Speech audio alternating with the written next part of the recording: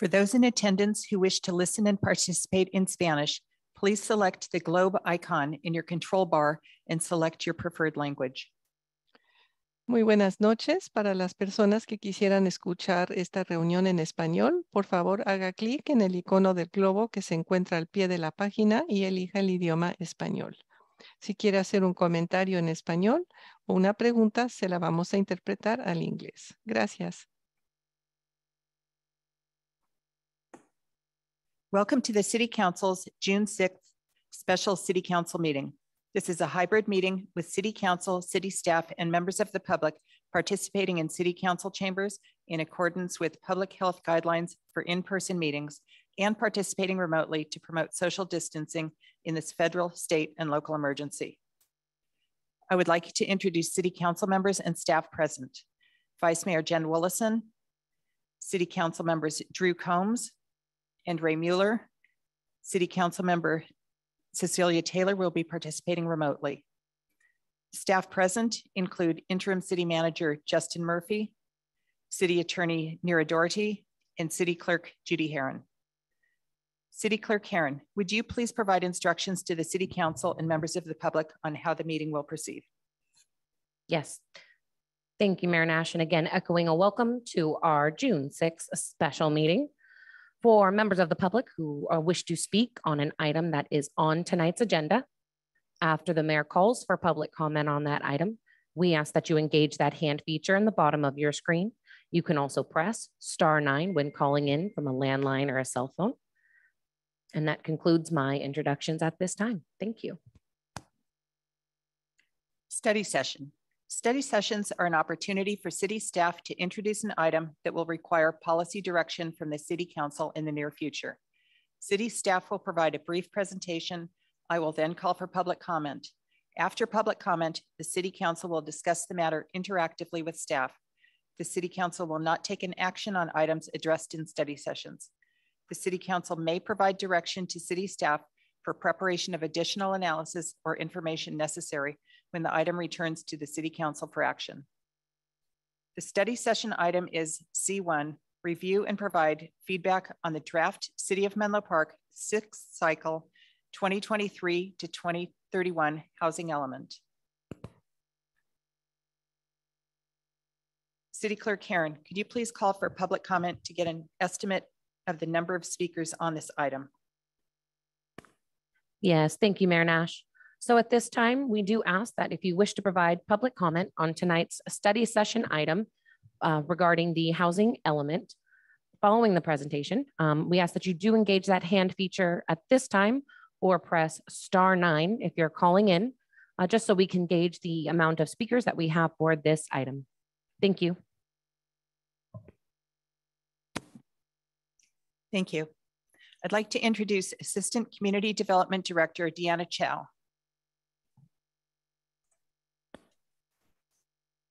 Thank you. Good evening, Mayor Nash and members of the City Council. I'm Deanna Chow, Assistant Community Development Director, and here with me this evening are members of our Housing Element Update team, including Tom Smith and Calvin Chan from City staff, and Jeff Bradley, Sung Kwan, and Asher Cohn from the M Group. We are here this evening for a study session on the draft housing element, which is currently available for a 30-day public review period. The comment period ends this Friday, June 10th. We are excited to have reached this important milestone in this process. As part of this study session, we are seeking feedback from the public and guidance from the City Council on key topics such as site inventory and policies and programs.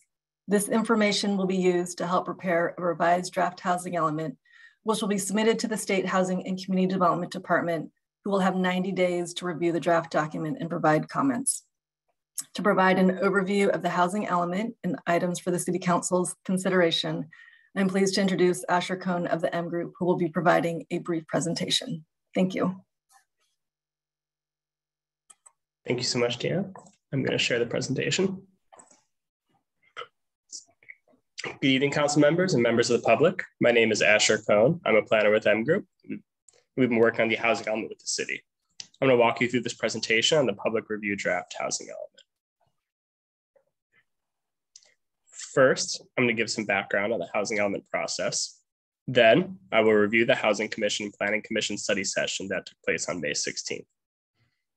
After that, I'll describe the structure of the draft document and the site inventory before giving an overview of the goals, policies, and programs, and then talk about next steps. To begin, some background. This housing element is required by the state. Menlo Park is required in the next eight years after housing element certification from 2023 to 2031 to plan for accommodating the regional housing needs allocation, RHNA, of 2,946 units. We at M Group began this process with the city approximately one year ago. We've done considerable outreach throughout this process, and you can read more about it on the website at the bottom of the screen, menlopark.org slash housing element. We've had council meetings, two project galleries in Menlo Park's libraries, held pop-up meetings in the community, put out social media messages, met with focus groups, and sent out citywide mailers. We've also held meetings with the community, with CEOC, sent out a community survey, and gone to Housing Commission and Planning Commission meetings. Now we are in the public review period, which began on May 11th. We held a study session with the Housing Commission and Planning Commission a few weeks ago, and tonight we're doing the same with City Council. At the end of the week, the public review period will close, and we will update the public review draft to address the comments we've received. We've already received over 50 comments, not including what we gathered on the May 16th study session. Once we have an updated draft document, we will send it to we will send it to the Department of Housing Community Development, HCD, who will have 90, period, 90 days for their initial review period. At that May 16th study session, the commissioners expressed general support for the direction of the document. Um, they identified several programs that would benefit from shorter implementation timelines. H2D, Accessory Dwelling Unit, ADU, Amnesty Program. H2E, the Anti-Displacement Strategy. H4O, Identifying SB 10 sites. H4E, Ministerial Review of 100% Affordable Housing. H7A, Create Residential Design Standards. Additional comments are available in attachment F, and that also includes responses from city staff. Now, let us go over the structure and content of the public review draft housing element. There are nine chapters in the housing element plus the appendices. These chapters are introduction, fifth cycle housing element review, housing conditions and trends, affir affirmatively furthering fair housing, actual and potential constraints to housing, energy, site inventory and analysis, goals, policies, and programs, and definitions of key housing terms. The next few slides will hit on some of the highlights of these chapters.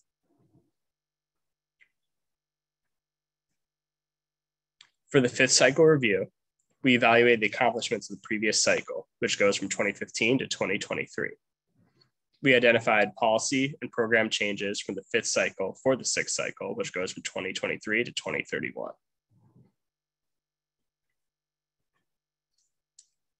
Housing conditions and trends looks at housing data and forecasts. For example, we have seen housing values grow in the city, even compared to the county and the region. This has made purchasing a home out of reach for many working and middle class families. From a geographic perspective, the state classifies census tracts as high, moderate, or low resource areas, and notes that the low resource areas is where there is often high segregation and poverty. These terms are defined by the state treasurer, and they are broadly understood by the Department of Housing Community Development, HCD, as ways to determine where access to health, educational opportunities, and economic mobility is located. In Menlo Park, the white population is disproportionately located in high resource areas, and Hispanic population is disproportionately located in low resource areas. Turning our attention to the site inventory, we can see what this looks like from a numbers perspective. In orange at the top is the regional housing needs allocation for Menlo Park. HCD recommends a 30% buffer. We put this buffer number in green. We can take credit for pipeline projects that is housing developments that are underway, and ADU projections to take care of our above moderate unit allocation and, um, and a substantial amount of our affordable unit allocation. So we're left with need to find sites to accommodate 1,469 units. The vast majority of our pipeline projects are in Council District 1 on the north side of US 101. Therefore, our first focus was to, was to distribute sites through Council Districts 2 through 5. And as you might recall from a few slides ago, the high highest resource areas in Menlo Park are south of US 101. This means we're putting the bulk of our 1,469 affordable units in high resource areas, which is a huge plus from HCD's perspective.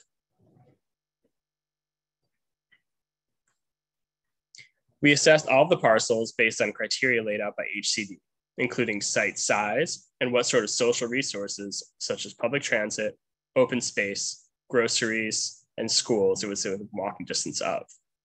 As we narrowed down this list of sites, we emphasized identifying sites near multiple resources. For each of our 73 sites, we developed site sheets with important information on them, including this AFFH score, which shows how many social resources the site was near. The maximum AFFH score is seven.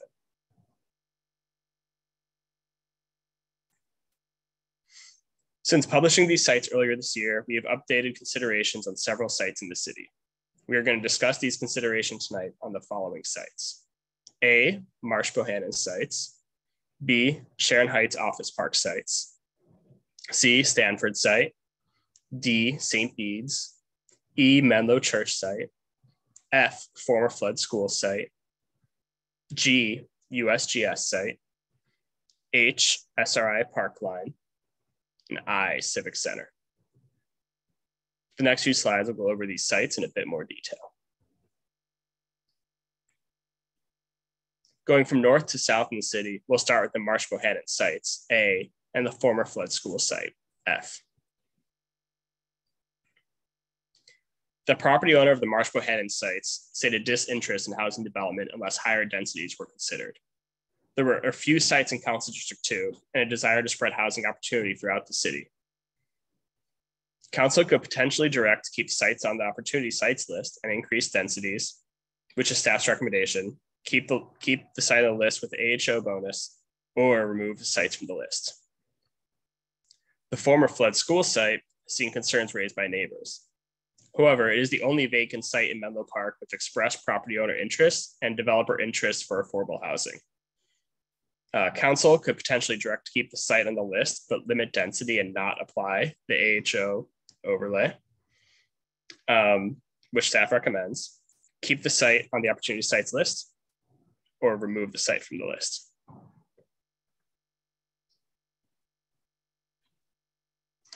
Next set of sites are the Menlo Church sites, E, USGS, uh, G, SRI Parkline, H, and Civic Center, I. The Menlo Church site's owner, the Church of the Pioneers Foundation, stated they were disinterested in housing development on these parcels. However, plans can change and retaining the sites would allow more options and or potential. Council could potentially direct to remove the sites from the opportunity site list, which staff recommends, or keep the sites on the list. The USGS site is currently up for sale. An increased housing allowance could incentivize a housing developer to participate in a bid to develop housing on the site. Council could potentially direct to keep the site on the list at increased densities on the site, which staff recommends. Keep the site on the opportunity site list with an AHO bonus or remove the site from the list. SRI Parkline is listed as a pipeline project, so it is not on the site inventory. It is counted towards RHNA as a development proposal. The project currently calls for approximately 400 residential units in a 10 acre residential zone. Staff recommends council direct to keep Parkline as a pipeline project and consider the potential for more units. The applicant is proposing a study of variant as part of the environmental review process, which could include up to 600 dwelling units on the site. City Council has previously provided direction to not consider the Civic Center as a potential housing site. However, some housing and planning commissioners and some members of the public expressed interest in using the site for housing. Council could potentially direct to not include the site on the site inventory, that is, make no change, which is staff's recommendation.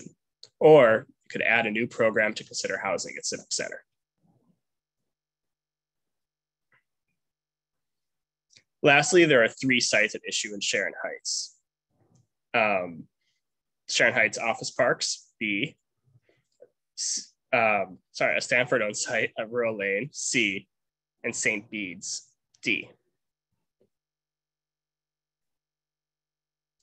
The owner of the Sharon Heights office park stated they were disinterested in housing development on these parcels. However, plans can change and retaining the sites would allow more options and or potential. In addition, there are limited sites in District 5 and a desire to spread housing opportunity throughout the city. Council could potentially direct to remove the sites from the opportunity sites list, which staff recommends, or keep the sites on the list. The owner of Site D stated the site had constraints such as drainage and accessibility that is impacted by Stanford Golf Course and operations. However, plans can change and retain the sites would also allow more options and a potential, and the issues at the site could potentially be addressed during site planning. Council could potentially direct to remove the site from the opportunity site list, which staff recommends, or keep the sites on the list. Finally, the property owner of Site D stated they're disinterested in housing development. The site serves as a school, so the property, so the parking needs and hours are different from a church-only site. Um, similarly, though, plans can change or retain the sites would again allow for more options and or potential. Council could potentially direct to remove the sites from the opportunity site list, which staff recommends or keep the sites on the list. So there are two overarching questions which we have for council tonight. First is with consideration to state law and guidance by the Menlo Park community, does the site inventory represent an appropriate inventory of land suitable for residential development, including vacant sites and sites having the potential for redevelopment? Second, are there particular potential housing opportunity sites that should be explored for addition, modification, such as to increase density or removal?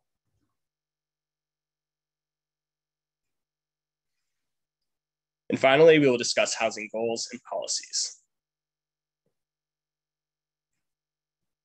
First, an overview on how the goals and policies are laid out. There are housing goals, which are overarching housing objectives for Menlo Park to strive for. These goals are supported by policies, which are approaches that move the city towards its goals. Finally, there are housing programs, which are concrete steps that enact a policy and accomplish goals. The overarching intent of the housing element is to create a balanced community with a focus on affordability that will forward social justice. The existing fifth cycle from 2015 to 2023 has four goals. The six cycle housing element we are working on has seven proposed goals.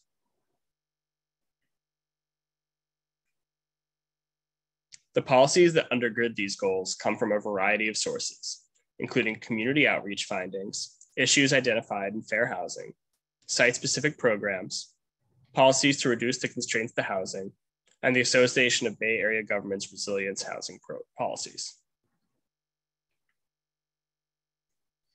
To give an overview of these goals and what they entail, we have them on two slides. Goal one, implementation responsibilities, continue to build local government institutional capacity and monitor accomplishments to effectively respond to housing needs. Goal two, existing housing in neighborhoods.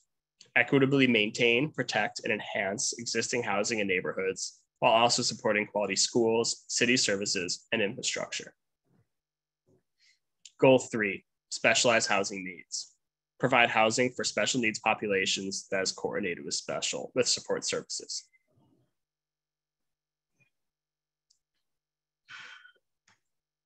Goal four, affordable housing, support the development of diversity of housing types for people at all income levels, particularly for extremely low, very low, and low income households.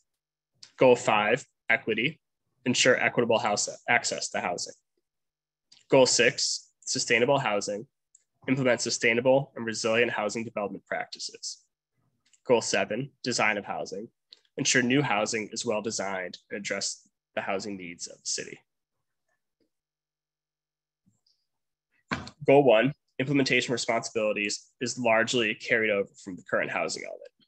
It includes policies to coordinate with regional and interjurisdictional efforts, utilize and advertise BMR funds, augment local funding, increase organizational effectiveness, including evaluating staff capacity, coordinate with nonprofits on housing, and monitor housing, monitor the housing element.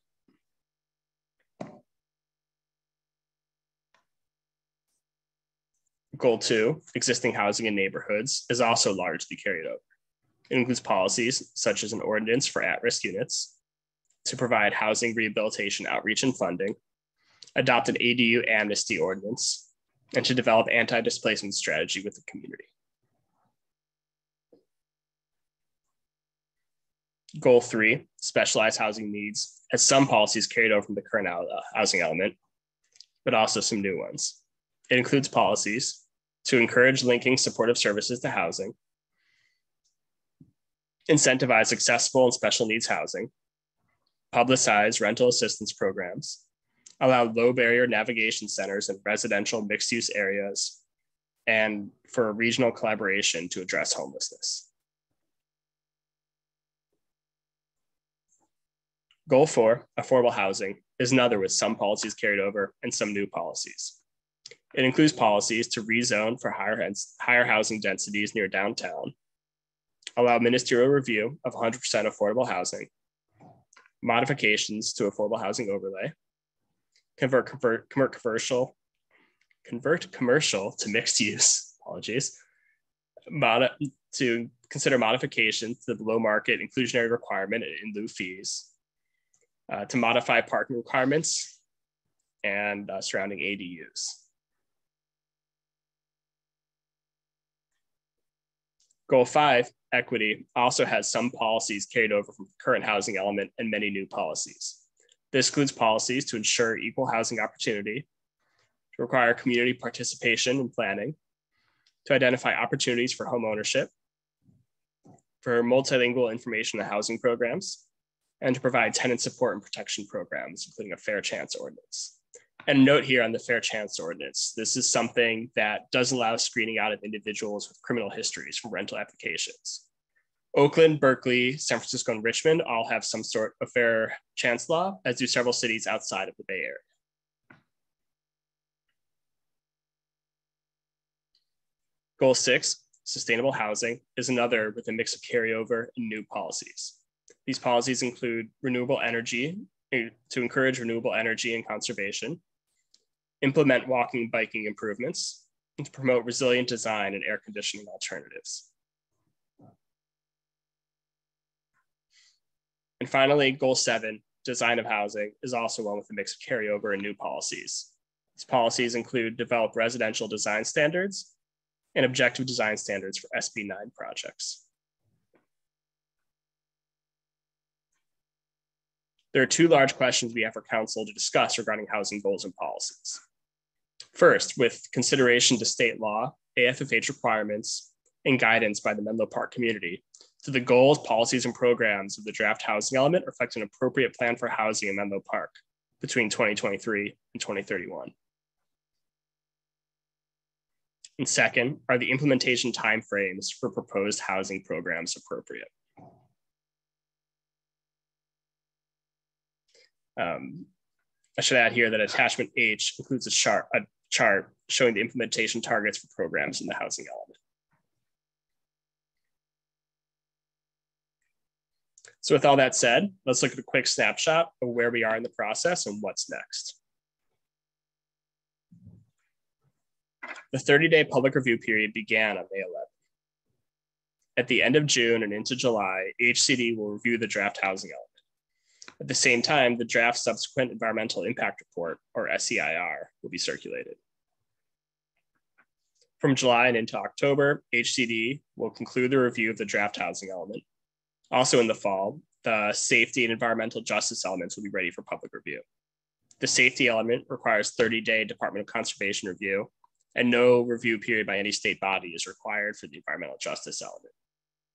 Also during this time frame, we will see the final SEIR published. By the end of the year, the SEIR is on track to be certified and the housing element will be adopted along with associated zoning ordinance amendments. The housing element will be submitted to HCD uh, later approved. And uh, we should note that these dates are tentative and this is all subject to modification as we go forward. And where we are today, the public review draft is up on the city's website. Again, that's menlopark.org slash housing element. There's an online web form to provide comments up there.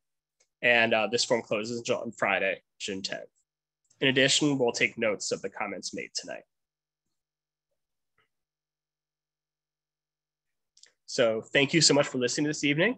We're going to turn it over to you for questions. I'm going to shop, stop sharing my screen, but I'll have everything available for reference um, upon council's request. Thank you very much. Thank you very much. City Clerk Herren, how many public speakers do we have on this item?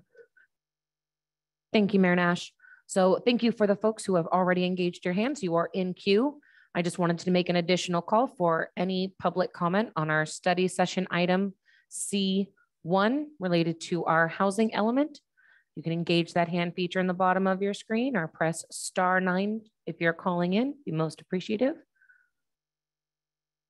Mayor Nash, I am seeing approximately 11 uh, speakers at this time.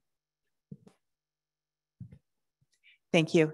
Um, given the number of public speakers, I think we'll continue with the three minute limit. Thank you, Mayor Nash.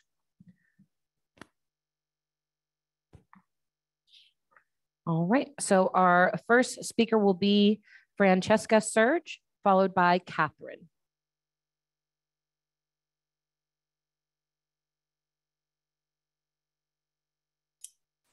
Hey, um, I hope you can hear me. Yes?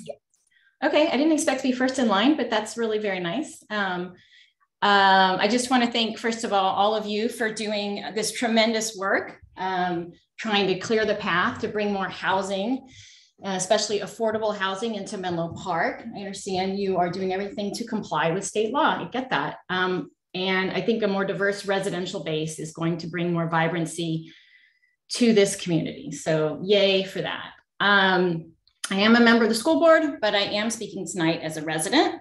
And I just want to let you know that I looked at the draft element and um, looking forward to new residents and more dense housing. Um, and I just want to make sure that the residents who move in, especially those with children, have access to the same high quality education and low class sizes that MPCSD currently offers. So I would like to see the school district and the city partner on creating this vibrant community. Um, and to that end, I was slightly disappointed with some of the language um, from the previous housing element that was more supportive of the school. Some of that language was removed or modified in this draft element. So I was disappointed to see that that supportive language for schools seems to have been removed or modified. Um, so I would like to see that supportive language from the previous housing element stay intact. Um, I'd like to see some community amenities earmarked for schools moving forward. Um, teachers and staff prioritized in getting access to some of those units that are, are affordable. And um, would love to see the city help the district to identify real estate um, should our, our, our, student body expand to the point that we do need to create um, new campuses. So those are my thoughts on the schools. And then just in terms of opportunity sites, I'm not sure what's happening at 989 El Camino. It's the mini mall where the Mama-Celli's is in the bar three, but I didn't see that on the list somehow. And I thought, well, why not? That seemed like a great location. And then other than that, want to make sure that um, everything you guys are doing is looking, supporting sustainability measures and um, active transportation. And um, I really think you're gonna you're gonna do a great job, and I really appreciate your hard work. And um, please keep looking out for the students and the schools and the future of Menlo Park. That's all I've got for you. Thank you for your comment. So our next speaker is Catherine, followed by Verl Ebby. And Catherine, if you wouldn't mind stating your last name for the record. Yes, it's uh, Catherine Dumont. Thank you. Thank you. Yeah, thanks to the council and the planners, uh, all the hard work. Um, I'm still going through the ele housing element, uh, but um, just um, comments on the um, the feedback um, tonight um, is, uh, you know, the general uh, trend I would hope would be to increase space density um, uh, allowed, especially uh, for building near uh, services and transit, and also increasing um, developer fees to be in line with those of neighboring uh, cities. Um, regarding the flood site, I'm really disappointed to hear that there, there's a consideration to lower the density and um, perhaps uh, remove the housing overlay. So um, I, I, I think that um, that's very short-sighted um, uh, and, and um, not just to dismiss concerns about parking and traffic, but um, um, having lived near um, several large construction sites in Stanford, none of the concerns that the neighbors had about the parking and traffic were as bad as as we all feared um, at the time. Um, and then I think that the um, Civic Center um, should be added to consideration, especially the given that um, so many of these projects, these sites, uh, the owners have indicated they're not interested in in uh, development for, for housing. Um, and let's see. Um, yeah, Civic Center and the downtown. Um, I think the downtown areas, the the, own, the city owned spaces downtown should be um, considered parking lots. And um, I think we could uh, do some really good um, housing in that area close to services and and transit um, especially for seniors special needs people and um, those who work uh, in the downtown area and providing services to the greater community um, such as those who work at um, Starbucks and Trader Joe's and the local restaurants that keep us all um, happy and and well fed. So I guess that's all the time I have. Thank you.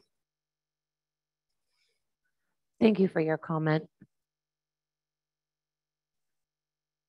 So our next speaker is Verl Ebby, followed by Superintendent Burmeister. Uh, hi, uh, this is Verl Abbey. I'm a longtime resident of Menlo Park. Uh, certainly appreciate the opportunity to provide some input and also appreciate all of the hard work by the Planning Commission Council, other the, uh, the staff to develop this. So I have two sets of comments. One is on the opportunity sites, and it's really just a specific question uh, that maybe the council can, can uh, consider. Site number 51 on the list is the Guild Theater, which was just remodeled, as you know. I think they spent over $30 million. It's a tenth of an acre site. Yet across the street from the Guild Theater, not on the list, is uh, the Cornerstone Research Building, which I understand is on a piece of a parcel of land that's owned by the city of Menlo Park. And so my question would be to the council as to why, why is that building or that lot, that parcel not on the list because it's certainly an ideal location in terms of proximity to Caltrain city services. It's really as good as it can get. So that's a question as to why the Guild Theater's on it. I'm sure the owners of that don't plan on redeveloping it for housing after just, uh, you know, bringing it up and running. So the other area I'd like to comment on is really a more of a policy area, and that's really on the ADU production that's assumed in the element. It seems that it's quite low. I saw recently that Woodside's targeting 200 ADUs in their plan. You know, whether or not that finally gets approved, I don't know, but it seems that we could strive for more ADUs. because they're certainly spread across the city, which would be a, a good equity thing in all of the districts. And one of the things that I think you have, I haven't had a chance to read all of it. I don't know exactly the plans, but I think that you should consider greatly reducing the fees charged by the city to uh, get an ADU, a building permit for an ADU. And just quickly, I'll comment that my wife and I are in the process of getting a new retirement home built in the R3 district. We have a detached ADU. And so far, the building department fees are about the same for the 2,700 square foot house as a 700 square foot ADU. And I think that that's, you know, not you know, not really the way the city should be going. You know, maybe we could consider using some of the bonus money that we get from developers to uh, subsidize the plan reviews of ADUs to encourage more ADUs throughout the city, you know, and other means. Uh, I think that would be a, a, good thing. One quick example before my time runs out. The geologist uh, review of the soils report, I was charged $1,200 uh, for the house and $1,200 to review the exact same report on a 7,400 square foot house for the detached ADU seems uh, a bit extravagant. Uh, the building department said that I should bring it up with council. So that's what I'm doing. Uh, thank you for your consideration. Thank you for your comment. So our next speaker is Superintendent Burmeister, followed by Lauren Bigelow.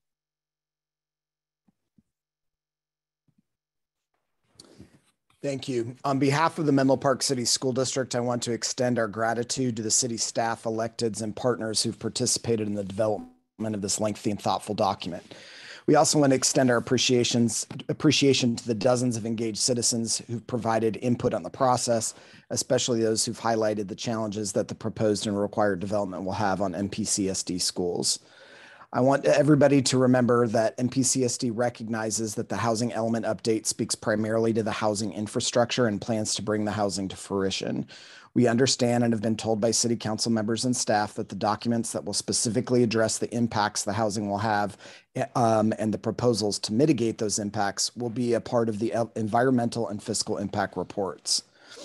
As a reminder, we support expanded housing development. We particularly recognize the challenges that face our elected officials and staff to meet the expectations of the state and to address housing supply and inequity. Our district looks forward to educating all the children that the future housing development welcomes to our community. We also want to remind the City Council that MPCSD has no land to build additional capacity uh, uh, to build um, and to provide additional capacity. And our current sites are already near or at capacity. It is only through partnership and creative problem solving that the city and school district will be able to ensure that quality schools continue to be a hallmark of the Menlo Park community. It is because of this necessary partnership that we're disappointed in the suggested removal of the few references to the impacts on schools that the update is proposing to cut in the current draft. Examples include on pages 49 through 51, 85 through 87, and page 116. While I understand the inability of M Group and the city to respond tonight to questions from the public, I would hope that M Group and city staff would address the obvious question. In light of all the input imploring the city to address the needs of schools in their planning, why exactly are the few references to schools suggested to be removed? Beyond a proposed addition on page 333 that the city work to coordinate demographic and school district needs, the update appears relatively silent on the issue of schools. In light of the modification and removal of the few references on the impacts of schools, it is our expectation that the subsequent environmental and fiscal impact report will detail the specific and wide ranging challenges that the city and school district must address together in order to meet the needs of the proposed housing, as well as specific plans the city intends to take to increase the school's capacity to educate the students the housing will generate. This week, our school district will be publishing a Schools and Housing one pager to highlight four very specific requests of the city as it pursues the implementation of the housing element. I look forward to hearing and understanding the city council and city staff's uh, feedback on our four very reasonable requests, and we continue to look forward uh, in partnering with you on solving these difficult but surmountable problems. Thank you. Thank you for your comment. So our next speaker is Lauren Bigelow, followed by Kalisha Webster.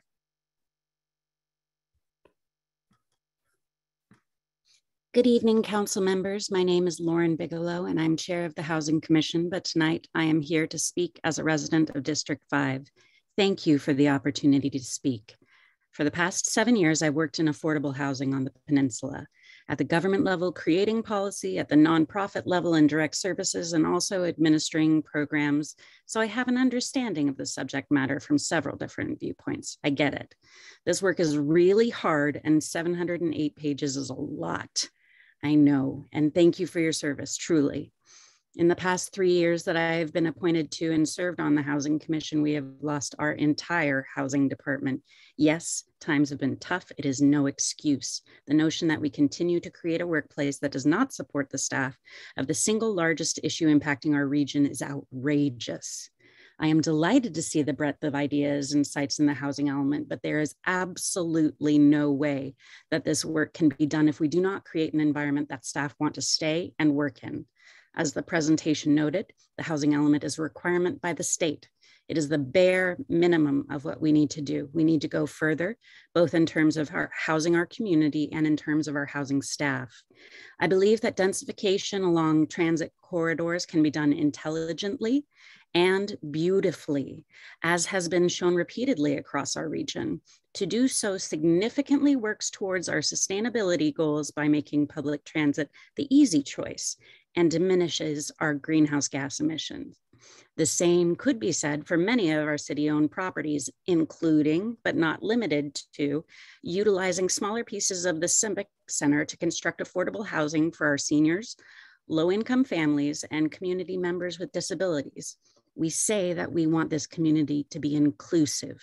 So let's make it easier to create housing at every income level and support our most vulnerable residents. But building is not the only thing we need to do, as is pointed out by California's Housing and Community Development Department's mandate that we affirmatively further fair housing. We need to make sure that we keep our renters in their homes, which is incidentally one of the most cost efficient mechanisms for combating homelessness and stabilizing our community. This leaves quite a few places to focus our very limited resources. The metrics that are called out sporadically through the document are excellent. I would recommend that any policy or program we discuss include not only these metrics, but also have enforcement and implementation milestones baked in. It's important that we can easily track progress throughout the entire housing cycle. Thank you again. Thank you for your comment.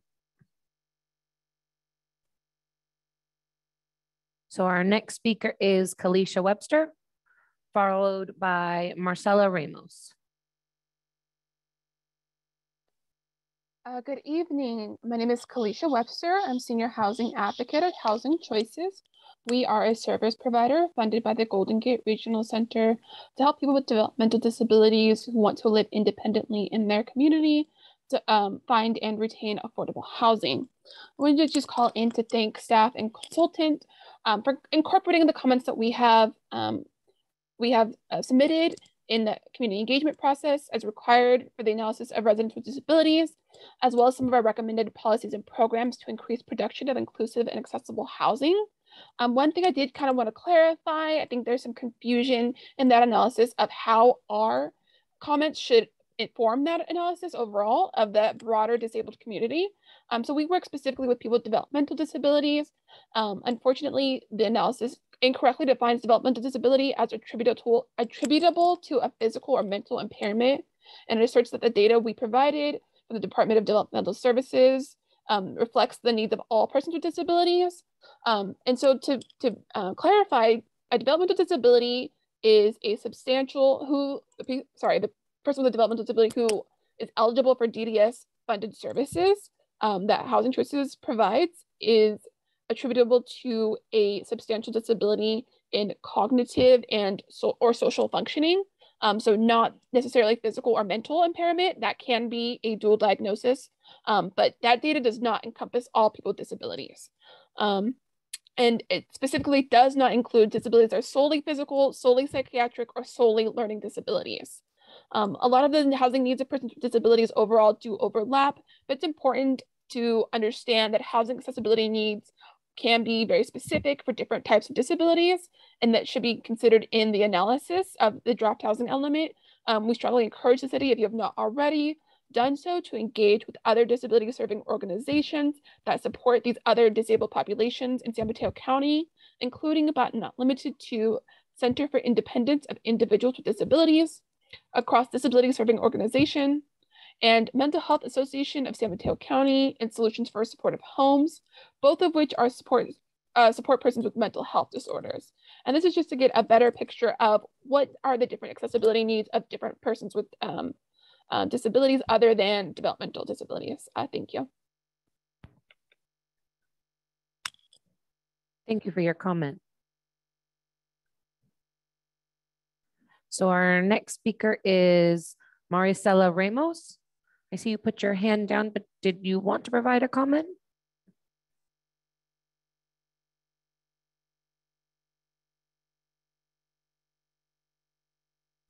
Okay, so Maricela Ramos, if you'd like to uh, make a comment, please feel free to engage that hand feature at the bottom of your screen. Uh, we'll go to our next speaker, Adina Levin, followed by Andrew Bilak.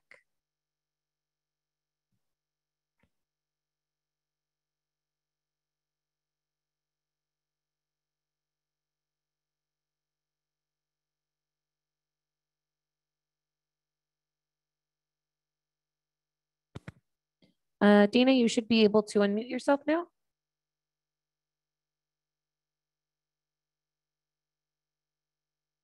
Hello, can you hear me? Yes, now we can. Thank you. All right. Thank you so much.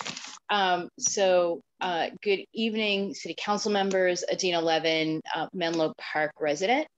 And I wanted to, uh, first of all, um, really thank the uh, uh, city and staff and consultants for uh, really working hard on um, getting a good uh, housing element that um, meets the state requirements and importantly uh, meets the needs of our city and region and state for homes for people of all income levels addressing the uh, housing uh, shortage that is uh, such a problem for uh, people to be able to live in our uh, community and region. I wanted to, first of all, make some specific comments about the transportation policies and programs, and then make a few other comments.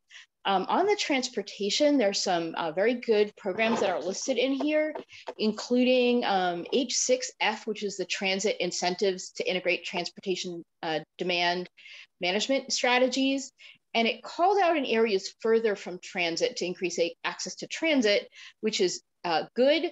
And um, also, this is really important, um, even and especially in transit rich and service rich areas where incentives can really reduce the amount of cars that people uh, need to own to be able to get around and the amount of traffic in our, our denser areas. And there are a number of really good examples of cities in our region that have updated their policies to plan for and provide incentives for a much lower rate of driving in the transit and service rich areas like Redwood City, Mountain View, San Jose, Berkeley. You know, uh, we, can look at good examples in place.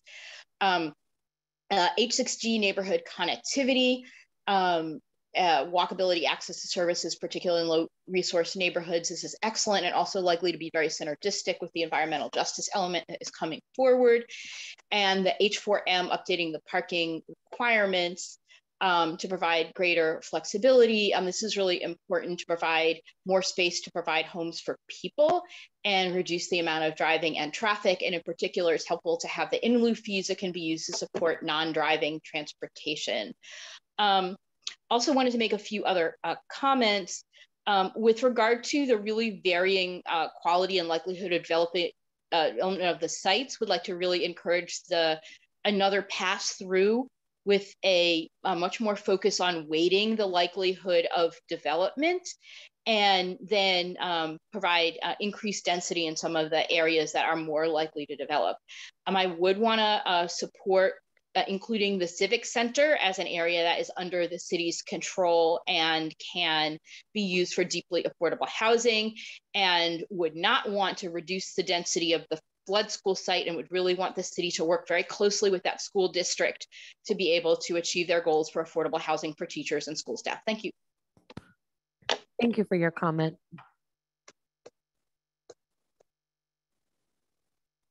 So our next speaker is Andrew Bialak, followed by Karen Grove. Good afternoon. Good afternoon, council members, uh, members of the public and staff. This is Andrew Bialek. I'm Associate Director of Development at MidPen Housing. Uh, we are a nonprofit affordable housing organization that owns um, and operates five communities here in Menlo Park. Um, I appreciate all the work that's been done so far um, and a lot of the, um, the wide variety of, of, tools that are looked at and examined and have been considered by staff and um, elected officials in the city to uh, attack this challenge, which um, is really multifaceted, involves many different approaches to really get the um, get the strategy right. So, so I think this um, draft housing element takes a lot of great steps forward. and a few things I want to comment on uh, within it you know, one, I really appreciate the attention to um, various incentives that can encourage the development of uh, affordable housing.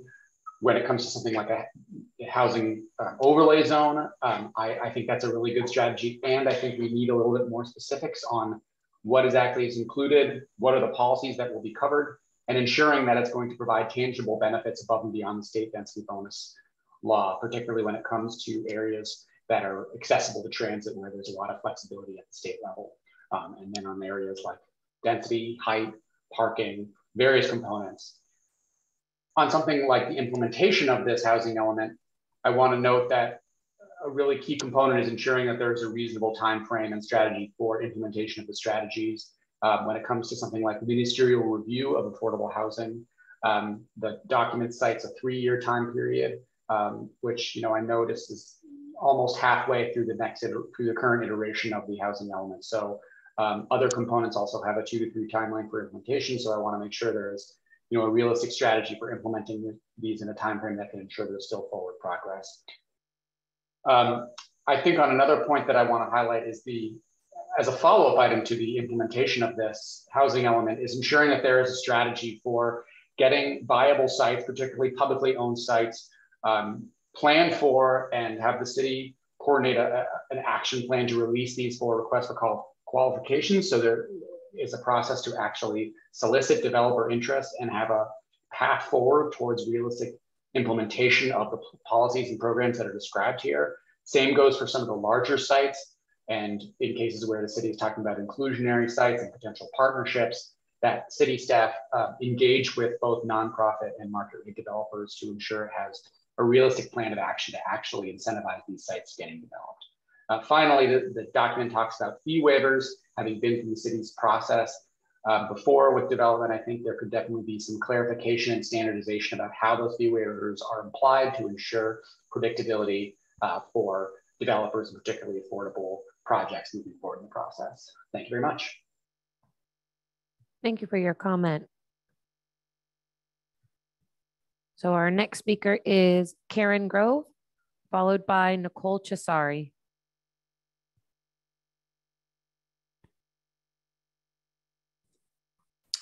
Good evening. Thank you for letting me speak. My name is Karen Grove, and I am a resident of District 5 near the Sharon Heights Shopping Center.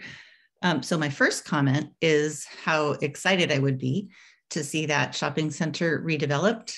Um, I can, you know, make up a really beautiful um, little mini village with lots and lots of homes and great diversity of restaurants and services, and you know, keep keep the grocery store as well. And it would be a real asset to the community. Um, I did read with interest the letter from Mr. Bohannon about densities that would actually incent redevelopment of his property, which is a different one, but it was in the order of 150 to 200 units per acre.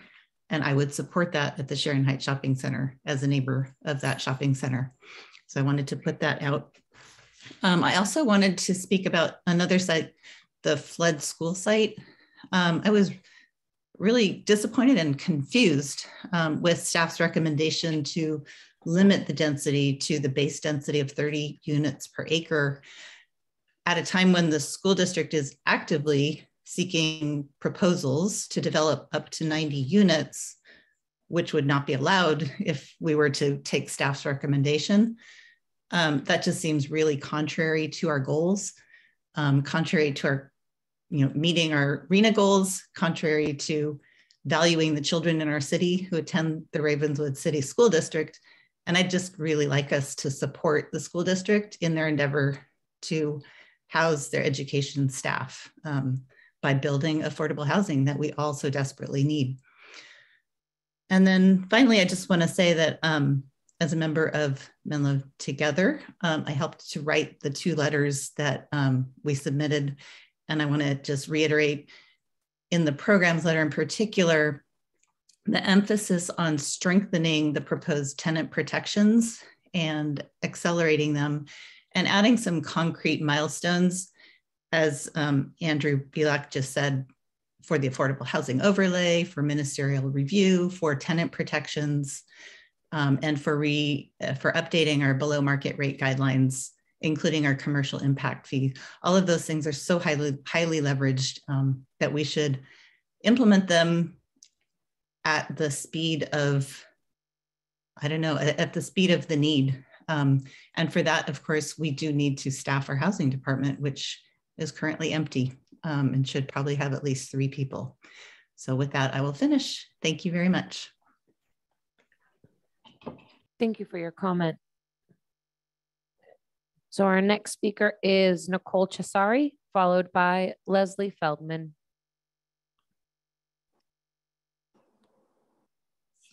Hi, thank you. Um, first, I want to speak to Site 38, the flood school site. Um, first, I uh, appreciate the staff's recommendation to to lower the density by not applying the uh, the city's uh, overlay density overlay. Um, however, the state density overlay or um, bonus still applies, which would allow for roughly 140 units at that site, um, even with that that alteration, um, which is still too much uh, given the way that the project is planned um, and doesn't take into consideration any of the comments of the uh, people in the neighboring single-family home residential communities um, that would be impacted by a high-density project in their neighborhood.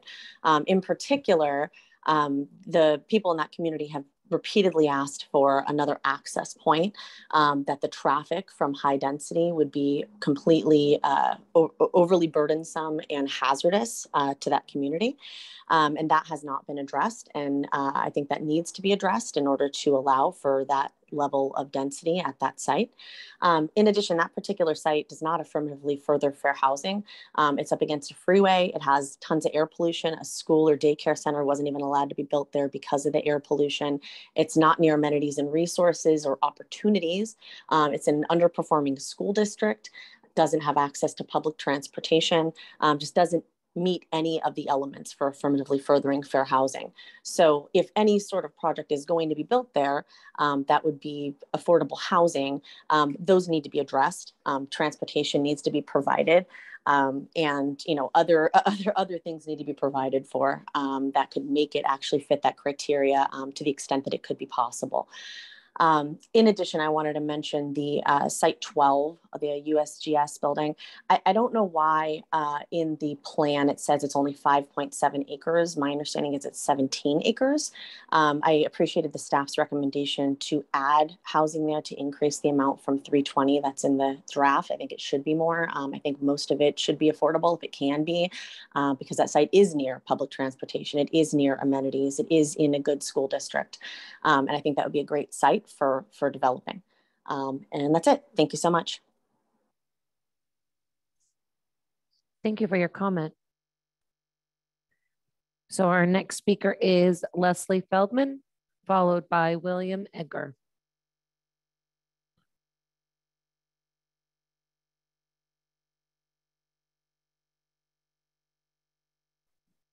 So Leslie, it doesn't look like you have a microphone engaged just yet. Um, so I'm going to move to William Egger and then come back to you, Leslie Feldman. So William, you'd like, you can provide your comment now. Good evening. I'm the Chief Business Officer of Ravenswood City School District, a district that includes the Belle Haven neighborhood of Menlo Park. We currently own the formerly uh, the former flood school site. Over the past few years, we've worked with the city, our community, and numerous others to explore possible uses for the site. As part of that exploration, we ran a public request for proposals. We then evaluated our proposals based on the ability of these proposals to one, bring in much needed revenue to the district in order to close the vast funding inequity between Ravenswood and the surrounding districts, and two, to find ways to benefit our community.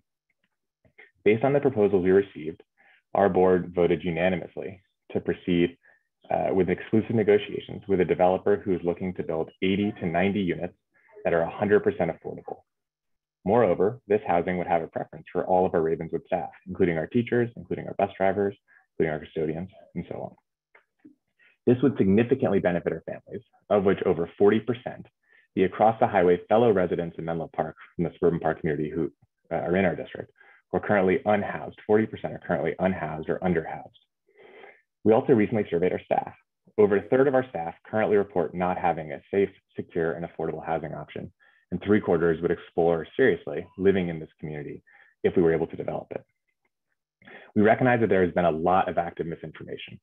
We are not and have not and never have planned on 200 units for the site. We have always consistently explored 80 to 90 units.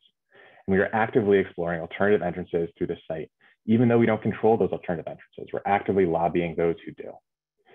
Um, there's other misinformation that's not worth getting into around you know, claims of air pollution or uh, calling our district low performing. And to help combat these falsehoods, we're continuing to engage in this process with our staff, our community, um, the neighbors of the site, as well as the rest of Menlo Park and the broader community. At this point, we are still negotiating with the developer and we do not yet have an agreement with them. And so we can't address some of the issues specifically until we have an actual plan that we're able to bring to the city. Um, tonight, we hope the council does not take any action that would limit our ability to work together with the city staff to make these 80 to 90 units that are 100% affordable a reality. Thank you. Thank you for your comment. So it looks like Leslie Feldman. I'm gonna come back.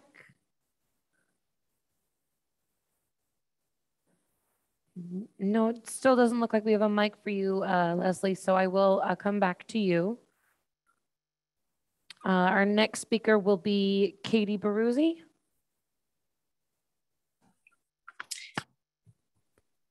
Hi, this is Katie Behroozi. Can you hear me? Yes, thank you. Awesome, great. Um, using a new device tonight.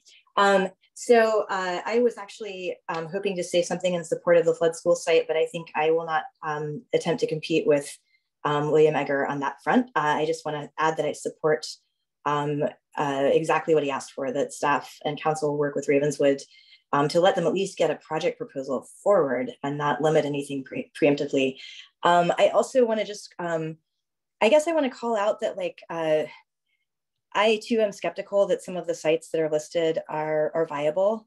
Um, I was interested in David Buchanan's letter, and I'm curious about whether or not we could be working more closely with some of the property owners closer to downtown and our transit hubs to find out how much more density might compel them to build housing.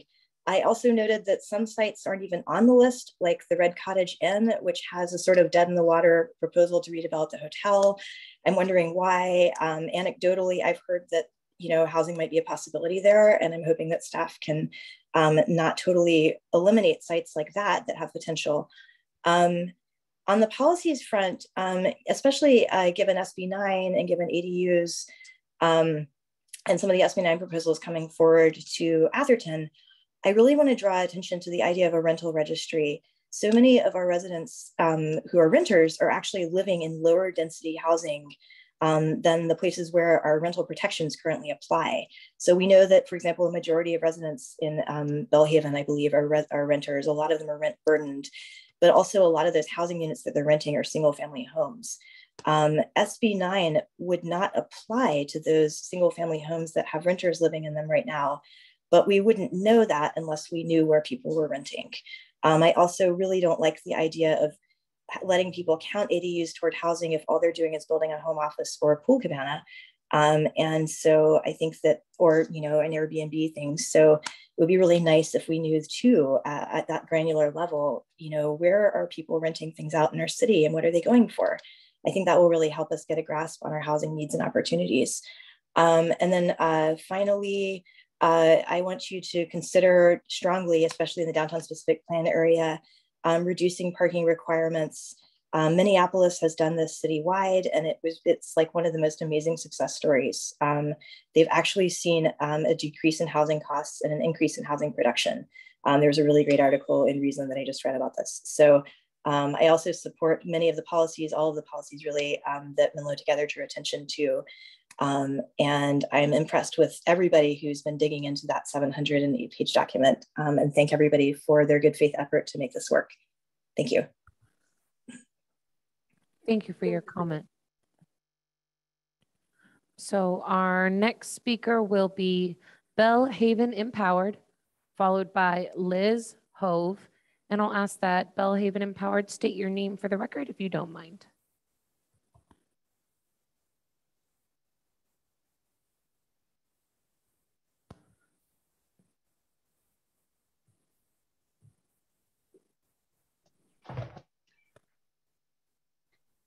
Hello, this is Pamela Jones, and I didn't realize that that is what was on my, um, what I signed in with. Pamela Jones, resident of the Belle Haven neighborhood of Menlo Park, representing myself. I want to thank the council, staff, consultants uh, for bringing us to this point in the process. Um, I want to emphasize some of the points in my written comment. And I do understand that some of the proposed opportunity sites may not be available or unrealistic for various reasons, and that's fine. But some of the sites that are available include vacant lots and parking lots, including downtown parking lots.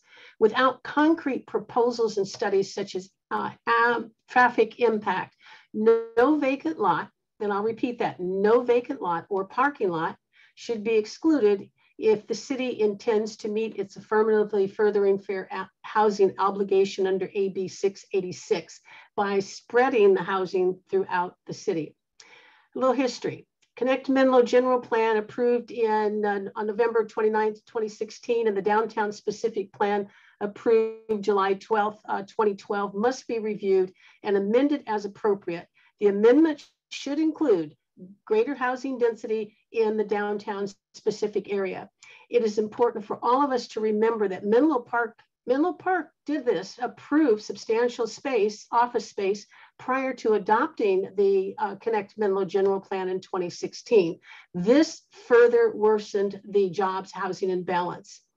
I appreciate the challenges um, that continue to come up for each of you, council members, as well as staff and uh, consultants.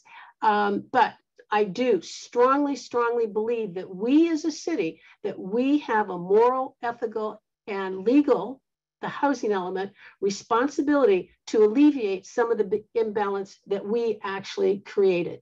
Thank you. Thank you for your comment. So our next speaker is Liz Hove, followed by Misha Silin. Hi there. Can you hear me? Yes, thank you. Thank you for um, taking my call. I appreciate it. Um, I'm Liz Hovey. I live in uh, Suburban Park, and I have some specific concerns about how we're implementing below market um, uh, housing in Menlo Park. And based on the AFFH guidelines, we're supposed to be promoting equity and reducing segregation as we develop new housing opportunities in the city. Specifically respect to site 38 in Flood Park, you are currently proposing a high density below market rate multifamily rental property in a low density residential neighborhood. The tenants of this future property will be immediately adjacent to the highway to 101 in a location previously determined to have such poor air quality that it can't be used for school or daycare. Future de- tenants will not be within walking distance of public transit, grocery stores, pharmacies, or schools, etc. The residents will be assigned to the Ravenswood School District rather than to the Menlo Park City School District, which is a very high performing school district. You are furthering inequality by pushing more low income rentals right up along Bayfront, contributing to the existing segregation of the city. Given the goals of the AFFH, Site 38, Flood Park School, is not an appropriate location for below housing.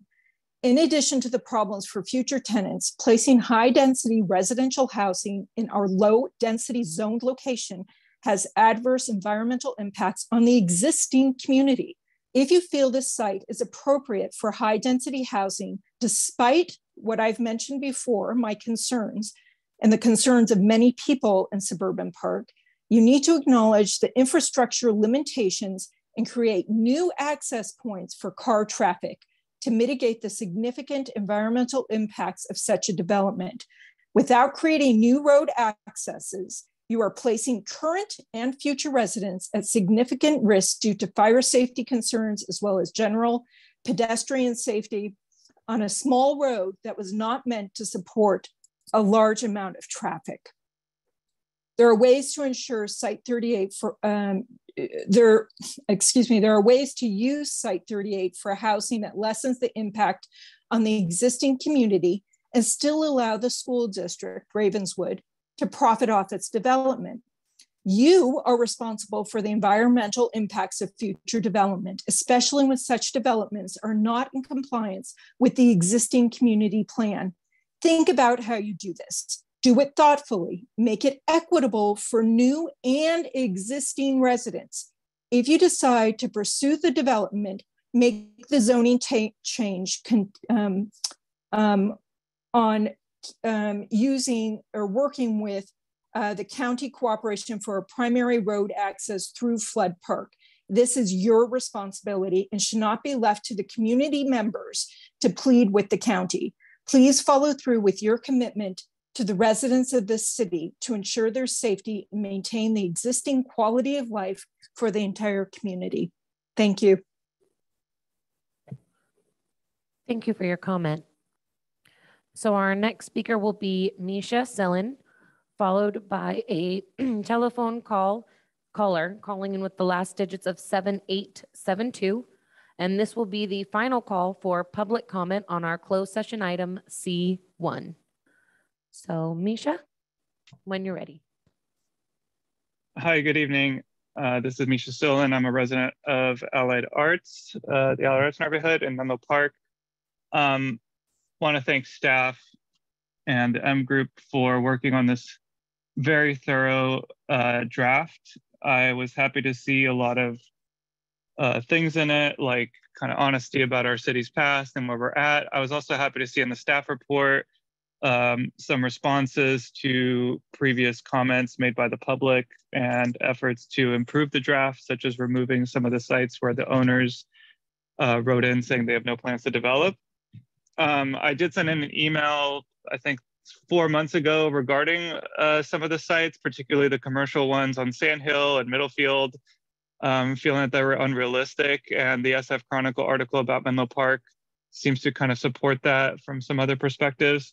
So uh, my first comment is I agree with staff's recommendation to remove any sites that we think are unrealistic, um, not only based on the owner saying they won't develop, but just kind of common sense. Um, extremely expensive office parks on Sand Hill Road will not become housing, in my opinion. Um, and let's instead strengthen sites that are have a lot of potential and have developer interest, such as USGS, SRI, uh, any city-owned land, and any land where the developer, like Mr. Bohannon, is raising their hand and saying, I'm interested. Um, so I'd like to suggest you know, raising densities on those parcels. I would also just push for generally raising density downtown. It seems like a no-brainer that we should allow more density downtown than we do in the Bayfront, given how much uh, access there is to different services and transit and everything else.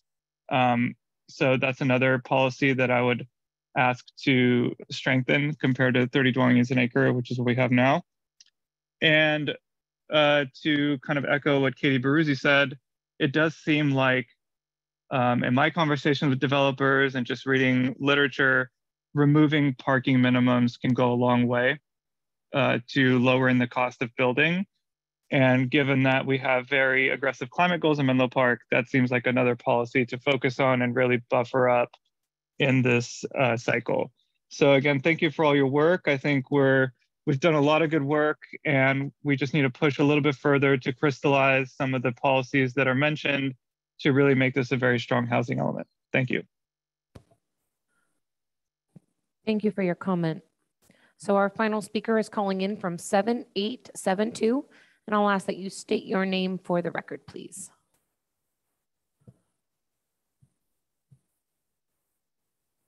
Hello. Um, hello, this is Kathleen Daly, a business owner in Menlo Park. I'm calling in to um, offer support to William Eggers and the Ravenswood School District for the housing site at Flood Park School. Um, I think there's a lot of it, misinformation out there, and I think uh, Mr. Eggers said it brilliantly, which is this has not even been fully developed. There is not a complete plan in place to decide whether or not it's good or bad. We are talking about an affordable housing site for teachers and staff, for every child in Menlo Park, every child in San Mateo County, no matter where they live. This is a place where families, teachers, janitors, librarians, substitute teachers, assistant teachers, uh, the people that um, go in and hug your child when they forgot their lunch, all the things that make our schools great. This is a potential to give some really great people an affordable place to live. We should all care about that. We should all care that this has not been fully developed. I've driven back there. I understand some of the concerns. I think if we all gather together and if it means pressuring the county to look at the alternate routes, then we then we do that. We all work together to make sure that something like this is possible and can happen. And I at the end of the day, I say if not for teachers and staff, then who? It, they they don't even have a plan yet. They've not said 240 units. They've said 80 to 90. They have been talking to the county. They're trying to work this out. Let's please give them a chance.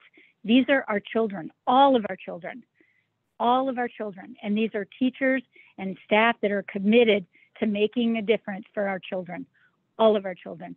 And once again, if not them, then who? Thank you. Thank you for your comment. Mayor Nash, having no further hands, you may continue. Thank you very much. And thank you so much to all the public commenters with the excellent um, comments and questions. And with that, before we begin um, council discussion, I'd like to give staff an opportunity to address um, some of the questions and comments.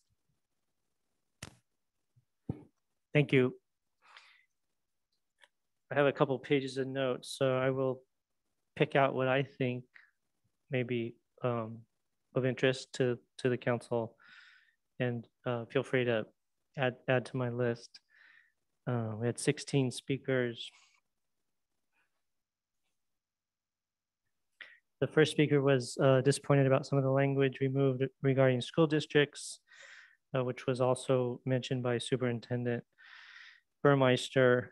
Uh, we'll have to research that a little more. I did some quick searching around and I didn't see anything jump out at me right away, so I'm not prepared to uh, respond to that directly, unfortunately.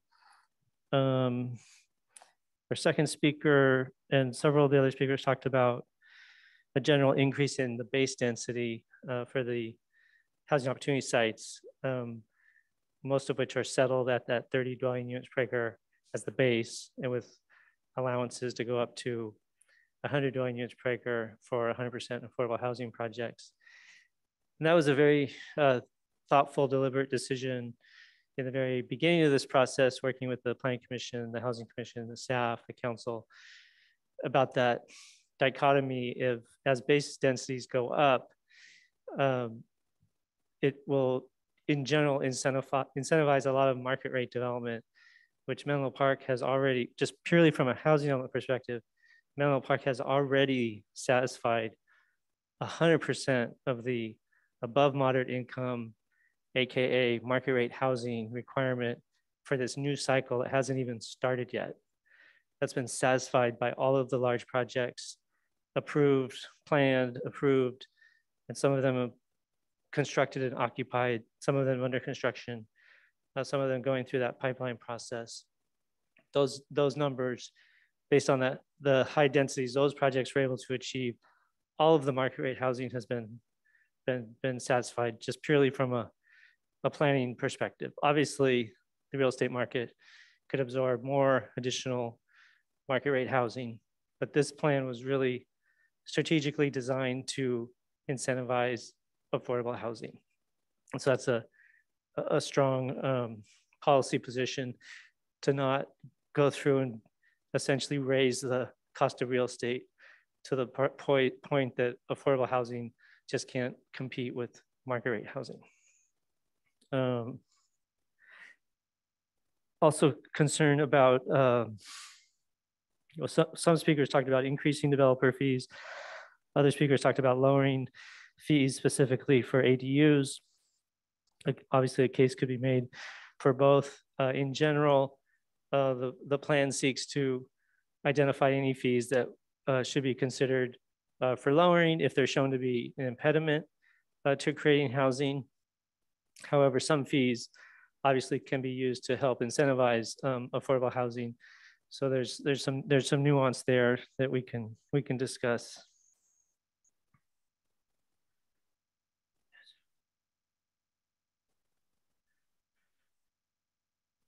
Uh, in terms of site number 51, uh, the uh, the Guild uh, Theater that, that was mentioned, um, if that if that indeed has been the subject of intensive investment and revitalization, that would that would make it a a good candidate to be removed from the list. So we'll we'll definitely look into that more. and We appreciate that uh, real time information.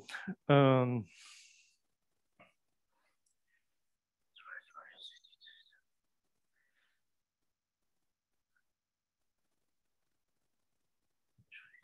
I'll well, just add, since since you're there, that that comment was also tied to uh, a comment about the Cornerstone property across the street and the um, the city owning that. That's potentially a good a good better yeah, site. Yeah. I'm just gonna let That's you right, guys thank know you. I don't think that's possible due to a long-term lease.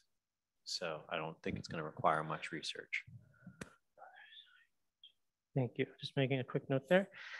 Um, Alicia Webster talked about the the definition of of, of folks with disabilities, and we'll, we'll uh, take another pass at that. Uh,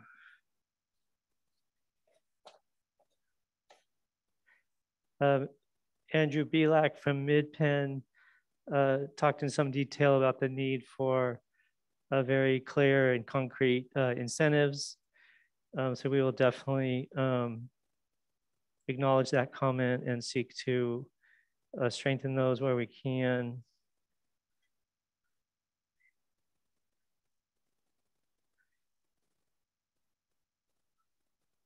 Some other speakers talked about increasing the, the densities to the levels uh, requested by, by one of the property owners at the 150 to 200 dwelling units per acre.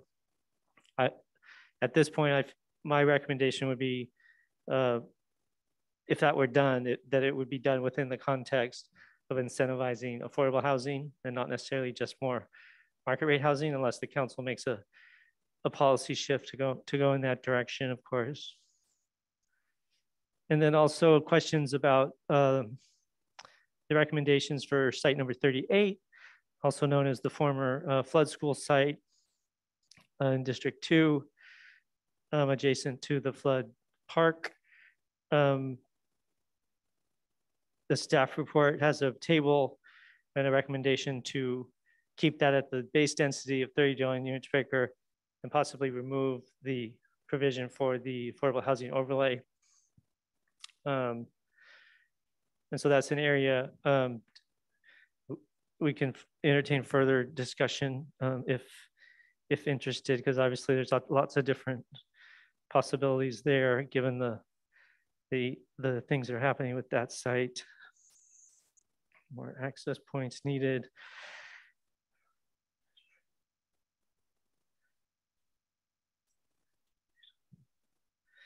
There was uh, questions or comments about a, a rental registry um, and how some of the renter protections may not be applying to uh, people renting uh, ADUs and or uh, single family properties. Um, so that's something we can definitely uh, take another look at. We do have very good data on ADUs rentals themselves and what the different um, income categories that are addressed by that through a countywide uh, survey that's been essentially pre-approved by HCD. So we're pretty sure we won't get um, any, any pushback on that. Sorry, I can't breathe with this on. Okay, it's got one more graduation to get through and then I don't have to wear that anymore. Um,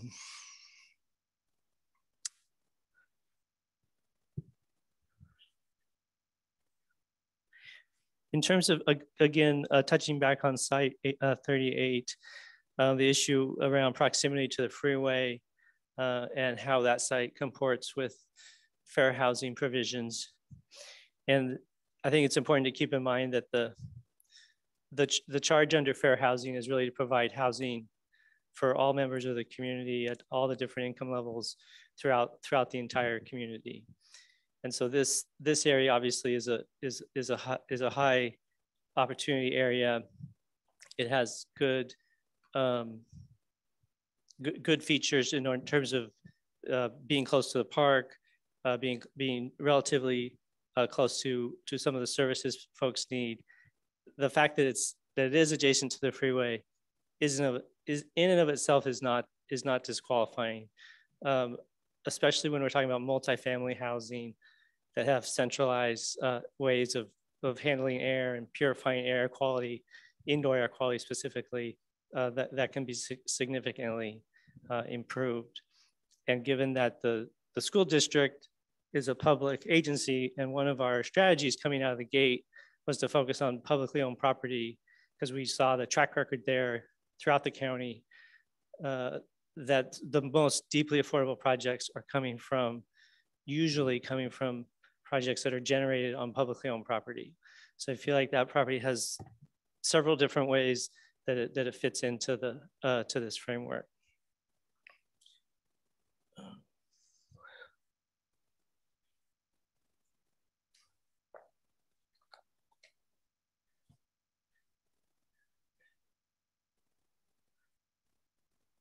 Okay, I think I've I think I've exhausted all the things that I saw kind of poking out a little bit that I wanted to address.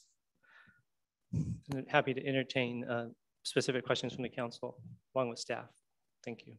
Thank you very much, Mr. Bradley. So what I thought we would do tonight is to actually go through the list of sites for further consideration one by one and talk about those, talk about the policies, and then see what else we want to add to that. Um, Councilmember Mueller. Yeah, at, the outset, I think what would be helpful for me to understand as we go through those is to understand if my colleagues are interested uh, during the staff's uh, presentation, initial presentation, I believe the number of units that they shared that we need to hit is 1,469. And so what I'd like to know is if my colleagues are interested in keeping a running tally of units assigned to sites so we know exactly if we're getting close to the number of units we need to create.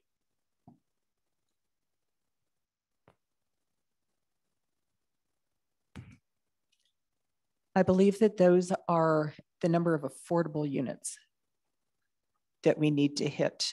Um, so that's fine and but I'd like to. Can we keep a tally re, with related to this to the different sites of where we're at? Because as we're going through right now, what I'd like to know is just as we talk about each one, what's the gap that we still need to make up? Is there a place that you can that that can be listed? Yeah, I, I think we can we could do that in real time. Thank you. I'll just message my team here. Thank you. Councilmember Combs. My only question is that 1400 number a gap related to what we're doing with these sites? Is, is that, I, I didn't understand that like that is the gap that we are looking to um, to close with the, the, sites that we're going to go through now. I thought the sites we're going to go through now are identified for a number of reasons why you guys wanted further direction, but, uh, but again, but again, not that we were using this process of getting that further direction um, to close that gap. But but I could be missing something. Yeah. Um, the fourteen sixty-nine is really the, the target, right? And it is all affordable, as, as one of you mentioned. Uh, but that's simply because, like I said earlier, all the market rate housing's already been met through the, the large pipeline projects in District One. Uh, so fourteen sixty-nine, uh, I'm gonna call it fourteen seventy, around numbers. Almost fifteen hundred unit, I'm gonna call it almost fifteen hundred. Um, that's really the target. That's what, that's what we need to plan for, and that's what we need to build. Because that is the actual target that we want to build, we're actually planning for, through our housing opportunity sites, three thousand, because we know not all the sites are gonna redevelop within the eight-year time period. Uh, some sites will never redevelop. Other sites may be developed at a lesser density than we had hoped for, um, et cetera, et cetera. Um, so my my guess is if if you went through that list and you made judgment calls, took some off, reduced some unit counts, increase some unit counts, it really wouldn't appreciably change the overall viability of the whole plan, just based on the order of magnitude that we're talking about there. Councilmember Mueller. Yeah, I want to go over that again just to make sure I understand it. So the total number of units that we need to hit for this to be accepted accepted by HCD is 1,469 affordable units. Correct. And that's it. 1,469 affordable units in our housing element based on what we have in the pipeline is accepted by HCD. Well, that's that's the hard number that we we need to build to meet the actual RHNA requirements. Okay. And to, in order to justify, in, in order to show that that we have a reasonable chance of doing that, you you have to provide the buffer, which we're doing, right? We have a 30% buffer, 30% buffer, right. right? And we have to have some acknowledgement that not every single site is going to develop, which is another way of thinking of a bu- another buffer. And But uh, that's the part that I don't follow because we hadn't, didn't have to do that in prior housing elements. So there was the number that you needed to hit to zone for. Then there was the buffer, but the extra on top, I've never heard of before. Is that something required by HCD or is that something that we're adding in because we want to, we want to do something extra? this is really new for this sixth cycle because the previous cycles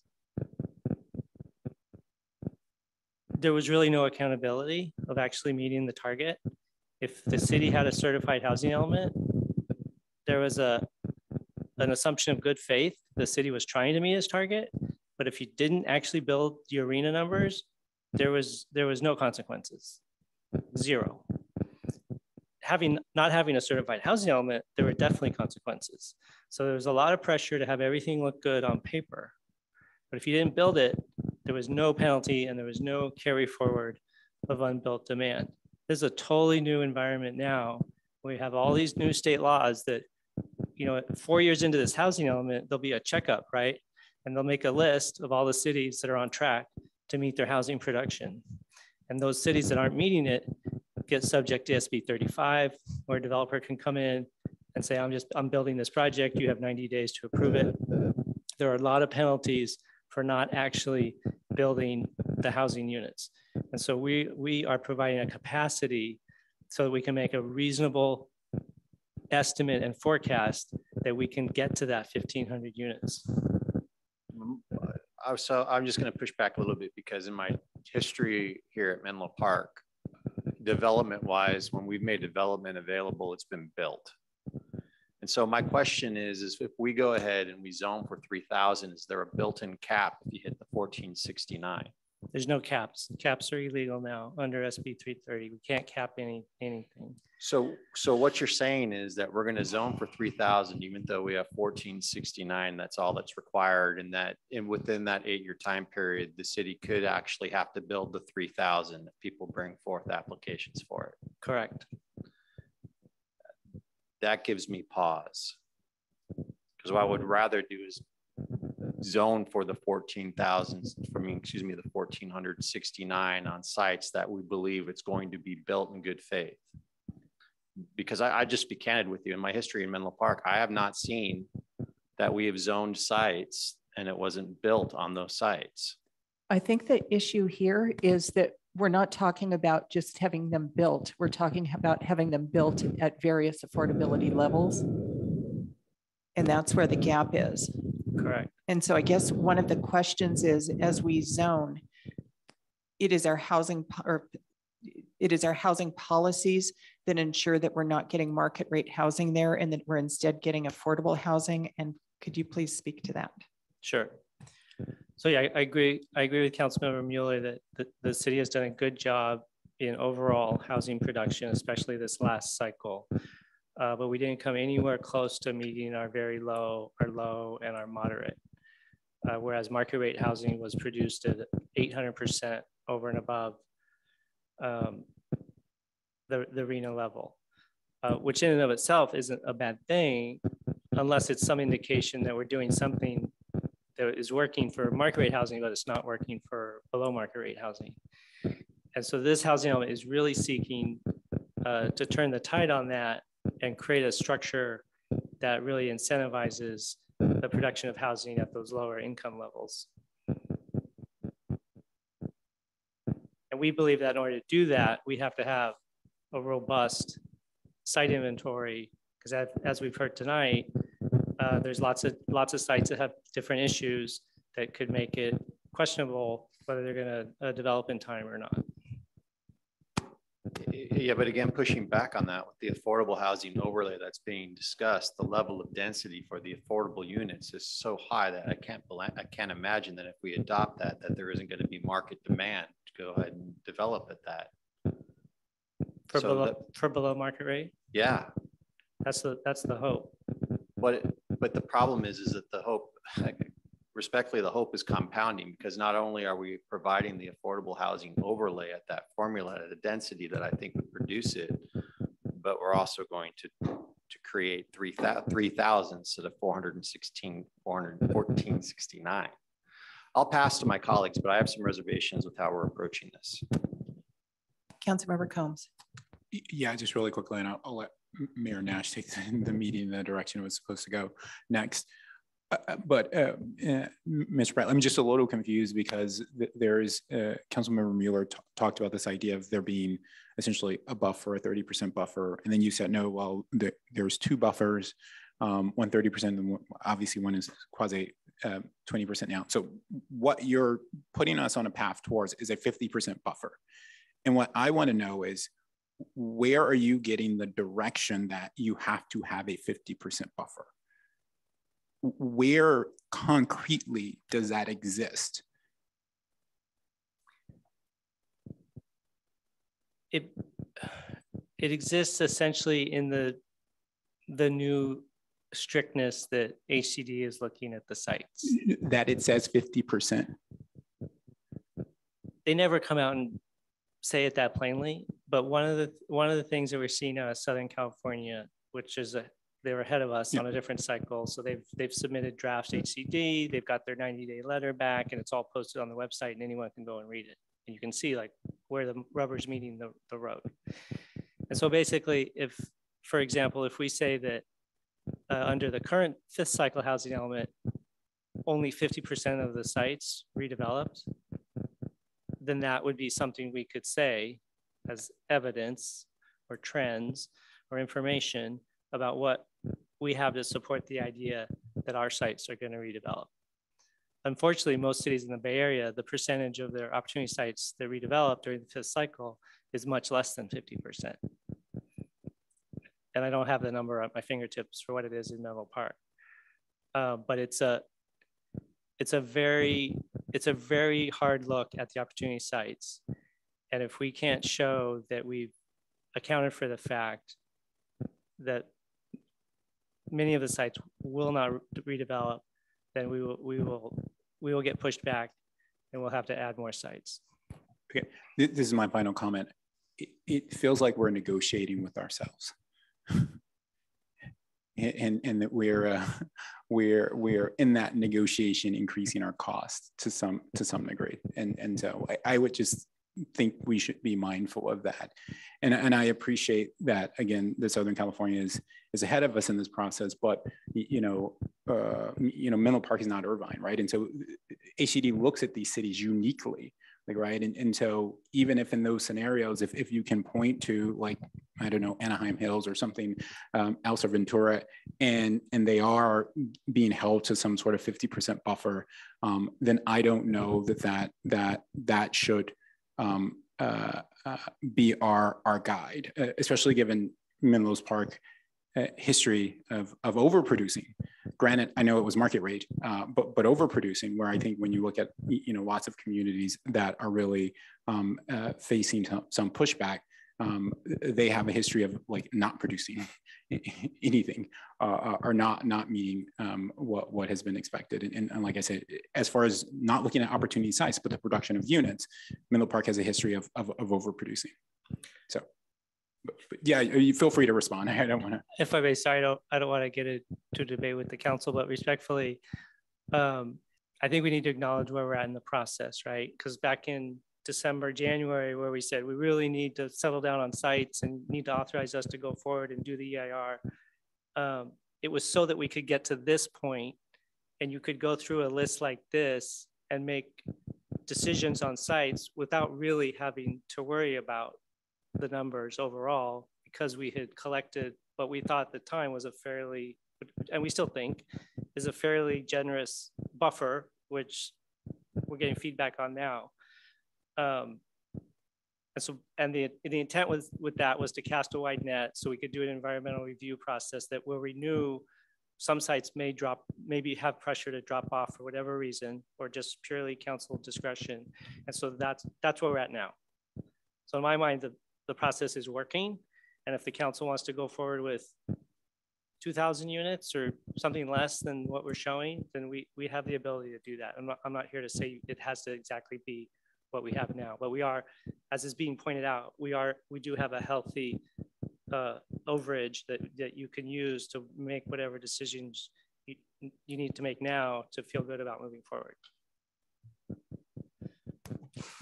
One last comment is um, I believe you're also counting upon some of the affordable housing coming out of the 15% allocation. And so we're not, the idea is not that all of these will be 100% affordable developments. And therefore, we're going to pick up some of the market rate units in the process of attaining our affordable units, which I think we would all agree that if, you know, that is a side effect of hitting these numbers for the affordable units. Yes, that's correct. Thank you. I don't necessarily agree with that. The densities we're talking about, just be candid, I don't. I think at the densities that we're talking about for some of these sites, they can be full affordable, and that's what's that at the, at the contemplated but I think we should go through it. So sounds good. So thank you.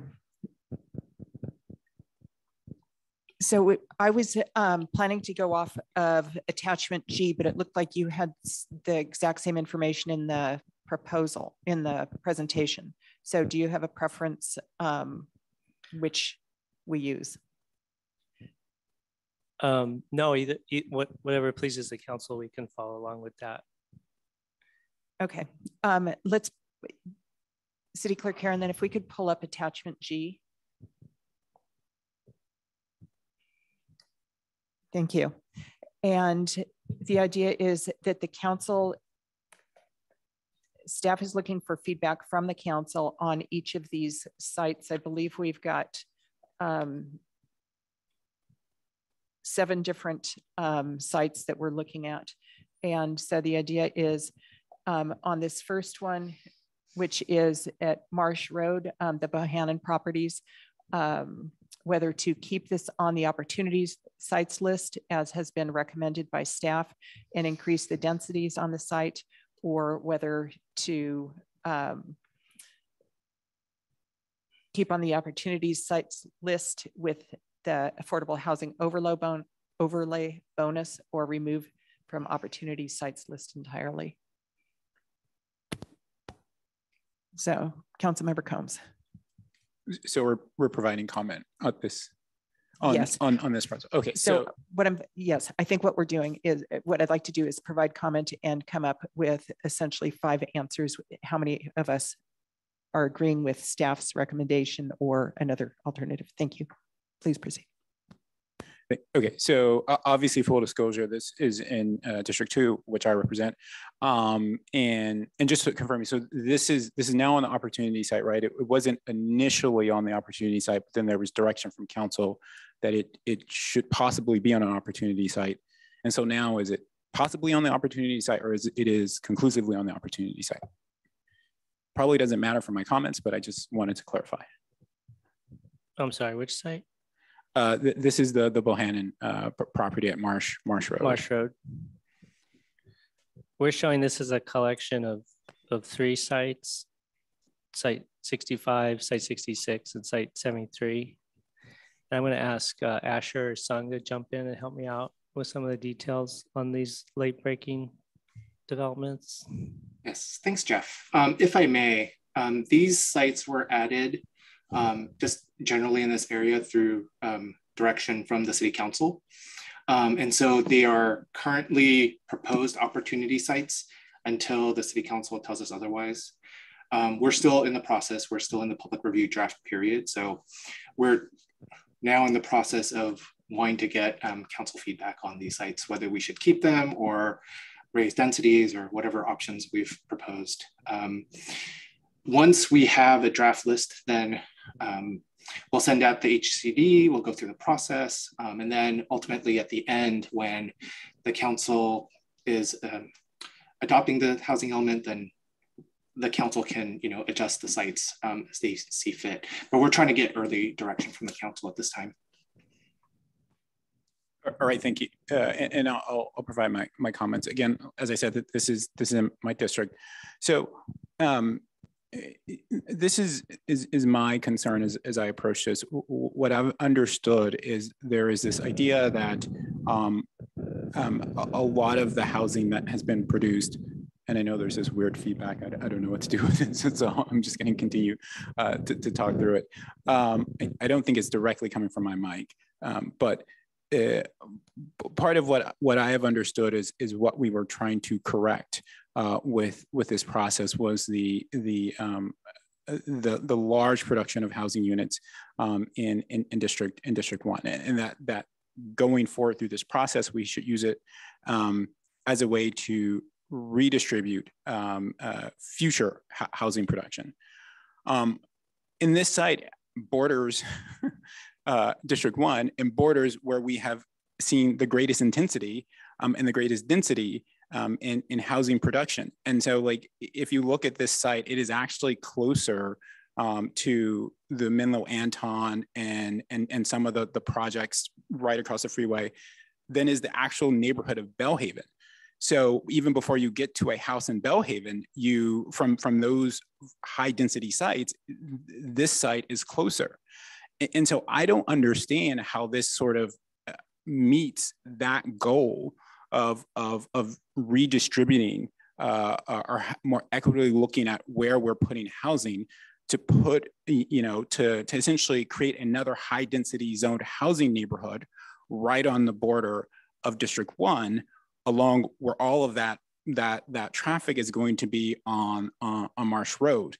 It, it, it to me seems like in theory like you, you you're you're meeting the letter of the law and you're redistributing, but from a, a point of integrity and ethics, you, you're not because you're you're still concentrating all of the high density development in the city in in one very specific area of the city.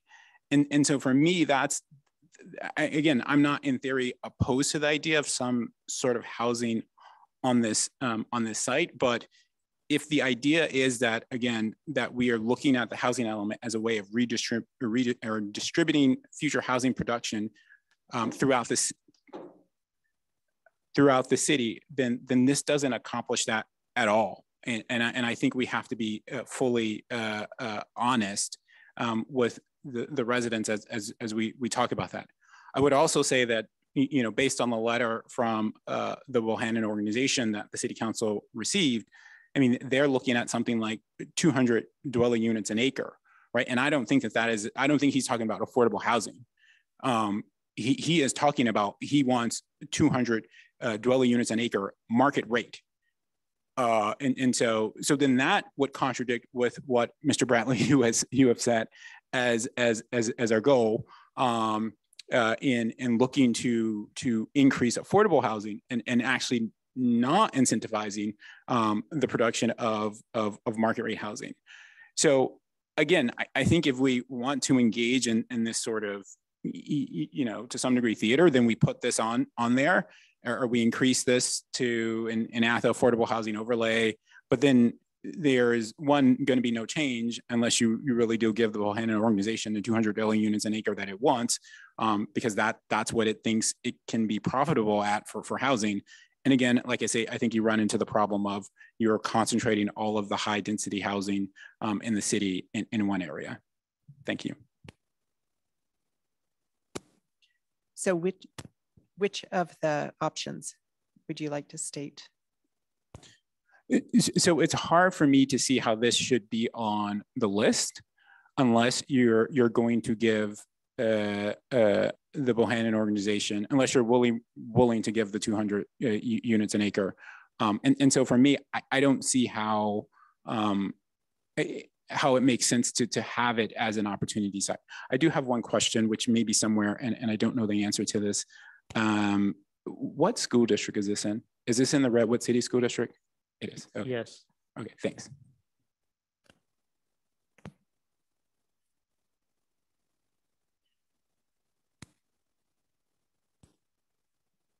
So I will um, go ahead and um, be the next speaker on this. And I guess my first question, well, I will first state, I'm not interested in increasing density to get market rate housing. I am interested in developing affordable housing. I'm also interested in not getting other high-rise office development buildings there that then create the need for more housing. And so this is what I actually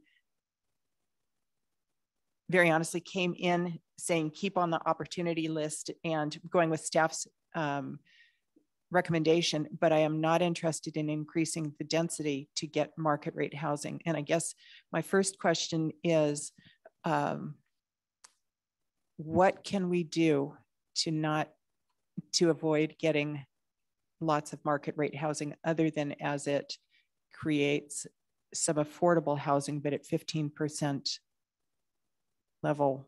How do we get to our market rate housing? I mean, sorry, our, our affordable housing. As you, as you step back and look at the whole picture with, with all the Bay Area cities in the same situation, and all the cities are going to have, uh, or most of the cities are going to have a housing element that tries to do what we're doing here. Um, and then it, it's really going to come down to those those cities that have the other pieces of the puzzle in place, such as political support, uh, financial incentives, willingness to partner with nonprofit groups to build actually build the housing. Um, so I almost think of it as like a competition. All the cities are in competition to, to build a limited supply of, of affordable housing because there's only so much capacity to do that type of work. And I and I think the folks who do that are going to choose to work with those cities that have put the most pieces of the puzzle together. And I think that the piece that's missing the most in Menlo Park and just about every other city, um, absent redevelopment since 2011, there has not been a dedicated revenue stream for cities to spend on affordable housing. And so those cities who have somehow been able to create a durable revenue stream through through impact fees or property transfer taxes or something that goes into a fund that's dedicated solely to affordable housing, that's that's going to be the difference maker in my mind for the, for those cities that are able to actually attract those types of projects that can that can actually move the needle on meeting the, the housing requirements and the goals of the housing element itself.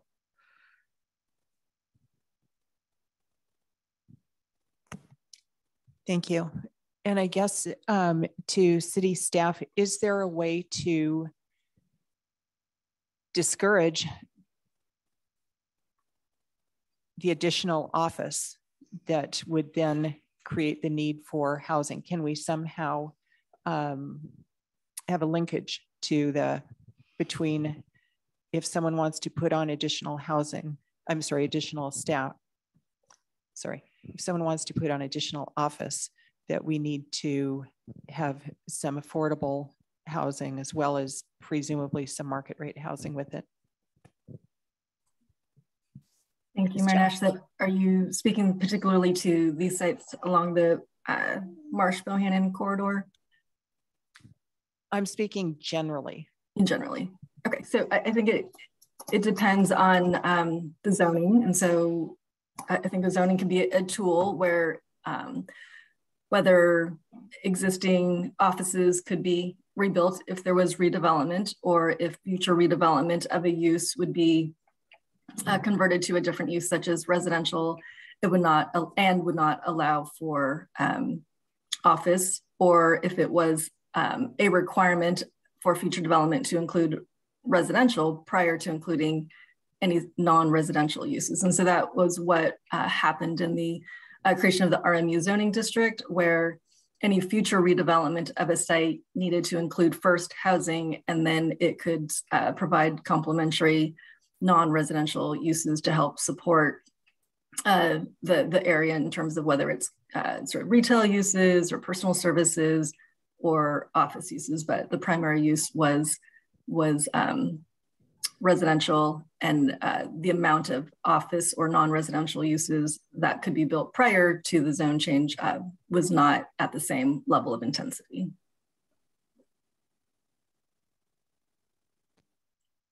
Thank you.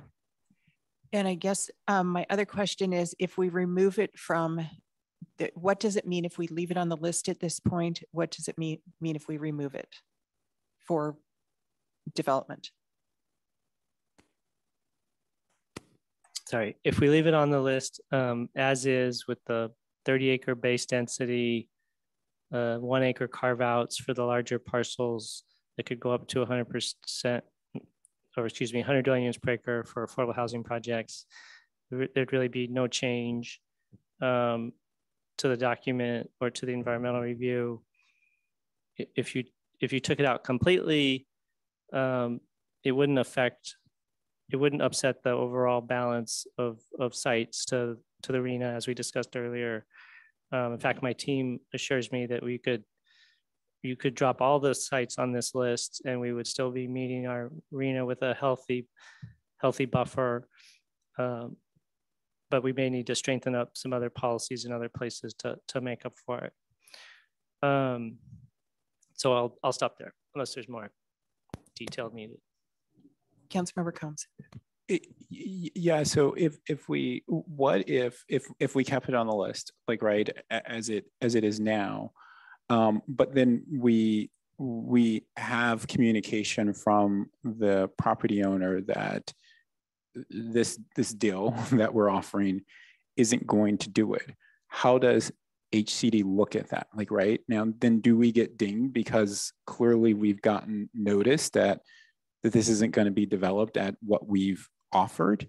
Um, and, and so that I, I think more than anything, that would be my only concern because like I said, I, I would lean towards taking it off the list. Although, again, like I said, I don't know if it ever is officially on the list. But then again, you know, if it provides some benefit, then we can keep it on the list. But then, like I said, we have a letter from the the the, the property owner saying that that that this won't do it. Now, maybe they're just trying to negotiate, and maybe this would do it.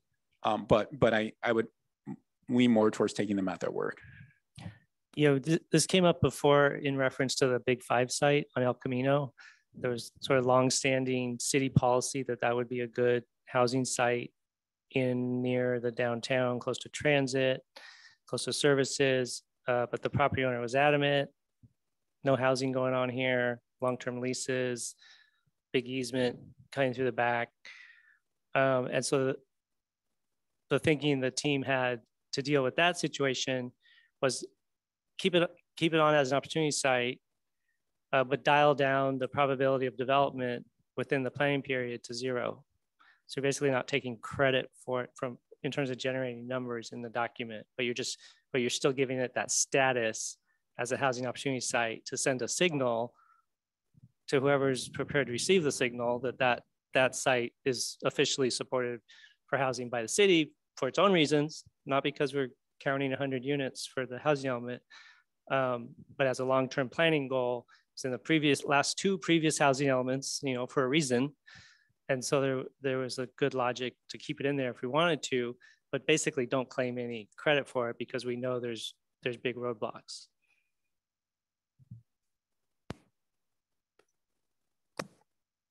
Vice Mayor Wolosin. Um, thank you, Mr. Bradley. Just following up on that Big Five site, I believe in the housing element, it's showing 60 units at that site.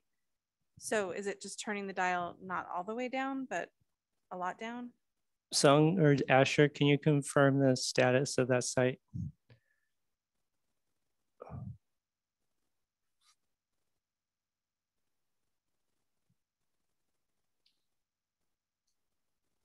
You guys up there?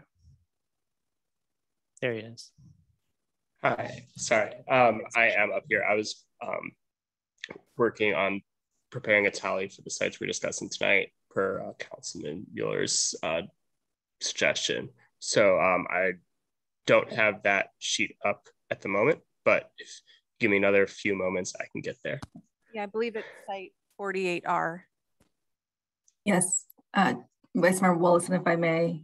So if I'm, I'm looking at the, the site sheet and it shows total units zero, um, carve out zero, max affordable units zero. I apologize, there's not a sheet number. Um, I, am on the hard copy, but it's like you, uh, as you mentioned, it is site 48R, and at the bottom where it identifies um, potential units, it shows zero. I guess I have, may I, uh, Mayor Nash? I'm, think I might have been confused how to read these site sheets, um, Mr. Bradley, because I was reading page two of each site sheet as the projected development potential for each site. But should I be looking at page one of every site sheet for the projected development?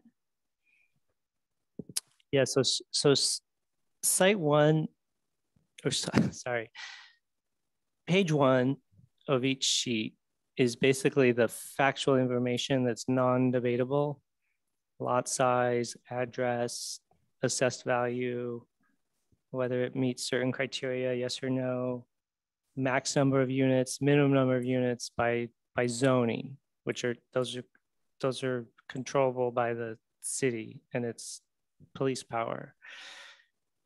Side two gets into more of a narrative description of some of the market trends and things happening in the neighborhood around the site to support the idea that this site will develop or not during the planning period. And that's where we get into the realistic unit potential by income level, which is very debatable, right? You, HCD could look at this and say, oh, you're too aggressive. You need to dial this back. Um, and so that's that's the that's the broad way of thinking about these sheets is the the, the front of the sheet is just the facts. And so, the back tries to paint the picture of what we think is likely to happen in the future. So i've spent a long time looking at these sheets. Um, so when we're looking at the total number of units that we're looking to submit to hcd by income category are you using page one, which then would say zero? So this would have, this isn't on any list going to HCD, or are you putting 60 units by these different income categories? I'm unclear. Are you looking at site 48R in particular? Yeah, I'm just using that since we were talking about it. Okay, I was, I was going to catch up with you there. I was looking at a different I, one. You could use and I finally have that up. Um, and I could speak. It is sheet two that we use to put together the um, public review draft that you see. So um, I think there are there's a few sites where there's see there appears to be a bit of a conflict between that housing opportunity site criteria um, and those numbers at the bottom of page of sheet one and the numbers in the middle of sheet two. And um, the reason for that is that we put together that criteria when we were um, comparing sites to each other, and this was done at the end of 2000 of 2021. And then in the beginning of this year, we really dug into on a site by site basis. Okay, what do we think can be done here? What do we think we can? Um, you can see throughout that sheet. This is why we think this is going to happen on this sheet at these income levels at this site. Apologies. So um, I think uh, there's a little bit of disconnect for this one. I think there might be um, a few others. You can see that as well. And what happened is when we reviewed it, we said we think that what you see in sheet two is what's going to happen. That's what we're using for the public review draft. Um, may I? Okay. Um, this leads me to, um, I kind of want to make just a general question or comment, which I haven't really made yet. Um, like I said, I spent some time looking at, at the sites and um, I am really, I'm actually concerned that we're going to meet HCD requirements, even with what we're showing. Um, I've been following this very closely. I know the cycle is different. It's about more units, more enforcement. Um, and um, I think lack of a compliant housing element is putting our city at huge, um, in a really vulnerable spot. And so, um, like I was looking at which sites, I think there's 24 sites that are supposed to yield 85% of our affordable housing, 24 sites. Um, those are the non-reuse sites that have capacity for lower income. And when I looked at those sites, it's 24 sites, they're basically broken into three buckets. One bucket is office that's supposed to redevelop into 100% affordable. And those include those sites on Sand Hill Road, uh, a couple of which we're going to talk about in a minute, and on Middlefield but we're saying an entire, you know, bustling office complex is going to be torn down and affordable housing is going to go there on top of the Tesla chargers or something. Um, and then eh, the second bucket are downtown parking lots. Um, I believe we have eight of those. And, um, and then the third bucket are kind of a, is a mishmash, some Safeways, both on El Camino and at Sharon Heights, um, like the VA and some other sites. And um, I'm what I feel like is missing is for each of the sites, the housing element has kind of spit out how many units we think we can yield from that site. But what we don't have is what the probability of that site redeveloping is. So I actually um, looked at Sacramento's housing element. They're like a couple years ahead of us. And they did this thing with tiers like tier one was like very likely to redevelop and like tier two was not as likely to redevelop. And then they assigned kind of probabilities for those different tiers. So I actually played around this weekend with some spreadsheets and was like, okay, let me just say for a minute that the VCs turning over, you know, is 10%, but that the downtown parking lots are all 100%, all of them. And let's say that um, the Safeway sites, I don't know, 20%, 50%, like based on the narrative that you guys have on side two of kind of your substantial evidence. And granted, it was a very subjective exercise. I know I'm not a housing expert. I'm not sharing that um, exercise with anybody. But I think the point it makes is, is the vulnerability of a lot of these sites and what we're counting on to get our affordable units. And so um, I'm fine, you know, looking at these sites and, and removing sites, but I think where the pressure is going to come for us is um, the policies and um, having them pass muster with HCD that these things are actually going to happen.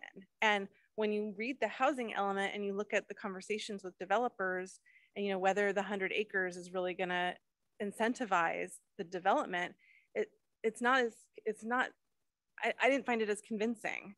Um, so I'm actually um, like I want to submit you know, I, am okay if we, I realize this is a draft that we're submitting for comment. Um, so I don't believe we have to be perfect right now. You know, right now we're kind of like waiting to see how serious HCD is and, and what's going to go and what's not going to go. So, you know, to me, whether we leave it on or don't leave it on, a lot is going to be up in the air until we understand the feedback from HCD. But I think we as a city shouldn't just sit during this 90 day period um, and rest, I think we need to really dig into, I know we're not talking about the policies yet, but kind of these probabilities and almost go through this exercise for each site. And I don't think it it's that huge of an exercise because there's not that many sites. I think a lot of them are obvious. Um, and really what I'd love to see for each of these sites all of the sites is, you know, how many of these sites did we hear back from the developer? How many did the developer say, yeah, I'm interested at just what you, you're offering? How many said, I'm interested, but I want more? How many said, I'm not interested at all?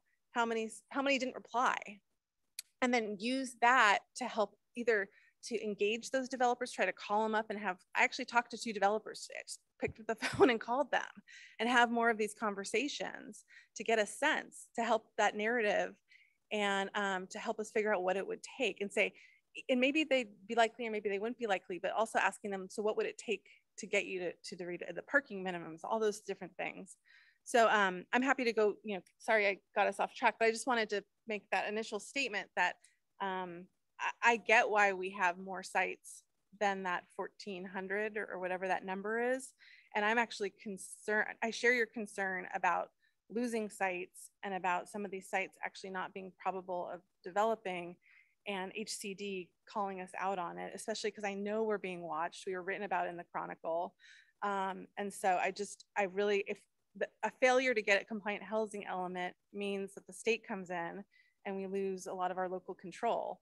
And so this is not like, this is, this is, you know, to the benefit of everyone who cares about decisions being made in our community on how we want them to be made. So um, sorry, Mayor Nash, that, that was just kind of an overall comment that I wanted to make. Thank you.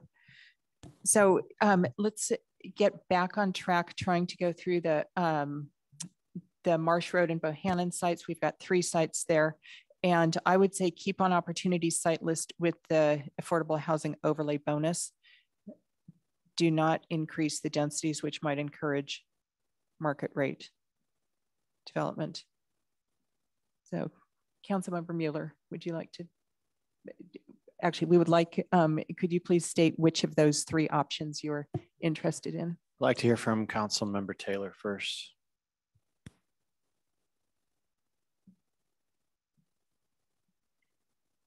Councilmember Taylor.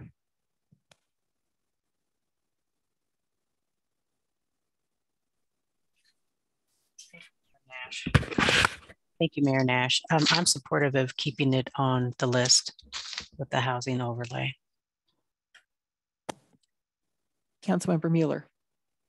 Is that three already who've said keep it on the list?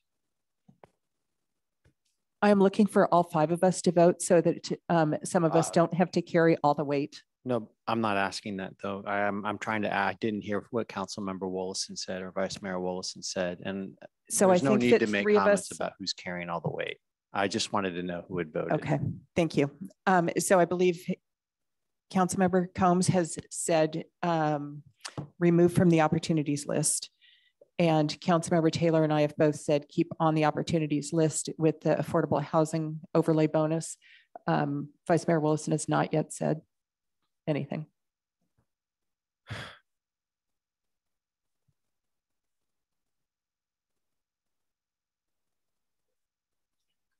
I hear Councilmember Combs's concerns about this, uh, but he indicated he'd be fine with leaving it on the list. I do have concerns that, uh, candidly, with Mr. Bohannon's letter, that we're not increasing the density, nor and we're just leaving it on. What I would I would actually be in favor of increasing the density so it actually complied with the logic of what the owner has told us. But if people don't want to do that, I'm fine with leaving it on the list this way, but I don't think it'll develop. And that goes back to the comment that I would make in response to you guys in terms of whether or not we're meeting the number of affordable units. I think the way you meet the number of affordable units is you actually deal with the reality of how much density you have to put in to get them rather than have a whole bunch that don't produce the out that you're kind of guessing to see if it produces the outcome. I also would suggest tonight to my colleagues that we try to keep the colloquy, which is argumentative toward each other to a minimum. The last meeting got a bit uh, tense, and I don't think it's necessary. Thank you. Vice Mayor Wolosin. I really don't remember how the vote count was going, but I'm, I'm actually agnostic. Um, I, again, I think this is a draft. This one, I could kind of go either way. So was there a consensus already or not? We're looking for decisions from each council members c- could I just before uh, uh, Vice Mayor Wolosin, if those, and again, hopefully I'm, this is not seen as combative argument, but but if those of my colleagues who are in support of, uh, of it remaining on the list, ex, ex, explain to me or respond to me the concern that again this concentrates development in a very specific part of the city. Like this is literally a few, a couple of essentially blocks away from the highest density development we oh. have in the city. Uh, I recognize, I'm sorry, go ahead. I- I'd actually say it doesn't because based at the density that we're putting that into the element, we already know it won't develop based on what the, uh, what the. So, Yeah, so yeah, I'm I willing, actually- so I'm like, I'm not going to take it off, but I acknowledge the fact it's not going to develop based on what the owner said. So. I think it's a long shot for if, you know, at some point, if something changes, we might get some affordable housing, but it's a long shot and we, it's unlikely to get market rate housing because of it. And, and I would just say, and again, I'm, I'm going to, because I totally respect where everyone's coming from. But then even at the long shot, it then still concentrates, you know, high density housing in a specific area of the city. So then if you are in Lorelei Manor, if you have a house right there, um, a Lorelei Lane, then literally I- there are a bunch of like high density housing units, like, you know, not that far away from you.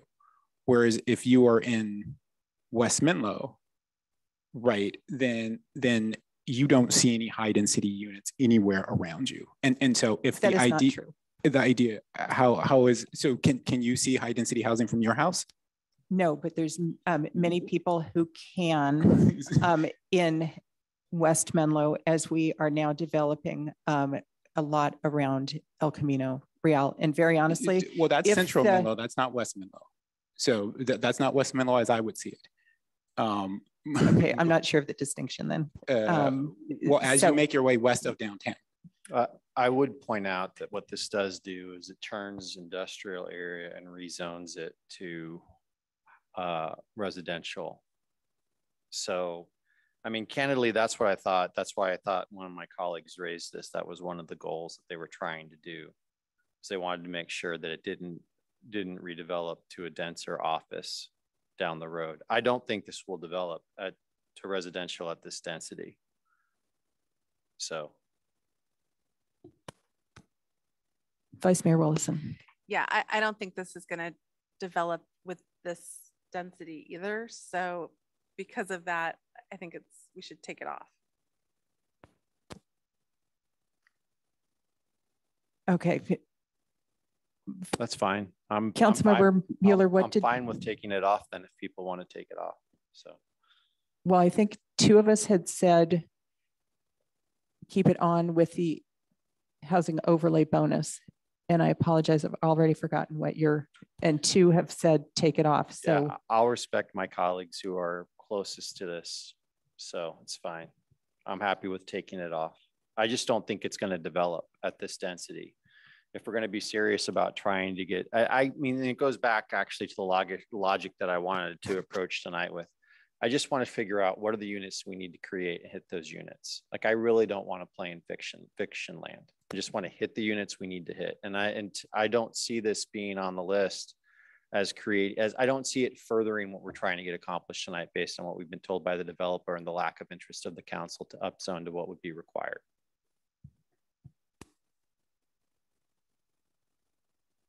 I don't know if I should prolong this, but I will just say that um, to me, it is um, an opportunity, it is a long shot opportunity to put in affordable housing elsewhere, it just anywhere. We obviously have to um, hit a large number of units. And if by chance one of these properties um, became affordable housing, I think that that would be excellent. And I'm, that is my approach to this exercise across the city, very honestly. Um, with a few possible exceptions.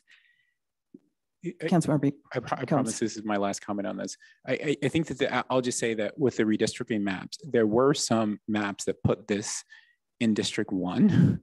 And so it's really interesting that like, if that had happened, in theory, we wouldn't even be having this discussion um, because we have resolved not to um, have any, any opportunity sites in, in district, except for one very specific. And so I just think that that, that to some degree speaks to um, what what I think is is what what can be what some people could see as, as somewhat absurd about the process, uh, or certainly some elements of it. That again, if the redistricting had moved this into District One, then we wouldn't even be having this discussion. Thank you. So um, it appears that there are three people who are interested in removing it from the list. And so this will be removed from the list. The next um, page, please. Sharon Heights Office Parks. Um, the two choices are to remove from the opportunities list, which is what was recommended by the staff, or to keep on the opportunities sites list with an affordable housing overlay bonus. Councilmember Mueller, did you want to go first or? I'll listen to my colleagues first uh, to hear your thoughts. It's obviously in my district. Uh, so, uh, but I'm, instead of you hearing me first, I'll listen to what you all think, which is fine. Like I, I, I can tell you, I don't know what you guys think. I think it's fictional. Anything's going to be built here. So I actually agree. And that's why this one I thought was completely um, okay. unreal unrealistic and I would vote for taking it off the list. Councilmember Combs.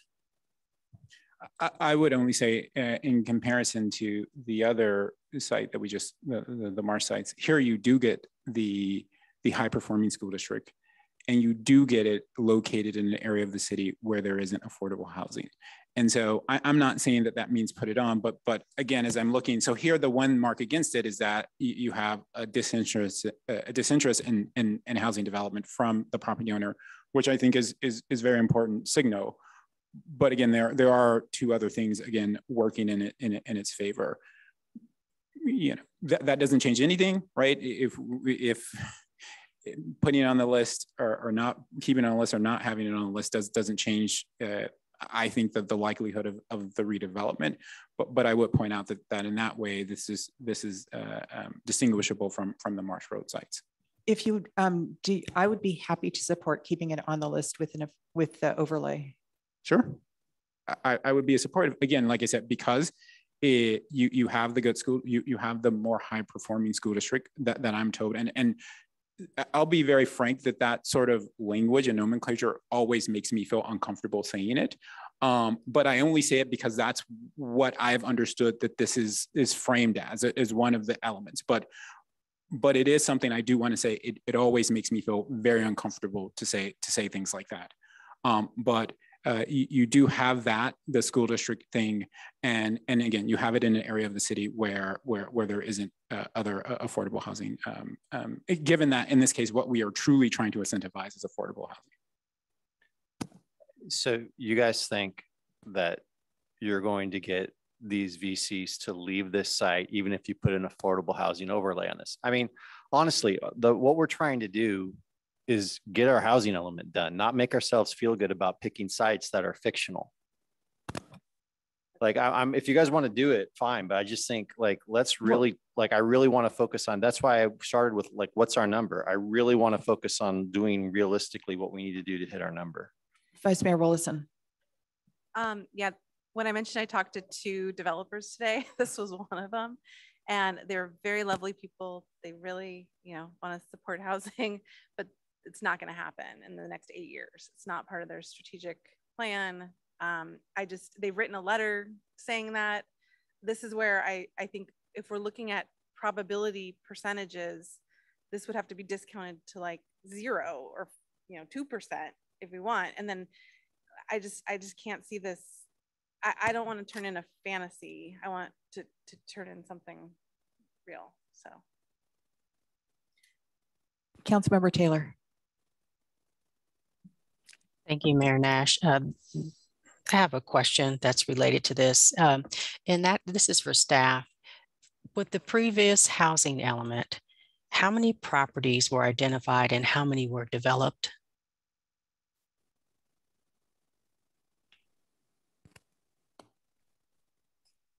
I thank you, Councilmember Taylor. So uh, you're making me get my memory here. And uh, so we had uh, much fewer sites and many of our sites were um, rezoned with the R4S zoning district. So our housing opportunity, mostly our housing opportunity sites were focused along um, Willow Road, Hamilton Avenue, and Haven Avenue. Uh, and um, then there were what we called scattered sites throughout the city, which focused on uh, areas in the specific plan and then um, other uh, underutilized, uh, like R3 zoned properties um, where we increased the density allowed for properties that were of 10,000 square feet or greater um, around downtown. So um, there were, I don't know, maybe I want to say like eight housing opportunity sites that were rezoned. Then we focused on our specific plan area and then scatter sites around the city. And then how many were actually developed? Uh, so we had um, a number of the R4S properties redeveloped. Uh, unique to that was um, it was a by right development. Um, a few of those sites did take advantage of our affordable housing overlay, which was also created uh, during um, the RHNA 3-4 cycle. Um, and then we did have a few of our specific plan properties also redeveloped. And then probably to a lesser extent, um, some of the R3 properties. But a number of, I, I would say all but one of our R4S properties we developed in the last planning period. So seven of the eight properties were, were developed. I, I, can get you the exact number. I'm trying to guess how many, but it's around that that uh, number. Thank you. I appreciate that information. Um, and just based on what staff just shared, I'm supportive of keeping this site on the list.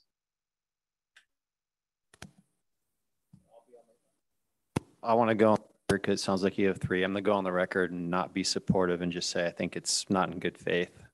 So I just, I think we're going to get, I think it's going to end up in the press, potentially nationally that we included it. I think it's just something that people will laugh at, candidly. I just don't think it's a good faith addition to the list. To say that people are going to rezone a venture capital firm for affordable housing. I mean, in, in response, I would just say eight years is a long time. Uh, the economy impacts everyone, um, and, and, venture capitalists don't exist outside of that. And I think that's going to end up as a quote in the article. That, that's very fine to, to end up as a quote because if you go back and you look at venture capital like 30 years ago, there's a bunch of names that don't exist anymore. So, because uh, because they go away. So I, I, I hear where you're coming. It, it is very unlikely, but like I said, um, uh, at uh, you know coming from a, a, a, position where where we will have a district where we will we will have affordable housing, we will have an affordable housing project of some uh, size on the flood school site. We will have a, a new affordable housing project um, on on the VA campus in in in in, in District 2. And again, going along Willow Road, again, there are the MidPen projects that, that are redeveloping.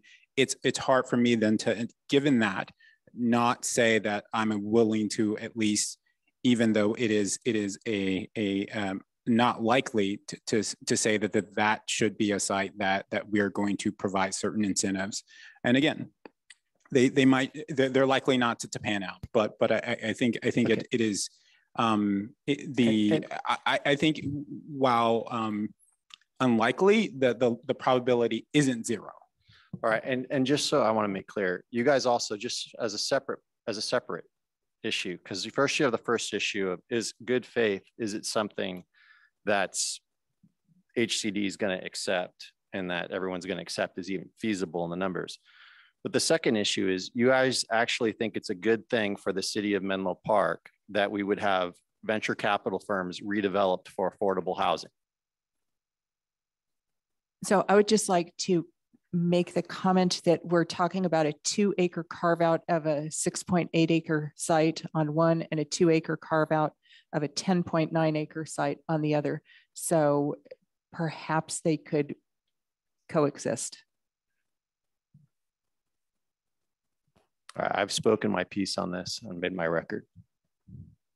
Thank you. Uh, Vice Mayor Wolosin. Thank you. Um, yeah, I think what taking off, which I'm in favor of taking off the list. What taking off the list does to me is it tells me that we better talk to the Safeway Sharon Height owner and people a lot, find out what it's going to take. It seems like that is is a is the opportunity site right now up in District Five in the Las Lomitas School District. We know we need to spread out um, the school districts as well. And if we're going to be removing, you know, this bunch of sandhill sites, um, we we definitely need to do our best on the sites that have any chance, real chance of redeveloping. Um, so to me, it just puts more pressure, and we really have to strengthen those policies and incentives on on the possible sites that are left. So that's all I have to say. Although I believe we had three votes to keep this on the site.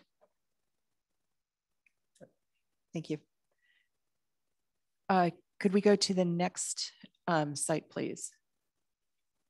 This again is in District 5. This is Stanford owned site um, at Alpine Road and Stowe Lane. And staff has recommended remove it from the opportunity sites list. And um, the other option is to keep it on the opportunity sites list with the affordable housing overlay bonus. Councilmember Taylor, would you like to start off on this one? Thank you, Mayor Nash. Um, I am interested just in staff's feedback regarding why remove. As far as the property owner stated, the site has constraints such as drainage and accessibility. Is that something means that this is not a developable, developable site? Thank you, uh, Councilmember Taylor. So I, I, think it would take a lot to redevelop the site. I think the issues that the property owner has mentioned, not only of the site constraints, the, the size for the density uh, proposed at 30 dwelling units to the acre, the, um, the potential conflicts that would uh, raise with the Stanford Golf Course. And so potentially a um, redevelopment when there's greater coordination between potentially the county, which is um, the Stanford area, which is in the county, um, and this particular site, the adjacent properties, um, I think it would be a greater effort um, that would uh, would require redevelopment would require greater effort than um, I think what would be planned for this eight-year planning cycle, according to the um, property owner. One so I think it's. Thank you. Sorry for interrupting. And, and what's the zoning now? It's R1S, I believe. Single family residential. Thank you. I'm interested in keeping this site on with the housing overlay, affordable housing overlay. Thank you. Councilmember Combs. Yeah, yeah, I'm generally supportive. I mean, like, in the sense of that, that obviously eh, property owners expressing that they're not interested in housing or they're not interested in redevelopment opportunities is not a the sole reason of which we remove something from the list. Like, and if that were the case, then there are a lot of things that are we're not even looking that we re remove. And so, so here we essentially have a, a property owner saying that like that they're not interested in redeveloping it. But again, that's not single-handedly an element that we we we use to determine whether something should be on the list or not. And so in theory, I'm I'm I'm comfortable with keeping it on the list.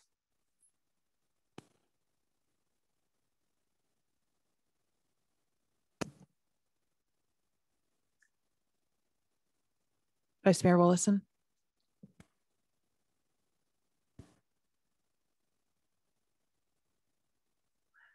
I'm going to lean towards keeping this one on the list just because it, the property owner didn't say it's impossible. The constraints can be mitigated, although it does sound unlikely in this eight year cycle.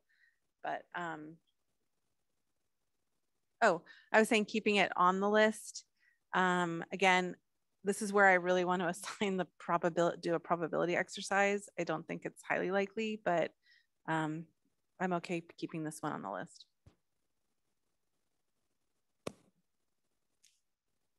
I would also keep it on the list um, under the, with the idea that it is unlikely that the property owner will go forward with it, but it is in the um, excellent school district that I believe actually has capacity. And um, I would keep it on the list. Councilmember Mueller. Yeah, I mean, honestly, this was one where I was going to say keep it on the list with an affordable housing bonus overlay because I think there actually is potential, unlike the other one, to actually have this built. Uh, Stanford is going to have a general plan GUP that it has to produce housing under and may look at this and decide to do it. So I was supportive of this one. I actually think it's kind of odd that there seemed to have been more discussion about whether this is feasible than the one prior. So this one makes sense. Thank you. And next, um, we come to St. Bede's Church on Sand Hill Road. Um, this is another property that um, is being recommended for removal from the opportunity site. Um, the other option is to keep it on the opportunity sites with the affordable housing overlay bonus. Councilmember Mueller, would you like to start off on this one? Uh, I personally don't think that either church is going to do this. So I was, I looked at both, I looked both at both Menlo Church and St. Bede's Church and was perfectly fine with taking them off. So I, I just don't, I just don't see him doing it. Vice Mayor Wolosin. Yeah, I was confused to see St. Bede's on this list because they had shown up at earlier housing element meetings expressing interest and kind of volunteering. So I'm curious um, if staff or, or Mr. Bradley, if you have any insight into what changed, because I was like, they're one of the ones that are showing interest. Yeah, um, generally we we treated churches uh, kind of separately from the rest of the sites because there's a new state law that provides some room for churches to add housing and not have to deal with the parking implications if they're using their parking lot. Um, but for churches to really proactively step forward and said, "Hey, no, we have we have an interest in this," then we uh, we I know St. Bede's Church definitely fell into that category because I had that same memory as you. Menlo Church, I would need to double check with my team uh, to make sure they had expressed interest. But generally, yeah, we didn't put churches on the list unless there was some proactive indication that they really wanted to be on the list. But then. But then they, but then upon further reflection and internal coordination, the church leadership said, no, no, no, no, that's not something we want to do. Is my understanding. Can you review one more time what it means to stay on the list with a property owner that is not um, that is not expressed interest, but um, to keep it on the list with the affordable housing overlay, and to put it, what does that mean both for the property owner and what does it mean for our housing element? For the for the property owner, it doesn't implicate anything that they are doing or may plan to do under their existing zoning uh, no uses are being made non-conforming. Um, so that's a common uh, misunderstanding uh, with when you see your, your property on a list for housing, some people assume, okay, the city wants me to stop doing what I'm doing and convert to housing. That's not what we're talking about here. This is a sort of permissive allowance that goes on top of, of what the existing zoning allowances are for. But, but that is something that we need to do a better job communicating. And for the city, so that's the implication for the owner. Um, for and some owners feel like the, it creates like some type of psychological or political pressure to do housing, even if there's not a hard technical zoning requirement. So that's so that, that's just something to be aware of. obviously, um, can have implications. Um, and then for how it impacts the the city's document, I think we just have to be really clear. Um, if we, if we feel like a site is a good housing site, but we have information in the record that the current ownership is is not interested in that. We have we have to be very cautious and conservative and reflect that in the in the in that chart that shows probability of development uh, within the planning period, where those those adjustments can be made, including all the way down to zero in some cases. Thank you. But, oh, but sorry, sometimes Vice our Mayor titles Wolosin. get confusing here. Um, Mr. Bradley, then, but currently the probabilities are not showing up in this current draft of the housing element. Is that correct? Asher, can you provide some more clarity around that? Because that example we looked at with the Big Five site, it looks like some version of that was happening on that second sheet. Sure. Um, so yeah, so it's so yeah. Um, I think earlier for sites like Big Five, um, we were thinking about um, having like this like zero percent probability. But what happened is um, this is actually really good things you brought up the Sacramento housing element, which is a good example of this. So HCD doesn't allow looking at the probability of a site developing. What they look at is um, the percentage of housing that could be built on a site, and they're really, um, frankly, confusing things that um, HCD tries to like draw this red line across very similar concepts. So what we were thinking on sites like this is that um, we can't say, oh, well, this is like, let's just say one acre site, 30 units per acre, but there's only a 10% chance of it being developed. Um, HC doesn't allow that sort of like probability of housing. And what they did in the uh, Sacramento example that I think you brought up is they said that um, of the development that we see happening on the site, there it is likely to be 20% housing versus for this other tier, it'll be 70% housing. So it's, it's slightly different concepts that sound super duper similar um, that there's been a lot of back and forth with. So when we talk about sites having a low probability of developing tonight, which is a lot of what you know we've been talking about for the past little bit, what we do when we're submitting the housing element is we're submitting here's the housing that we think will develop over the eight year time frame um, parcel by parcel and we're not allowed to say um, oh there's like a 40% probability on this site a 60% on this site. Um, that's not something that hcd accepts. So what we're doing is um, showing the housing that could develop on these sites. And um, part of the reason that we have more is because um, we frankly don't know which sites would develop at 100% affordable housing. We don't know which ones would develop um, as market rate. We have a sense based on lots of conversations with affordable housing developers, um, other housing developers, other just real estate professionals who aren't in housing of what would go where. But um, what we're doing is, as uh, Jeff said earlier, casting this broad net so we can say we think housing is going to develop here and we think these are all great sites for that. Um, we know, as I Councilman Mueller said, um, Menlo Park has a really strong track record of developing the sites and their site inventory.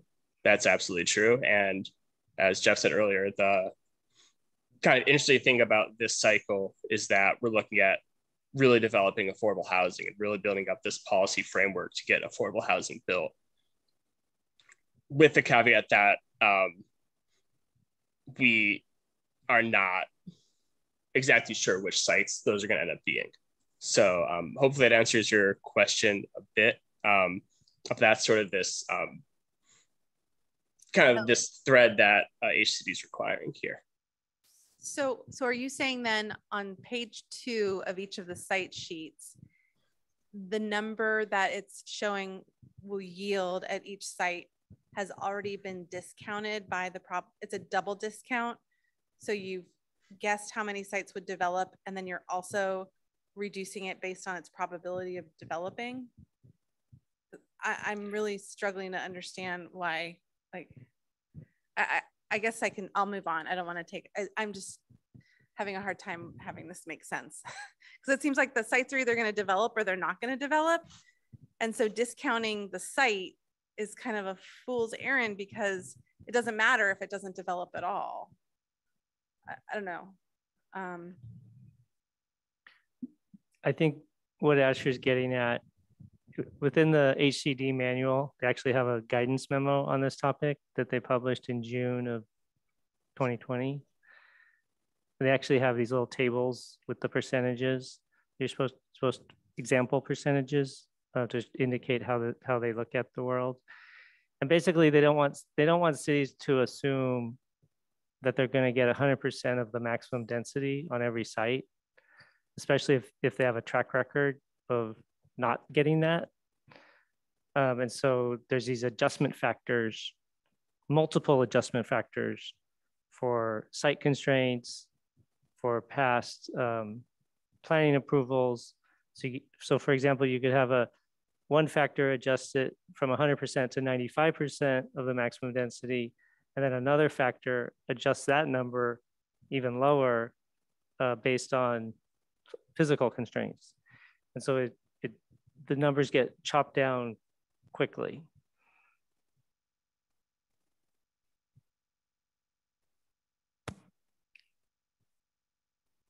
Would, are we damaging our, or hurting our housing element by adding these sites, which we are hoping to incent affordable housing, but we believe it's unlikely. I think if we're if we're honest about the the the expected yield coming out of some sites that we know are long shots, we're not we're not damaging our credibility. If we're claiming big numbers from sites that HCD can see, or there's documentation in the record that uh, there's lack of owner interest, there's physical constraints, there's long-term leases, um, and, but we're still projecting a big number that that's that's damaging to the overall effort. But if we're realistic about uh, just coming at it from a policy perspective and saying, hey, we see some long-term potential here, but we're being super realistic about what it's actually going to happen during the eight years. Thank you. So I will say um, I am for keeping this on the opportunity sites list with the affordable housing overlay bonus as I have been with the others, just in the chance that things may change over eight years. Councilmember Mule, uh, Combs. Yeah, and just so I'm understanding, is is this the, the entirety of of the the property that St. Bede's controls, or is it a carve out? Because it's only like a half an acre. But in some of the other ones, we specifically sort of a, uh, have identified as it as a carve out. So, I don't know. Irrespective, this, I, I, no, um, please. I guess I did pose a question. I should, should wait for the answer. Sorry, Councilman Combs. Uh, yeah, this is so the um, state law that Jeff Bradley mentioned earlier is about parking lots, and this is half of the parking lot on that site for all the church sites. That's where that acreage comes from. Cool, thanks. Yeah, so I'm I'm supportive of keeping it on the um, uh, the list, and, and why shouldn't we like sort of even expect more from some of our organizations of faith in, in connection with trying to solve um, you know the issue of, of housing affordability? Like right why what message does it send that we would remove them? And again this isn't the entirety of the property right? We're talking about just a portion of the parking lot um, possibly being redeveloped um, you know, I would think it, it would seem it would send the wrong message if we're talking about like the message we send by possibly, you know, uh, thinking that uh, venture capital offices would be redeveloped. I, I, think what message do we send by saying we're, we're not gonna like sort of engage our, our uh, organizations of faith in in in this um, in this discussion about about uh, producing more more housing for our community. Can I just chime in? Because I'm sorry, uh, first off, I, I don't think we've said that we think venture capital firms are going to redevelop. Uh, I think staff has said they don't think that's likely. But secondarily, if you guys have looked at St. Bede's Church, this is their parking lot, and it's on a hill next to two next to uh, Sandhill Road. So if it's going to continue to operate as a church, I, I don't know where people are going to park. And that's probably why they don't want it. So, I mean, guys, like, I don't know this. I just, I, I don't see them ever doing this if they're going to continue to operate as a church. Uh, and if they want people of all abilities to be able to attend that church, they need their parking lot. And I think this does not, we are not requiring anyone to do that. We are just posing this as a potential site. Right. But the thing about it is that if you're going to oppose potential site, if you're going to propose potential sites, there has to be some basis in reality that they're of, of, that they'll actually build that housing. And if they're telling us they're not, because it doesn't make sense with respect to the site, for us to keep adding and including this isn't getting us any closer to the number. We're just doing things that make us feel good. Like we really should, if we're really serious about building, um, getting this affordable housing, we shouldn't go through this exercise and try to say, okay, well, there'll be a 10% allotment for that. And like, we'll add that. We should be really looking at sites and being, being scrupulous about will there actually be a housing built there? Because right now the exercise seems to be, well, let's do something that makes us feel good about that we said we'd do it there. That's not what this process is supposed to be about. We're wasting time actually trying to get to sites where we actually can build. These are the um, sites that were asked, that were um, highlighted by the staff from the Planning and Housing Commission meetings. There is a long list of other sites that um, in the document and after we go through this, um, we could, if you want to call out any sites there, that is fine. But essentially, these are just a few of the sites that were in question. But these are the sites that professional staff has recommended they be removed. And we're saying, well, just add them anyway. We'll just add them anyway. It's not realistic. Like, I, I mean, I still, I cannot believe that we're saying, I just, I'm sorry. I'll, I'll let it go. I've made my vote, but I, I can't believe that tomorrow there's going to be a housing element a draft housing amendment release that says Menlo Park went over the objection of professional staff and is and is zoning uh, proposing zoning Sand Hill Road for affordable housing. I can't believe that's going to be in the paper tomorrow. I can't believe that the people who live near Beach Church are going to think, well, okay, they think we're going to actually build over our parking lot. Like it makes a mockery of our draft housing element that we're actually intending to build these units. All right, so um, thank you. Vice Mayor Wolosin, I believe that you have not um, said your vote on this one. Are you sure? H have I said what I think about this site? Okay, so I believe this was, um, correct me if I'm wrong then people, um, colleagues. I believe that there are four who are interested in keeping it on the site and um, uh, I think I said I, I think it's very unlikely, but I'm willing to I keep believe it on. We are, yes, that, okay, thank you. Um, next slide, please.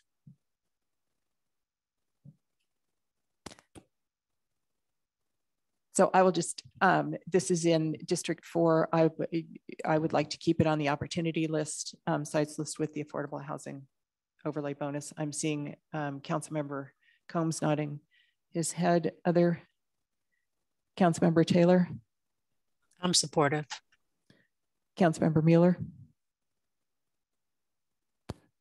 Unless the council is going to change its position on downtown parking lots, I'm not.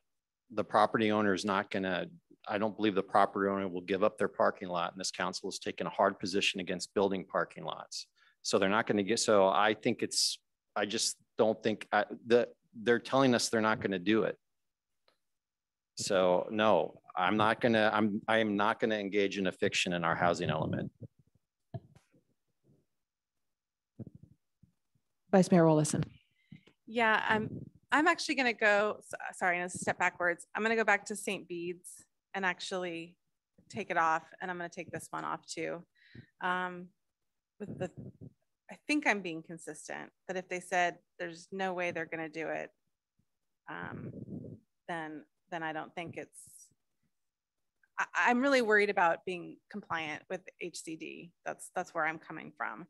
So, um, and I, I think we're gonna have to go hard on the downtown parking lots. That's, that's where it's gonna be. And so um, I really wanna spend a lot of effort on those. All right. um, I believe this still, uh, Councilmember Combs. Yeah, and, and my only question would be to the vice mayor is that we aren't though as a policy taking all of all of the opportunity sites where the owner has said that they're not interested in it. And, and so until that that's totally fine. I'm not saying well, that I, I, have a position that's yeah. more logical than where you're at, but I'm just saying just to be clear that like there are yeah. lots of properties that are still opportunity sites that we are not looking at that the owner has said that no way, no how, but they're still on there. That's actually a good point slash question. And so I would ask staff is the list of disinterested property owners is what you're showing us all of those who said no way or are there more that we're not even seeing i'm going to look for some backup here from uh, M-Group and city staff team members but my my impression is that we haven't heard either way from from most of the property owners, from a majority of the property owners, um, and that this list is really a subset of sites that we, we we've heard back from, and they said no, we're not interested. And there was some other public comment commentary from the housing commission or planning commission or from the public saying, hey, these sites are are, are not great. So this could be our, I mean, potentially this could be the sum of all the sites that they've come out and said we're not interested. Deanna, do you want to take another more accurate stab at that? Thanks, Jeff. I, I think what you said is is accurate. So we haven't heard from a majority of the property owners. The ones that we have uh, who have expressed disinterest, uh, an interest to, to develop housing um, are reflected here. And so if we hear back uh, from additional property owners, um, we can share that at uh, a future date with the, the city council. And this is not the final list. This is the list that's going through HCD at this time. And then we will still have another opportunity to look at it. Correct. So staff will um, put their heads together and their professional provide advice in the next round as well. Councilmember Taylor. Thank you. Quick question, Mayor Nash, and that is, are the parking lots on the list since it came up in conversation moments ago? So the idea was to quickly go through these, but I think a lot of it is we're um, we're actually getting, I'm hoping, some basic ground rules so that others will be faster. But essentially, we were um, the plan was to go through these items that were called out by the Planning and Housing Commission, and then to open it up for other um, comments, such as on the parking lots, and also just generally to um, talk about the um, any comments people had on the policies. so I would, um, I believe that St. Bede's Church and Menlo Church, um, even with um, Vice Mayor Wolosin's changing her vote, still go through this process. So let's, um, now I think we actually get to the. Mayor Nash, just for uh, clarification on my record, we're saying that uh, references D site 40C and reference E site number six, which is St. Bede's and Menlo Church are being kept on the opportunities list with AHO bonus. Is that correct? That is correct. Okay, thank you. Thank you. Um, so next um, we have the former flood school and staff's recommendation is keep on sites list, but limit density to 30 dwelling acres, dwelling units per acre minimum for HCD and do not apply the affordable housing overlay. Um, I would like some clarity, clarification, please, on that. The thinking there is that the the school district appears to have a very clear idea of what they would like to do there. It's another public agency um, uh, with a 30 dwelling units per acre. Uh, they could build 75 units on that site uh, with the application of a 20% density bonus, which is well within the standard state density bonus that generally goes up to 35, 50%. Uh, they could they could achieve the 80 to 90, 90 units uh, on the site um, with that with that base density. So it's basically acknowledging that there's there's something happening there, and the the reason for the 100 dwelling units per acre allocation for the affordable housing zone was to incentivize an affordable 100% affordable housing development. And essentially that's already happening at pretty close to the to the base density in this case because of the public nature of the property owner. I would I would put that forward as as a an assertion, not a fact, but that is definitely a, a, a we've seen that as a key ingredient in in a, making a 100% affordable housing projects uh, work in a lot of cases. So given that we see evidence that something's working at, at 30 to 36 units per acre roughly, um, that's easily achievable under the, the standard base density that the city has developed with the application of a, a fairly routine uh, state density bonus application. That would be the best way to support the school district and what they're trying to do there and meet the city's housing goals. Thank you. Councilmember Combs. Yeah, th thank you, Mayor Nash. Uh, so, so Mr. Bradley, with the the sort of the state bonus, I mean, what then? What is the max number that they could get to at at the the base 30 30 dwelling units and and whatever bonus they could get from the state uh, based on it being uh, all affordable housing? The absolute maximum under what I'm going to refer to as the the standard state density bonus generally maxes out at 50 dwelling units per acre. So that would be uh, 30, I'm gonna use 2.5 acres because I believe that's closer to what it is. Uh, so 75 times 1.5 would be 112 units. And then so, we, however, sorry. No, please go. Just full disclosure, there's also a newer state density bonus that could also go up to 80%.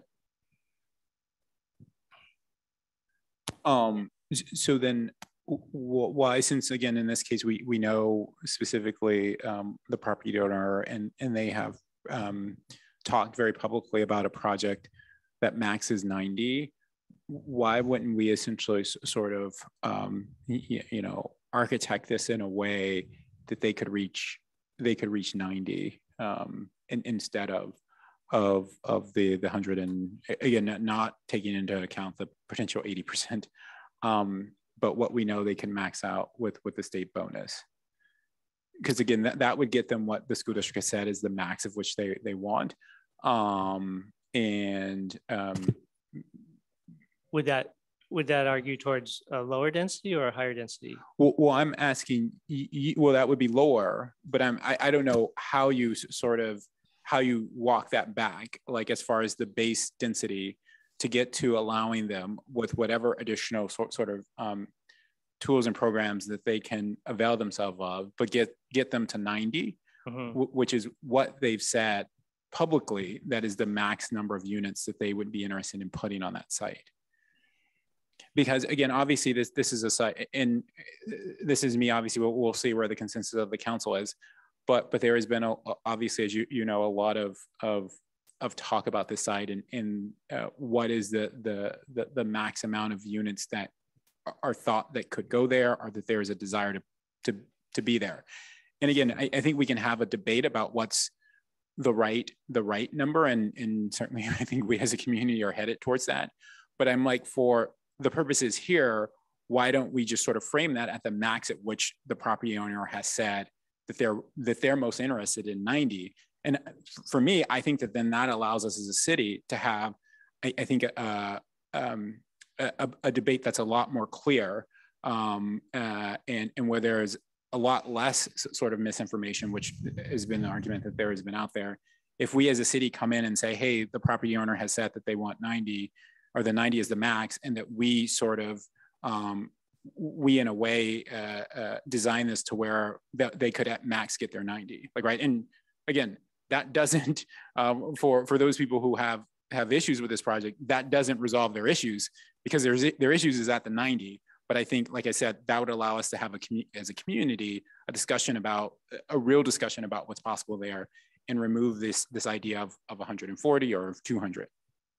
So just for example, to make sure we're talking about the same thing, if we said 20 units per acre times 2.5, that would be 50 units times an 80% density bonus would result in that 90 unit number. So you're talking about something in that direction? Yeah. So so Okay. then doing doing 20 y- y- yeah units an acre. Um, The council would definitely be within their rights to pursue that option. The only uh, caveat or I would offer would be that at that density, we couldn't actually count it as a 100% affordable housing project within the, the housing element. That it kind of is a mirror argument of, you know, just because a property owner may say they're not interested at this time in development doesn't automatically take it out just be, on the other hand, just because a property owner says, hey, I want to do 100% affordable housing, you can't just automatically plug that into the element because we have these default densities, right? That we love and hate that, you know, if we hit, if we hit that 30 units per acre, we can put it in the document as, as affordable. At 20 units per acre, we can't. The thing that would change this whole dynamic was it was, would be if the school district or their partner developer that they're working with filed an application then we could treat it as a pipeline project and we could do basically what you suggest is sort of custom tailor it. Um, And if I may add to that, so there's two technical things that we need to do with HCD. One is have the appropriate density, which is 30 dwelling units per acre. And HCD has also said that we cannot rely on state density bonus to make the make up the units.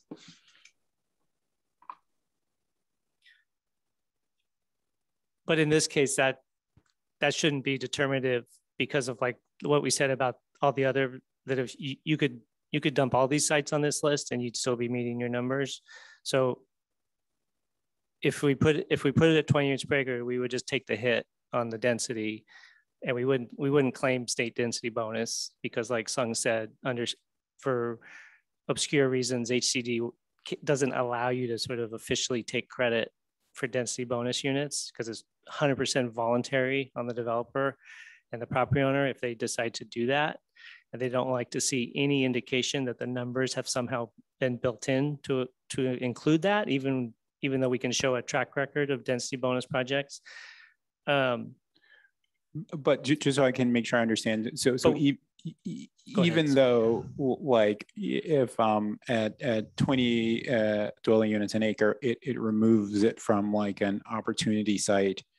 It, te- technically, we could, we could count it as moderate income housing. Uh, Not, not very low, not low, not market rate, but that, that middle, that missing middle section of moderate income based on that density. based on that density. And then when, um, but, but now at the current density, we're, we're counting it as what? At 30 dwelling units per acre or more, you, it, it counts as 100% affordable. But what level affordable? Because moderate is, is it, half, half very low and half low, but, but then we, eh, okay. which again is an HCD state law thing that is, doesn't meet the ground with any degree of reality. But then when what is delivered, let's say that there's no, no very low, like, right, it, it, it's only so- sort of moderate. I mean, if this is for, for, for teacher housing, I, I, um, I, I think the question would be like, how many teachers would meet the low? Um, the, um, as far as, um, um, like household income. Um, so if what gets delivered, let's say you keep it at 30 and what's delivered is, uh, is, is, is ends up being like 100% moderate, moderate, uh, housing. w- w- How does that, that get counted then? So if I may, If- Once it get, once it gets built, it gets counted as of what's provided. So Okay. if the school just, at the, at the end Yeah. of the day, the school district and their developer said this is all gonna be moderate Yeah. income housing because our teachers are what are Yeah. paid at that level. And their household sizes are, are, are fit that, then Yeah. that, that's how they would be counted. And then, and so in the same vein, like if we, we lower this to 20 dwelling units an acre, right? Um, and then it, it r- removes it from us getting certain, s- y- y- to some degree, it gets removed. But then if what is produced at the end is those 90 units, right, We'll get credit for those 90 units. Absolutely. Right. Okay.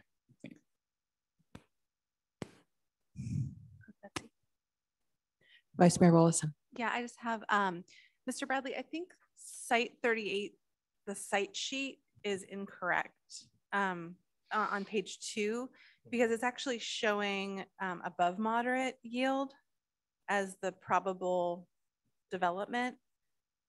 Um, so I think that might have been causing some confusion in the community as well. Um, if you look at site 38, it says 10 low, 50 moderate, 25 above moderate. Whereas it sounds like the property owner has been very clear about 100% affordable.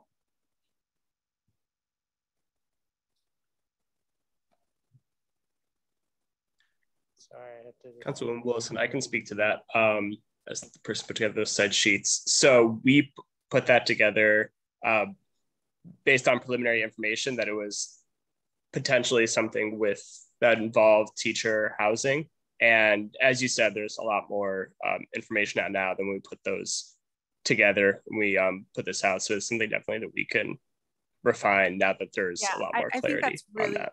Yeah, I think that's really important. And I also think that the district has been really clear that it's for um, some teacher housing, but it really it's staff housing for bus Mhm. drivers, cafeteria workers, custodians, and the like. So that it could very well meet the low, the low brackets. Thanks. Thank you for pointing that out. Councilmember Combs, would you like to suggest how you would like to have this on the list? Again, my suggestion would be that, um, yeah, that we, we, we don't um, um, apply affordable housing overlay and that we lower the density to 20 dwelling units an acre. My understanding is, again, that gets this, that still provides the optionality for the school district to get what it's saying is its project. Um, and again, I want to be clear, I'm not saying that I am supportive of, of, of that project. I, again, as, as we all know, it's not a project at the moment. But what I'm saying, I think it would help us as a community to frame exactly what we're talking about um, when we as a city step in and, and our role is, is the ability to zone and saying that like the property owner has said that, that the most that they would do is 90. And so let's, let's cap the, the option at, at 90, um, uh, 90 affordable housing units. And, and then, and now we can, we can have a debate about like whether, um, whether that's the right, the right number or not.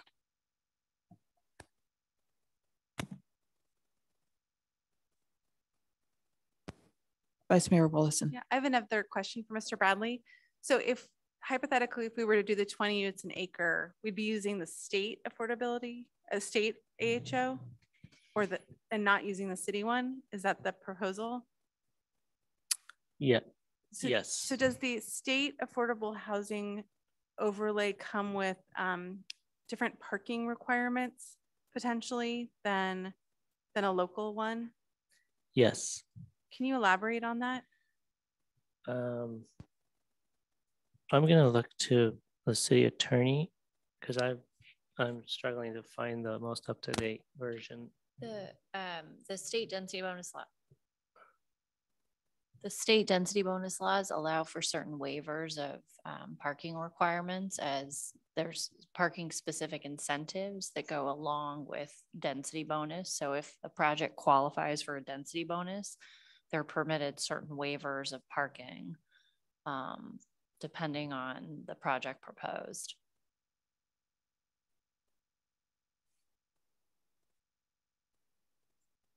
I on I think you um I think I zoned out to be perfectly honest. We've been going three hours, uh, 20 minutes straight. I apologize.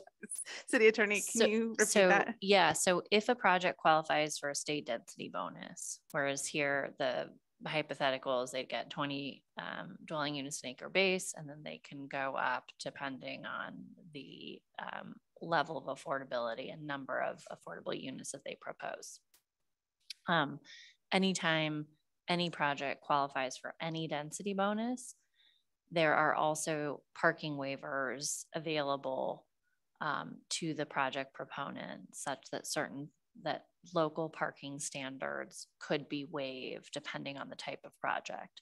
And I can get into the specifics, but I do have to look at the state laws to articulate precisely what the park, what parking waivers would apply. under I think I found it uh, if I may. It looks like rental, rental for sale projects with at least eleven percent very low income or twenty percent lower income. Within a half mile of- of major transit stop, half, one half space per unit. But if it's not within a major transit stop, it's on a sliding scale based on bedroom counts from one space up to two and a half spaces per unit. That's right. And cities are limited in the maximum parking requirements that they can impose for density bonus projects. So there's um, a maximum of one space for studios and one bedrooms and one and a half spaces for two and three bedrooms and two and a half for four bedrooms. And those would override any local parking requirements. I think I'm actually thinking the other way, it, on the minimums. So are there higher minimums for the state than what we may be considering for our local AHO? No, the state doesn't mandate a certain number of parking spaces per unit or per project. They limit the city's ability to impose parking requirements.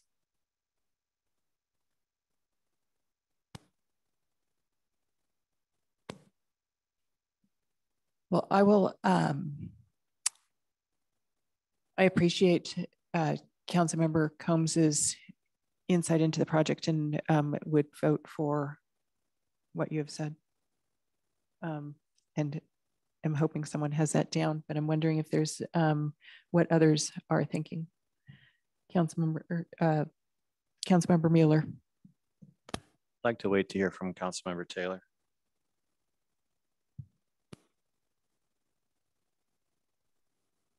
Mayor Nash, at this time, I don't have any input. Okay, we need to get five opinions, please, on the former flood school site. I'm waiting to hear from the people whose district's closest to us, mine is furthest away. So that's why I said I'd like to hear from Councilmember Taylor. Uh, That was I- I- not I- directed at you, that was generally. Okay, but what I will So- say, what I will say is, and I haven't decided what I'm doing yet, but I find it completely odd that on the sites where they're telling us they won't develop, and it's completely infeasible, we are maximizing the units per acre and doing an affordable housing overlay. And in the one site in the city where they tell us they will develop, we're decreasing the units per acre and getting rid of the affordable housing overlay. And in the one site where the developer said, well, they'd be interested at a certain density, no one was interested in the density and took it off. I have no idea how we're ever going to hit our number. I will make one comment regarding your comment, and that is that the, I believe that the, Mr. Bohannon was looking to increase the density for market rate, and that was not for affordable. Had it been for, and if we find out that it is for affordable, I would absolutely support an increase. I spoke to a lot more than that, but I appreciate that, Mayor, Mayor Nash. Councilmember Combs. again, I'll, I'll just say like, uh, I, I think that there is much discussion to be had um, at, at the 90 units, like, right? Um, and and I, I'm making it very clear, I'm not expressing support for that. Um, w- what I'm trying to do uh, with regards to, to this particular situation is that we have an owner who have said that that's the max at what they want to do. And so I'm saying, since there is a lot of discussion and I think misinformation about what possible, what the number of units could go at the site, even as the property owner has said that they won't do higher than 90, um, th- then I'm saying let's sort of, as in our role as a city, say, okay, we'll take you at your word. You set 90, we'll cap it at 90 as the option, and then we can have a discussion as a community um, about what might be the most appropriate density. Um, but giving the developer everything that they ask for, essentially, this doesn't take anything away at this moment. And and I feel like I'm I feel like I am going a long ways again um, in a direction that uh, um, uh, a, lot of my constituents have very con- a lot of concerns about. But I think I'm going in a way to say, hey, let's let's at least sort of operate and have this discussion in the realm of reality. And and so and again, if the if the school district was saying like no, we think we can do 200 units at that site, then we would have that discussion, like right. Um, and I wouldn't be saying what I'm saying now. But every other site, I would point out to my colleagues, they've said, let's incent. Oh, Bede St. Speeds doesn't do it, let's incent. Oh, this site doesn't want to do it, let's incent. But this site, no, no, no, no. We're going to be, this site actually wants to build, we're going to decrease. We're going to decrease the acreage. What do you propose? I, Give I'm us an option, I, I- please. I, I'm actually, what I propose is we start over and deal with the reality of, of what we're actually trying to accomplish. Because right now, I don't think we're trying to accomplish a housing element. Where people actually want to build, we're trying to take it away. Where people don't want to build, we're trying to add. I, I don't understand what we're doing. So, So my I big would- problem with this site, with the former flood school site right now that I'd say to the school district is I don't know why you're using a for-profit developer for an affordable housing project. I- I don't know why they're doing that if they want to make it market feasible, because that's, a- that's affecting the project. But, and so that's, you know, I appreciate what you guys are trying to do to be responsive. But I'm just, I'm having a hard time following the logic of the council of how it's applying it to this housing element. Because we're, again, where we have a site where someone wants to build, we're lowering the, ac- the, ac- the units per acre, per acre.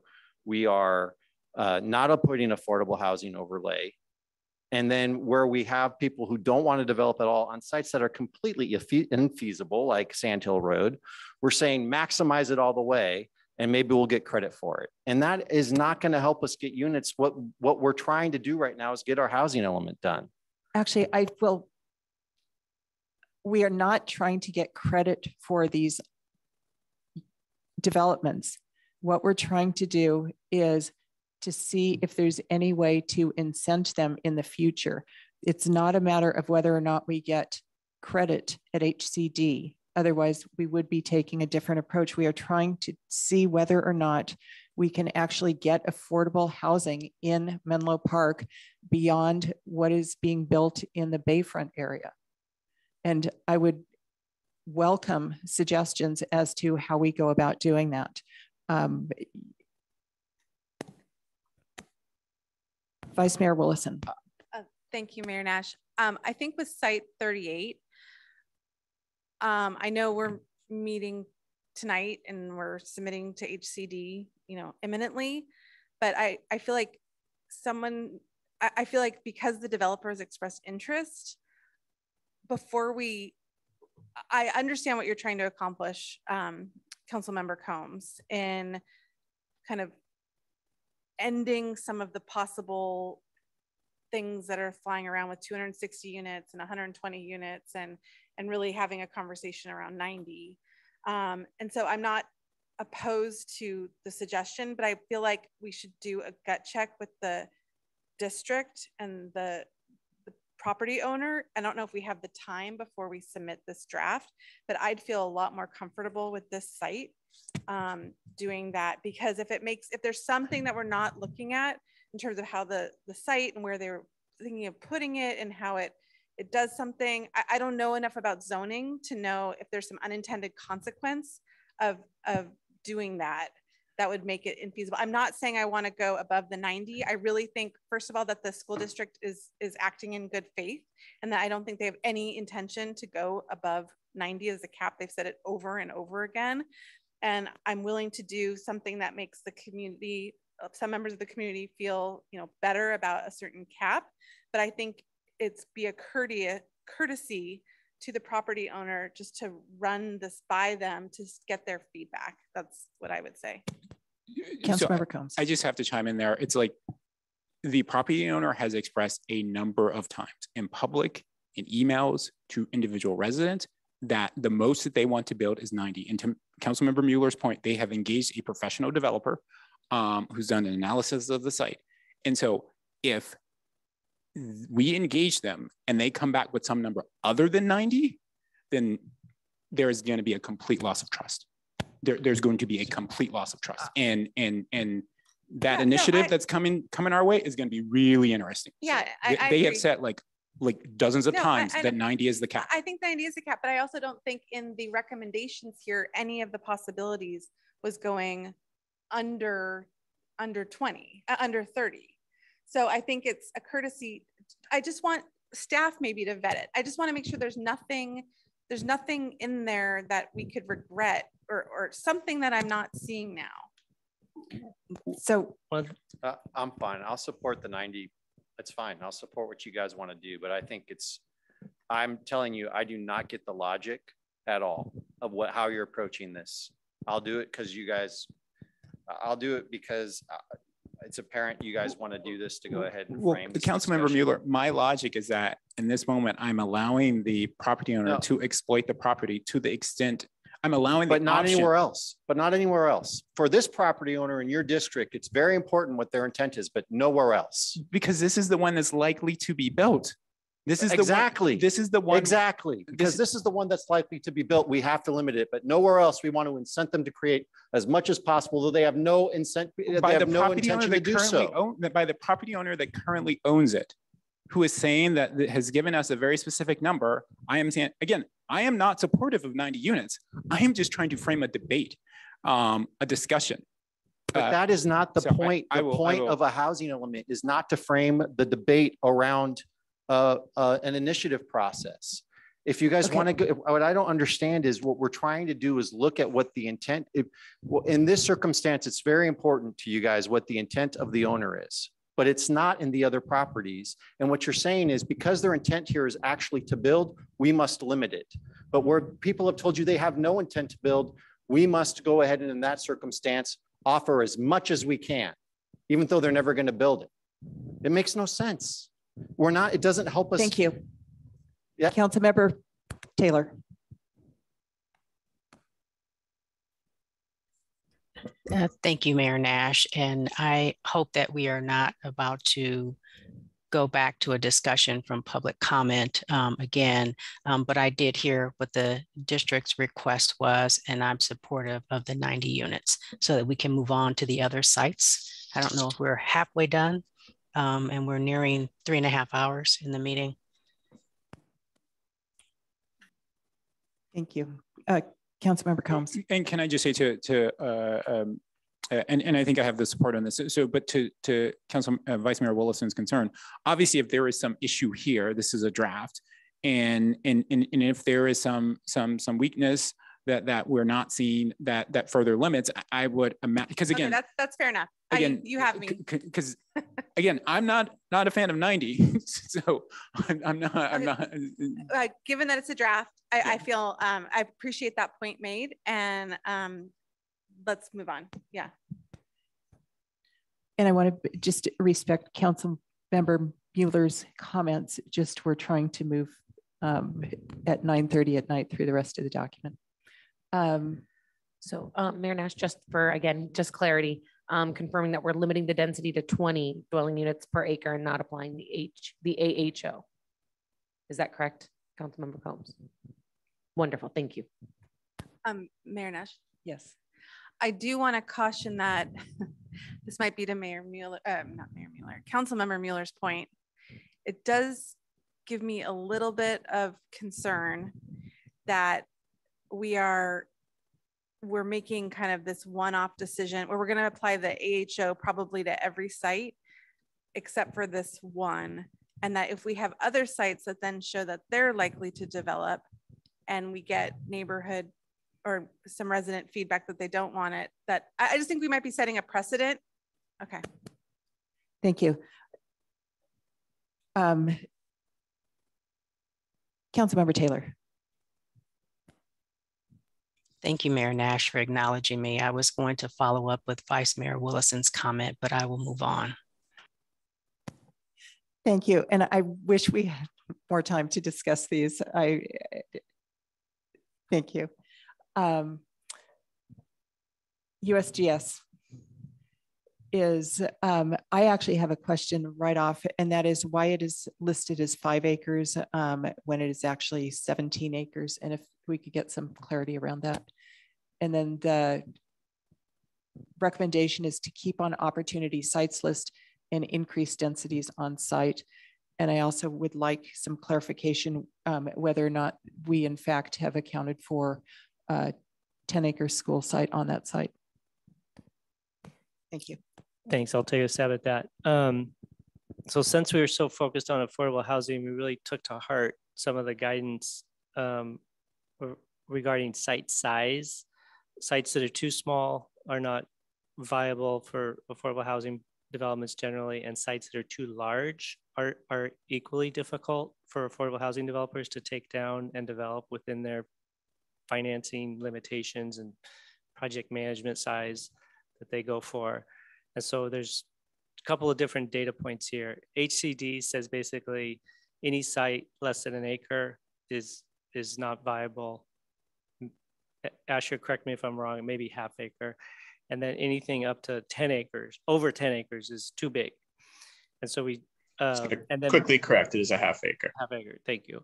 And then the local nonprofit developer community kind of zeroed in on that even further and said their really, their sweet spot is one to two acres. Due to the high land costs, anything bigger than that is, it just throws off their pro formas. I'm gonna summarize it that way. Um, and so we really focused on these carve outs of, of smaller sites large, sorry, larger, smaller sites within larger sites. Um, and so in this case, with the 17 acre site, we kind of stretched that and, and essentially created two carve outs, one of two acres and, and one of three acres. So we have sort of expanded it beyond the other carve outs you've seen on some of the other sites. That was, that was, that was the rationale around it. And I don't believe we've officially designated any public school site on this site or any other site. Is that correct, Asher Sung? That is correct. Could there be, um, is there a staff comment about um, whether or not, I don't think anything's public um, officially designated, but is, could we get a status of where what is the status of the school site? A possible school site of 10 acres, I believe is what we were talking about. Uh, let's see, this is uh, Justin. I, will take a st initial stab at that. I believe the council did deliberate that in the fall. I believe that is um, a record and we can double check the minutes, but I think that is something we need to find a way to fold into this draft housing element before we submit it to the state. Because I, I, believe that is the council's uh, direction. I can get you the specific date in a little bit if you'd like of, of when the council deliberated that.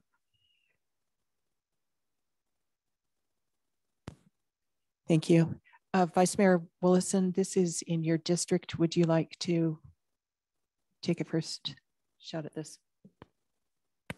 Um, I'm curious when it says increase densities on site, did you have, is this reflecting that or are you proposing additional density.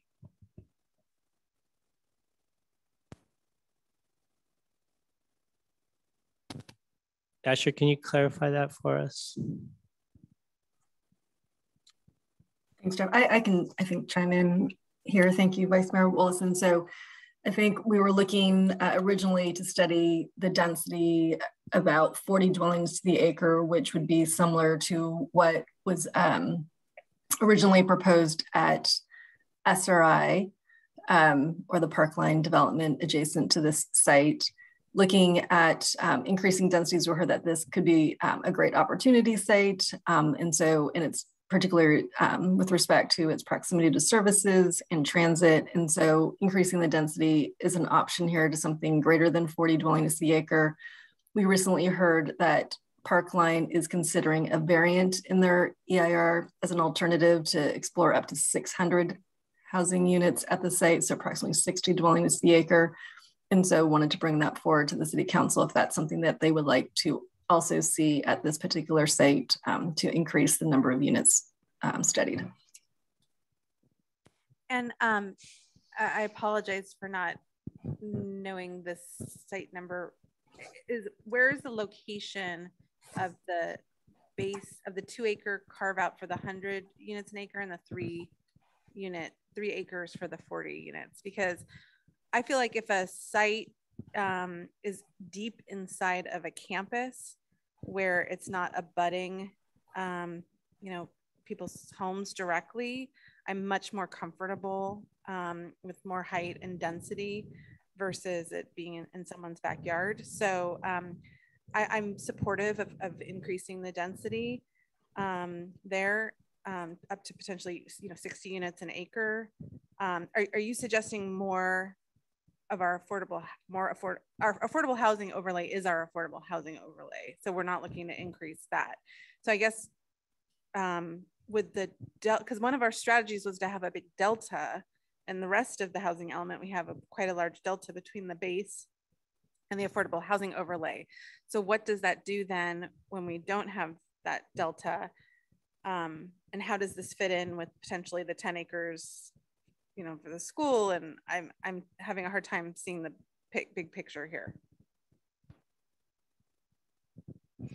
So I believe the carve out is a floating carve out.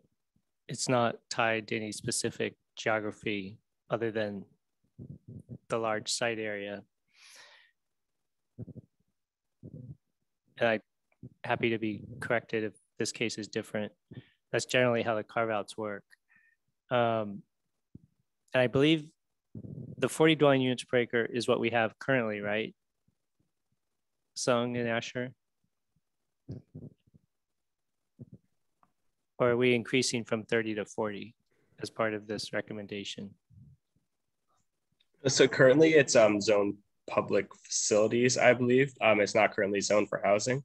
But and within um, the within the sorry. within the existing draft housing element. Oh, sorry. Yes, yeah, so within the existing draft, it's 40. It's 40? Not, yeah. Not 30? Yeah, so we would be, um, I was saying, as Dana said, increasing from 40 upwards potentially. From 40 to, to what? Upwards. Just, I mean, that's the oh, just discussion. Okay, so currently it's at 40 within the housing element. And that it's, it's eligible for the 100 dwelling units per acre. So that's that's sort of the existing Okay, wait a minute. Now I'm getting confused on the site sheets again. Because on page one for site 12, it's saying 30 units an acre. Yeah, is it is it 30 or 40? Yeah, sure. It's funny. This is another issue we had, uh, you know, moving information as the site sheet was uh, published, where we learned about the um, potential density increase since publishing the draft and then um, between again similar to what we discussed the, before. The, site, um, short, the short version is the site sheet is incorrect, and the yeah. this table we're looking at is, is the correct information currently. So that's we, the correct. So we're showing this is 40 units per acre. The recommendation is simply that the council could consider increasing that. Uh, to your point about what's the what's the whole master plan here, if if the direction from the council previously, which I'm also remembering, um, was to was to designate a 10 acre school site, there's probably no reason why the remaining seven acres shouldn't all go to housing. Possibly, and then do a carve out of five acres for the affordable housing overlay.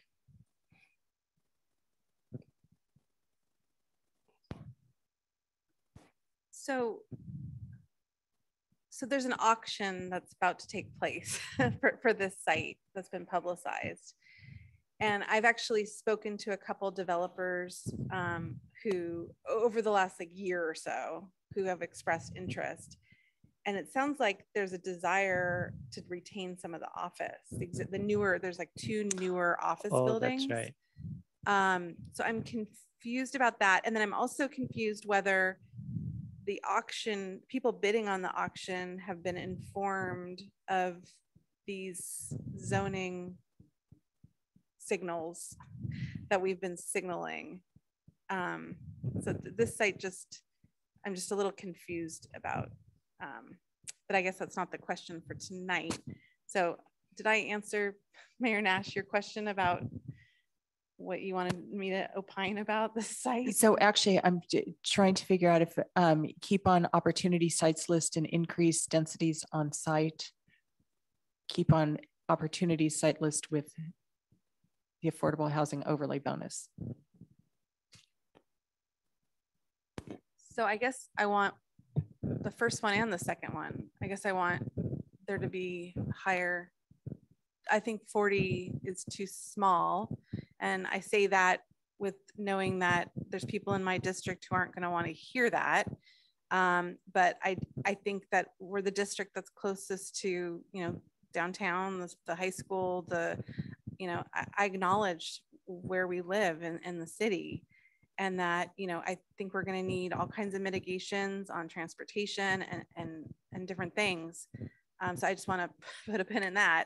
Um, but that i i think we need the sites that are going likely to develop and the sites being sold so someone's going to buy it and they're going to want to develop we need to be realistic and and do what we need to do on those sites so uh, Mayor Nash, did I, so I guess I want both increase the density and to use the AHO bonus because it's two different, it's really two different carve outs with two different things going on. Councilmember Combs. Just a question, you're saying so increase the base density, right? To what? So I was thinking around 60 then. I, I'm curious what my colleagues think.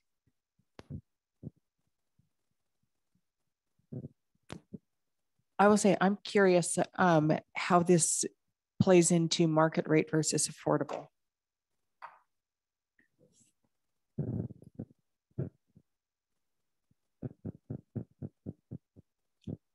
Yeah, I mean, as we as we increase the base density, um, regardless of affordability, there will be a higher likelihood that it would be developed with with market rate housing. Okay, wait. So, so then I reverse course and actually want to lower the density. But I, i- is it possible if we're carving out two separate things? And on one of the things, we have the 30 and the 100 and the other thing go up to 60? So that we're planning on half of the carve outs going, or, or maybe we have it all affordable. I, I, I, I think I might need a break soon. Actually, um, yes, we're planning a break after, th- right after this, but if we need to, we could do it. Actually, why don't we take a break now? And I'm trying to figure out how many minutes. Why don't we, given how much we have, why don't we come back at um, 9.55 in six minutes? Thank you.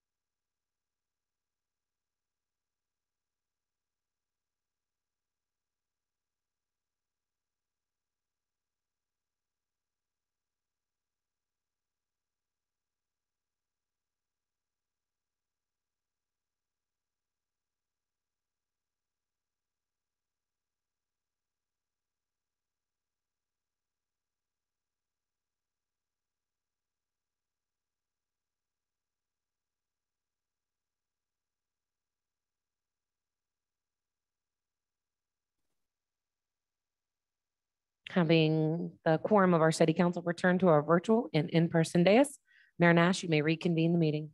Thank you very much. And Councilmember Mueller has some questions for staff. I just wanted to ask and just to clarify, when we pass uh, the housing element, we are actually doing a rezoning in the city. Is that correct? No, the housing element itself is a is a policy document uh, that controls the the general plan level land use designations for for the housing sites, but the actual zoning implementation um, is separate from adopting the housing element. Do we adopt them at the same time, the zoning changes with the housing element?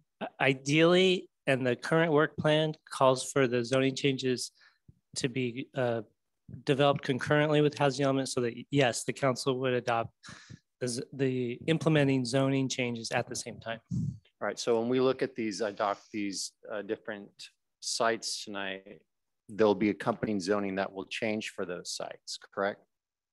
That's anticipated. Some, some of them, yes. So for instance, on Sand Hill Road, we're actually talking about rezoning four acres of land from office to housing. I'm going to reach out to uh, the deputy, the assistant community development director for more clarity on, on the zoning tool that would be utilized to accomplish that. Great, thank you, Council Member Mueller. So yes, with all of our housing sites, they would uh, either likely take the form of rezoning from uh, something that potentially doesn't allow for residential uses to residential uses or looking at potentially a zoning code amendment, which if a site already say, for example, in the specific plan allows for a residential use to change the zoning so that it would allow a potentially higher density use. So each of the sites that have been identified would be uh, either rezoned um, to allow for residential uses or uh, be the benefit of a zoning change that would allow for something higher. So with respect to the Sand Hill Road sites, those sites currently do not allow for residential uses. And so there would be a need to rezone to allow for such a use. And if you were one of those office buildings after the rezoning took place, would you be, uh, would you have to would you be allowed to, you'd have to go through a special process, I guess, or a variance if you wanted to do anything with respect to adding density for your office there because now you're zoned residential, correct?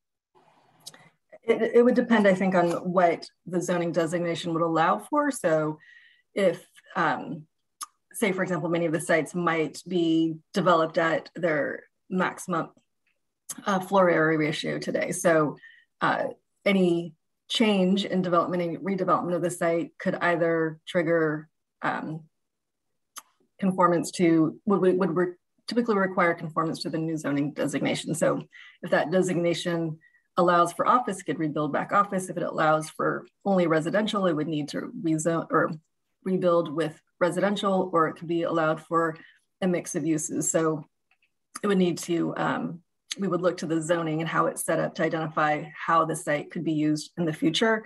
I think Mr. Bradley mentioned that um, existing uses could remain, and that's generally how it is. You know, an existing use could could remain um, as is, um, but future redevelopment would need to conform with the the zoning designation. And if those buildings meet, met the, the uh, became so old that they were no longer feas no longer feasible and need to be needed to be rebuilt or met or, or met the the end of their natural life as happens with buildings, they would they couldn't be rebuilt as office. They'd have to be rebuilt residential because they would be if, rezoned that way. If it was structured in that way, yes. So in essence, where whether it happens eight years from now or not, we're rezoning this land to residential from office on Sand Hill Road. Yes, we are. That's just what the test of, that's just what was said. We'll be, we're rezoning four acres from office to residential. So thank you for that. Again, I just would say to my colleagues, Excuse I me. do not believe we should be we should be making these zoning changes on Sand Hill Road. The, the uh, property owners have indicated they do not intend to build housing. And I think it's not in the best interest of the city to be rezoning office on Sand Hill Road to housing. As and especially as these owners have no interest in doing it. And in essence over the period of over time what was happening is we are locking them into having to either be in obsolete buildings or having to build housing. And i don't believe that's just in the best interest of the city. Sandhill road is the venture capital cap venture capital destination of the world and that has benefited both menlo park and the rest of the silicon valley for generations. And I have no idea why we're doing this tonight or proposing that it be done, especially as no one's indicated, as its professional staff has indicated they wanted it, they were recommending it be removed from the property list. And the property owners say they're not going to build affordable housing in this cycle. But I've made my argument and I will let it go there. I just wanted to make it very clear for the record what, what in case my colleagues hadn't, hadn't considered, that it's not just that we're putting it in the housing element. We are actually change, we are actually going to be asking staff to change the zoning for these parcels. City Manager Murphy.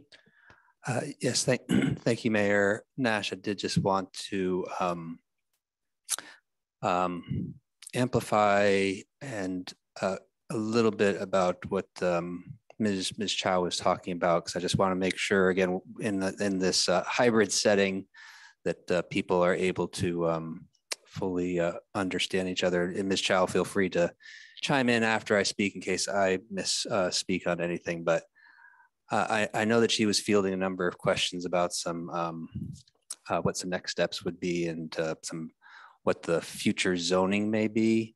I, I believe that there it, it kind of it depends the specifics of what any future rezoning would be would be dependent on the council direction at that time. And so she outlined a few different options of how this could be done.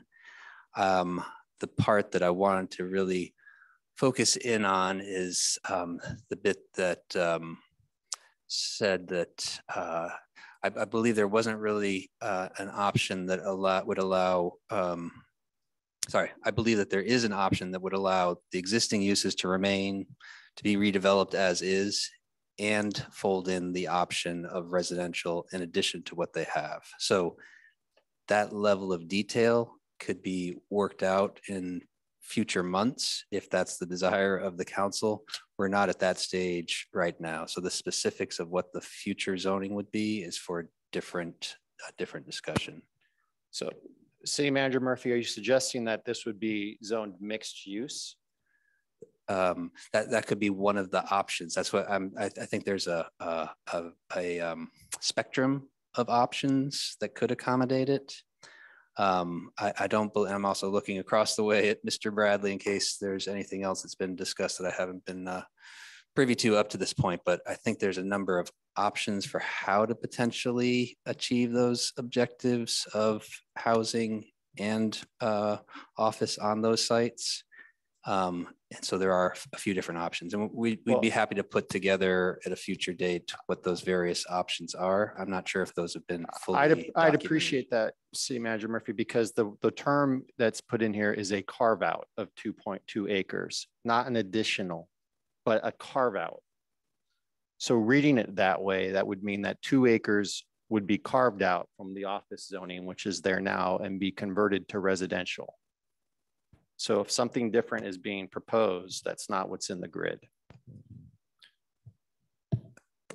And I appreciate that in terms of some of the terminology. Um, and I, I believe um, some of the carve outs, and as expressed previously on USGS, are some, sometimes floating in terms of exactly where they would be. So we can work on that terminology um, and, uh, and report back to the council on that.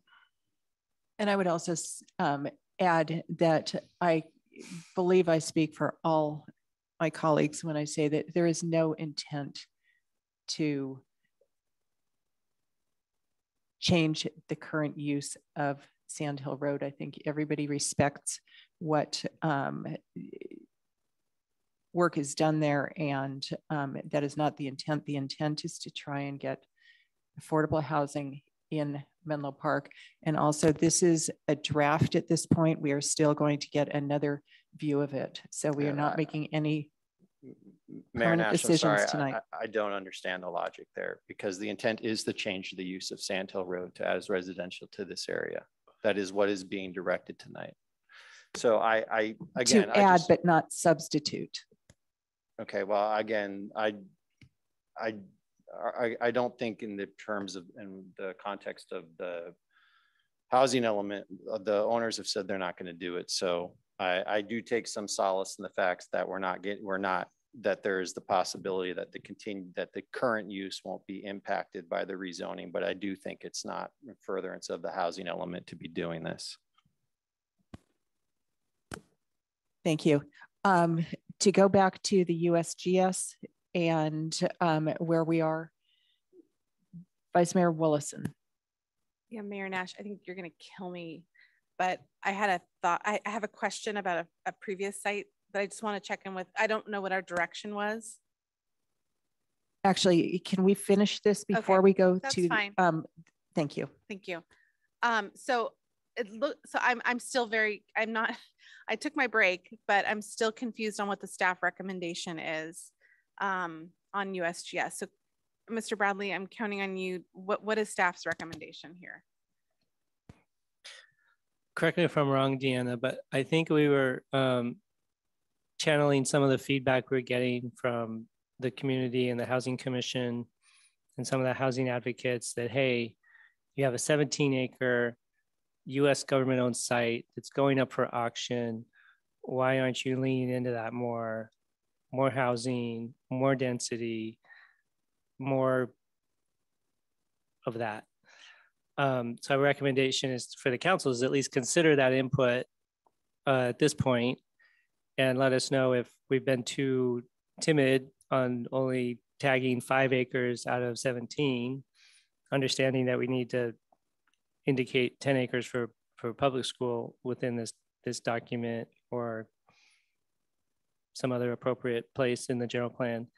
Um, so we, we sort of acknowledging that that yes this is this is happening. This is significant property and maybe um, you know more housing could be planned at this location. Okay, I, I think that the priority from my perspective for this site is, uh, you know, I'm a big, I know we have a huge need for housing and affordable housing, but um, I think the school district has made it very clear that they're concerned about having capacity, site capacity for potentially their increasing enrollment with all this new housing. And so I would prioritize, again, I don't know what with this auction and where this process is but I actually in, in this case i think the the school site like I, I don't see a world where that we take 17 acres we say we want 10 for school five for affordable housing you know and then the developer who just paid 150 million dollars or whatever has like two acres or something. So that's where i'm, I'm like head scratching. So i think if the school site takes priority and then I, i'm curious to hear from my colleagues what their suggestions are uh, beyond that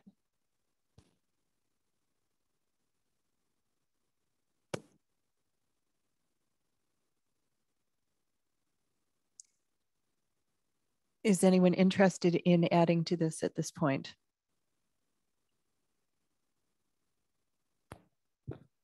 So- um, where are we at uh, with the sort of designation as a portion of this being utilized for a school? Like where does that, that actually exist? I, I can promise you that like, I, I think to, yeah, what is the, the start, the, the auction starting price is a hundred million dollars or something. Or a hundred, I, I imagine no one's paying that based on the idea that. And, and so where are we at with that? Like um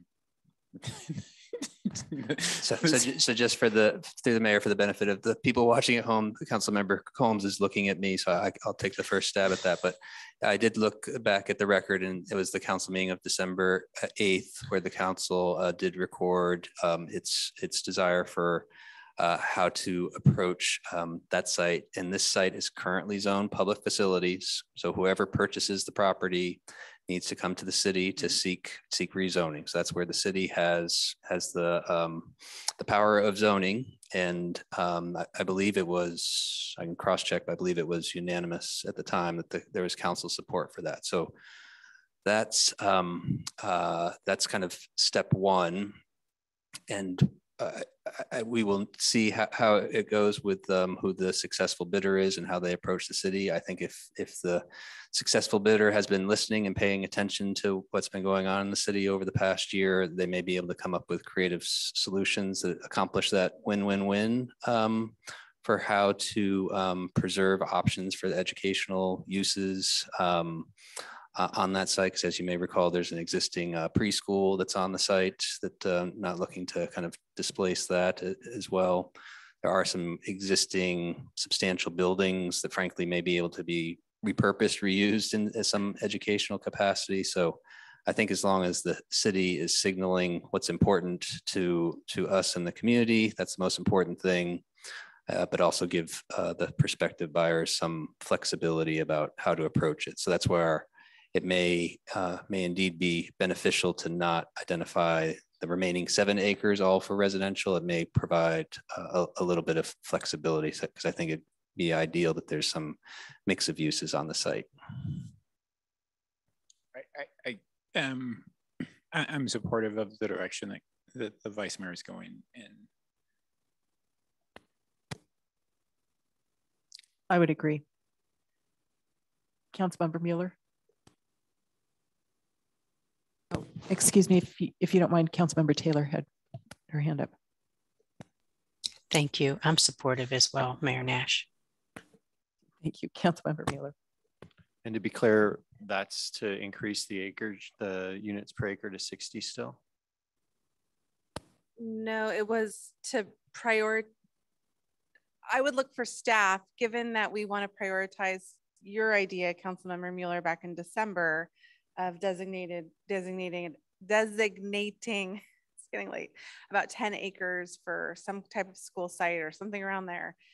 So if we want that and we want someone to buy it and want to help us and do that what's the amount of housing we think we is reasonable to zone for there that's fine. The my biggest concern with this site is obviously getting the housing, but I, I do very much want to make sure we have the school site. Yeah, I think that's what we're all in agreement on. All right, thank you. So I would look to staff then maybe to make a recommendation. Um, well, in terms of a, a balance or a mix of uses, we have just in the table in front of us in this attachment, we have two acres identified at 100 dwelling units per acre. So that's that's the affordable portion. And then an additional three acres at 40 acre, which could be considered market rate based on everything we've been talking about. That's a total of 320 units. And then you have the 10 acre school. So you have, that's 15 acres total spoken for. And then you'd have two acres left over for some buildings that could be repurposed or kept as, as office space. So there'd be a lot of different things going on there, but it all seems like it would, it would fit uh, Mr. Bradley, if if we do that today and then someone purchases the property in the next couple months mm-hmm. and they come to us and say to to get that school site we're going to need x density or x zoning will we have an opportunity since this is still in draft mode could the timing work where we can kind of see what happens a little bit and discuss it probably not if you're talk, talking about like a lot a lot more housing like higher densities all around from the new develop from the new owner. For usgs yeah. We said that if it goes through an auction and you have a new owner who says okay fine you want 10 acres for a school you need to give me you know 2000 units or whatever. Is that talk, type of negotiation you're talking about well i wasn't going that high. Or bigger a bigger number sorry i didn't yeah a bigger number or be alarmist. This is what it. it. would take on this site to Yeah. yield this this site, the school site that you guys want. Because basically, we're asking them to dedicate. I mean, at the end of the day, it's a pro forma where they have to calculate the benefit they're giving. And this is a this is a public uh, elementary school we're talking about essentially, right? K, K through five or six. I believe type of The, thing. the, the district has been talking about needing a middle school. I think there's a lot of unknowns. I Good. guess, Okay.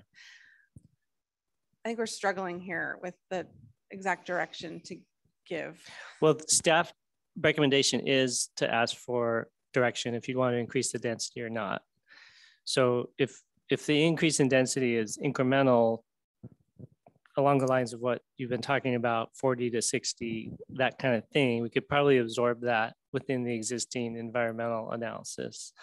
If it's a big, big number, big increase, we'd probably have to rework the, the traffic analysis. So there's, there's a- some sense, there's some sensitivity there between small changes versus large changes. And what we're talking about is they would need to go through an additional EIR. Correct. So we're not saying that it couldn't happen. It just would, if they're not, Right, it might not happen all as part of this, this process we're in right now. I mean, that seems reasonable since we can't read the tea leaves. Yeah, okay. Thank you. City Clerk Herren, do you need any clarification? So just again, thank you for the clarification. Um, are we including the AHO bonus or not? Yes, okay. And then are we designating acreage for school? Yes. Perfect, thank you. I'm clear. No, designating, not dedicating. Designating. But are, can we zone for non-housing right now? Or is it just signaling again? We're not literally zone. How about how staff decides how they work it out? Yeah, I think that's going to be a whole another work item is to figure out all the details around the The zoning. intention is there. Yeah. Got it, thank you. Thank you. Vice Mayor Wolosin, did you want to return to the item that you were talking about? Thank you, Mayor Nash. Okay, I hate to bring up site 38 again. I just want clarification. I know we said 90 and we were going with the 20 units an acre. Were we going with the moderate? So it I wanted to know what, is it counting for the housing element or not counting for the housing element? Because I thought if we do 20 units an acre, we could do moderate That's cor- affordability level. So it could count. That's correct. Okay, is that, was that the direction that you're going with? Yes. Okay, that, that, I'm comfortable with that. Thank you. You check my notes. That's, is that what the city clerk has? 20 units per acre? I have, yeah, I have twenty. Do you, dash AC? Yes, thank you. Uh, But I think the idea here is that like, um, we're gonna get credit for the units produced, right? Because, because at the end of I, I, I agree, but at the end of the day too, we have to have a compliant housing element. So I also want us to get number credit for the submittal as yeah, well. okay, Yeah. totally fair. And that's what you are planning? That's what's. Okay. Yes. Well, Yes. you, we got it. Thank you. Unless they submit an application sometime soon, then we'd probably switch over to what they're actually proposing As a pipeline. as a pipeline project. Thank you. All right. Um, another favorite, SRI Parkline. Vice Mayor Wolosin, would you like to lead this? Didn't we just take this up and arrive at something? Uh, as far as the, the units for this? Like, right, I thought, um. Yeah, we- I think we did. Um, is the question then adding units to our pipeline numbers up to, because currently the pipeline is showing four hundred units. So is the question being asked is do we want to count an additional two hundred units in the pipeline? This is kind of the reverse of site 38, where this, this is a pipeline project and we're asking the council, do you want to, do you want to think of it more as not a pipeline project and just a housing opportunity site? Which is within your discretion. The not, delta of those new two hundred units or the entire project? I think it's trying to tag into your, the recent study session the council had on this property and some of the, some of the movements that the applicant was talking about making in, in reaction to the community and or council direction. So yes, I do believe it is, would, include up to six hundred dwelling units on the site. which I believe includes an affordable housing, 100% affordable housing proposal, perhaps. For that extra 200 Correct. units. Well, I believe it'd be a hundred, I think the I potential idea was a hundred, hundred percent affordable and then some additional inclusionary, um, maybe like twenty or something off the other hundred or something. I think that was the concept. So that, But that- Mayor Nash was saying that might have gone into five eighty-three, but they were setting six hundred just to like have a round number or something. We like round numbers. Um, yeah, I think this is really just a question to like, if the- council wants to sort of lean into that movement rather than waiting, because like, like if they were to file, if they were to file a resubmittal that officially showed that, then we, as a pipeline project, we could just update it based on that. Doesn't mean the city has to approve it necessarily. Um, but given that we're in this timing situation with getting this public review draft back to HCD soon, um, it might be an opportunity to kind of just preemptively build that into the to the project if if it's something the council is aware of and supportive of. Councilmember Mueller. I just suggest we just leave it alone. Uh, The applicant's working, uh, the- working with the community, they're working with us in good faith. I think they'll bring it through and we'll get credit for it when they get it done. So I would just, I personally would just leave it alone. That works. Okay. Can I, I, can I ask Mayor, I need to backtrack to one item real quick and just change my vote on it. It won't change the outcome, but I, since we talked about the school, it reminded me of an issue with this applicant. Uh, for the item reference C, the Stanford owned site at Alpine Road in Stowe, I am going to change myself to remove from site. And the reason is not because I don't want a project to go forward there, but the reason is because I was reminded when we were talking about schools that Stanford does not pay property taxes. And the only way that we actually achieve uh, achieve uh, balance in that is through property development agreements with them. So in looking at this project, I actually would encourage Stanford to bring something forward and say I'm amenable to it, but I don't want to give it to them to just give it to them without having the opportunity. And I do think they'll have pressure from the GUP. So I don't expect that to change anyone else's vote, uh, but it but it does change mine. Could you explain that a little bit more? That sounds interesting. Yes, staff. So when we were doing the uh, men, the specific plan, uh, and Stanford put in all the housing along El Camino Real, uh, because Stanford is an educational institution, they don't have to pay any tax. And so what we ended up having to do with them at that time was we actually negotiated a property development agreement, which where they gave us money, and that's how we got the undercrossing. Uh, and we also we got a little bit for that, and we got and then we so we got a little bit of this and a little bit of that. But basically, there is no offset when Stanford does development in the city. And we already have one issue where Stanford is buying up homes in the city that we don't get property tax from. In their circumstance, this would be, I'm looking at a 93 unit AHO bonus. I'm thinking that's great, but I'm thinking, well, that's a lot of, that's, that's more property that, that causes uh, more services upon which they don't pay any taxes to us for. And so I would say to Stanford, with this site, I, I'd remove it from the site list, but I'd say to Stanford, we want you to do something here. We're really interested in doing it with you pursuant to environmental impacts, uh, but I'm not giving it to you for free. I think they're going to have uh, housing, uh, housing. uh, I think they're. I think when eventually they do bring their general use permit process forward again, they're going to have to be looking to places to build housing, and knowing that we're interested in doing it here may lead them to want to do it here. Uh, but I just don't want to give it to them for free. So. Vice Mayor Wolosin. Yeah, this is a question for City Attorney Doherty. So the pilot agreements, so if it's included in the housing element, does that mean that they, to to Councilmember Mueller's point, that they would not need to enter, they'd have no incentive to enter into a pilot agreement because they would basically have a, like by right, if- or if we had ministerial approval of hundred percent affordable? Or is there any way to get a pilot agreement on, on that type of a site? There there would not be the opportunity to get a pilot agreement on a ministerial project, but not all of these other projects that are potentially contemplated on this particular site would be ministerial, ministerially approved. There are limited circumstances in which they'd be ministerially approved.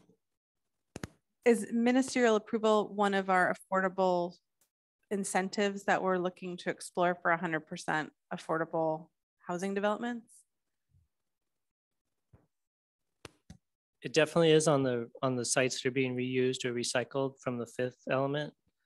Um, I'll need a, a an assistance from Asher or Sung to remind us if that's one of the incentives that we're building into the affordable housing overlay zone.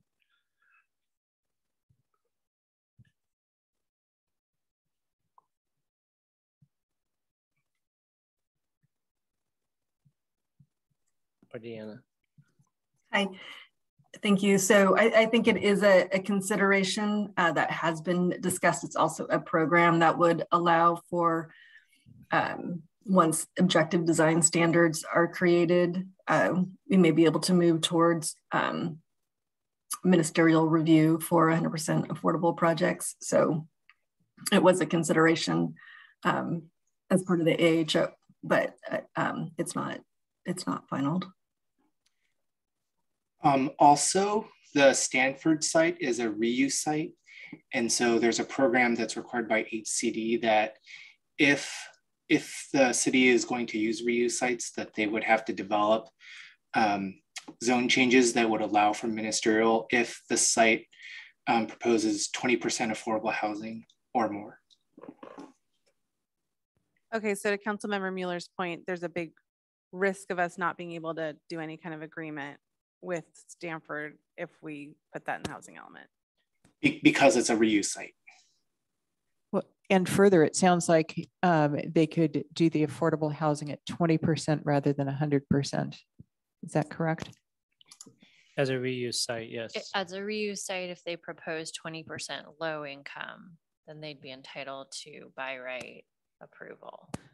I mean, Okay, I, that's- I'm with Councilmember Mueller. Let's take it off.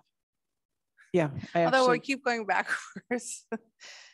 Right, but given that the 20% as well, yeah.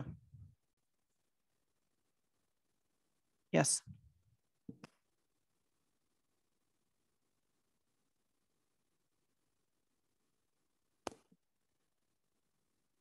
Okay.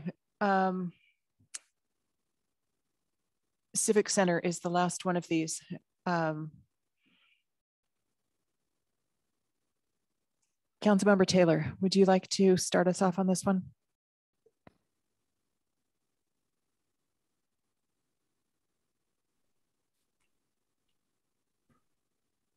Can I pass the baton? Let me look for my notes, Mayor Nash, just a moment.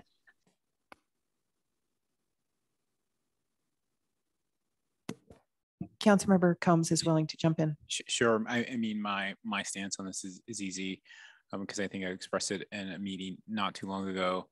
But generally, I'm, I'm, I'm like opposed. So I, I would reaffirm the prior direction to not consider the Civic Center.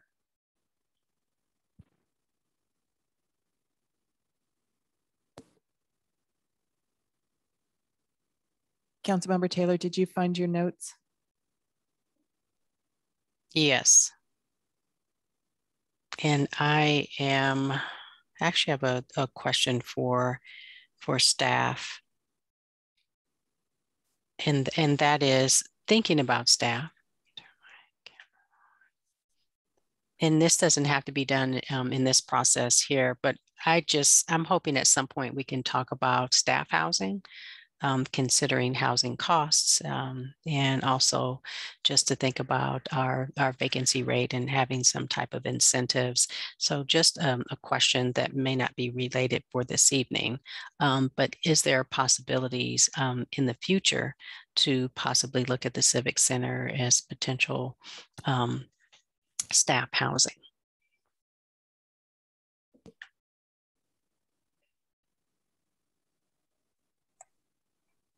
And I, I will add to that, that um, I certainly would be in agreement with that if it's in the situation that the building is, then an existing building is um, rebuilt, that we at that point include staff housing.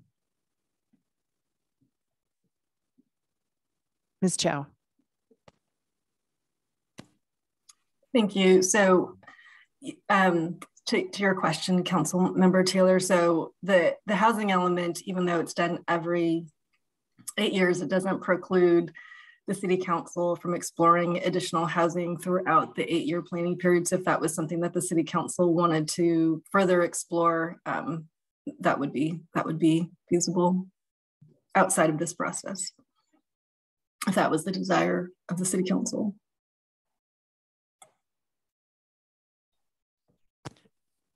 Thank you. Uh, that is definitely something I would like to explore um, if in the event the Civic Center um, is redeveloped. I would agree with that, um, that it does not need to be a separate process, but if um, the city starts looking at redeveloping any of the buildings, existing buildings, that we would look at including housing in the plans. So for Vice Mayor Willis. So to clarify, um, Mayor and Council Member Taylor's position, are you saying not to include it in the housing element, but putting a note in the file of any kind of future redevelopment of the Civic Center to consider staff housing? Yes. Um, and that is not to go into green open space. It is not, it is strictly to stay within the footprints of the existing buildings if they get redeveloped to look at it at that point. Yeah, I um I do not think we should add it now. I think we need to um really focus our public land attention on the parking lots downtown um, and getting that RFQ, RFP process going as soon as possible since we're relying so much on those sites delivering the bulk of our affordable housing. Um, so I would worry that adding it to the housing element at this time would distract from that process. Um, and so, but I am, this is why when we were talking about the park ordinance that I want to reserve for a future conversation or a future council, um, the ability to redevelop with with that kind of a thing. So I think I'm in alignment with uh, with uh, Council Member Taylor and Mayor Nash on well everyone, not including in the housing element, but flagging it for future. Thank you. And my understanding is that it would take um, a considerable amount of work to actually include it in this housing um, element because we are unsure of the um, how it was dedicated so that it definitely would not um, fit well with what we're talking about today. Councilmember Mueller or nothing to add? Councilmember Combs, nothing to add. Okay. Um, staff has enough information on that. Thank you. All right. Um, what other topics would you like to discuss as far while we are on the sites? I'm assuming that we want to discuss downtown parking lots. Um, and then we have the policies.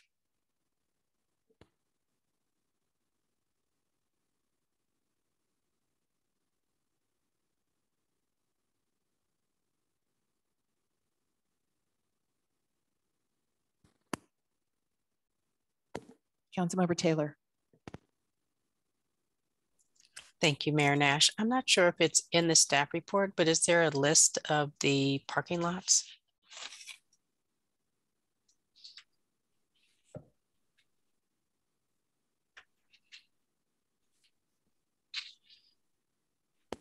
Looking for staff information. I don't have it at my fingertips. Thank you. So Thank you, Mayor Nash. So the, excuse me, the parking lots are listed in these, um, let me find the page for you. It is on page seven twenty of, of the document. And those um, are listings of the various parking lots, both private and public. And that's PDF page 289.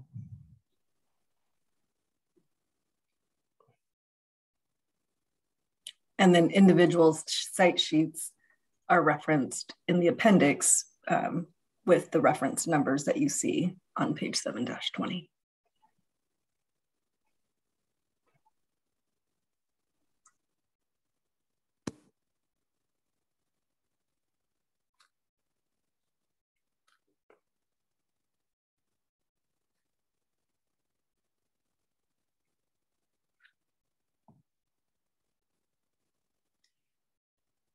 So I will go ahead and just state, um, I think the parking lots are a prime opportunity to build affordable housing and we should um, maximize it.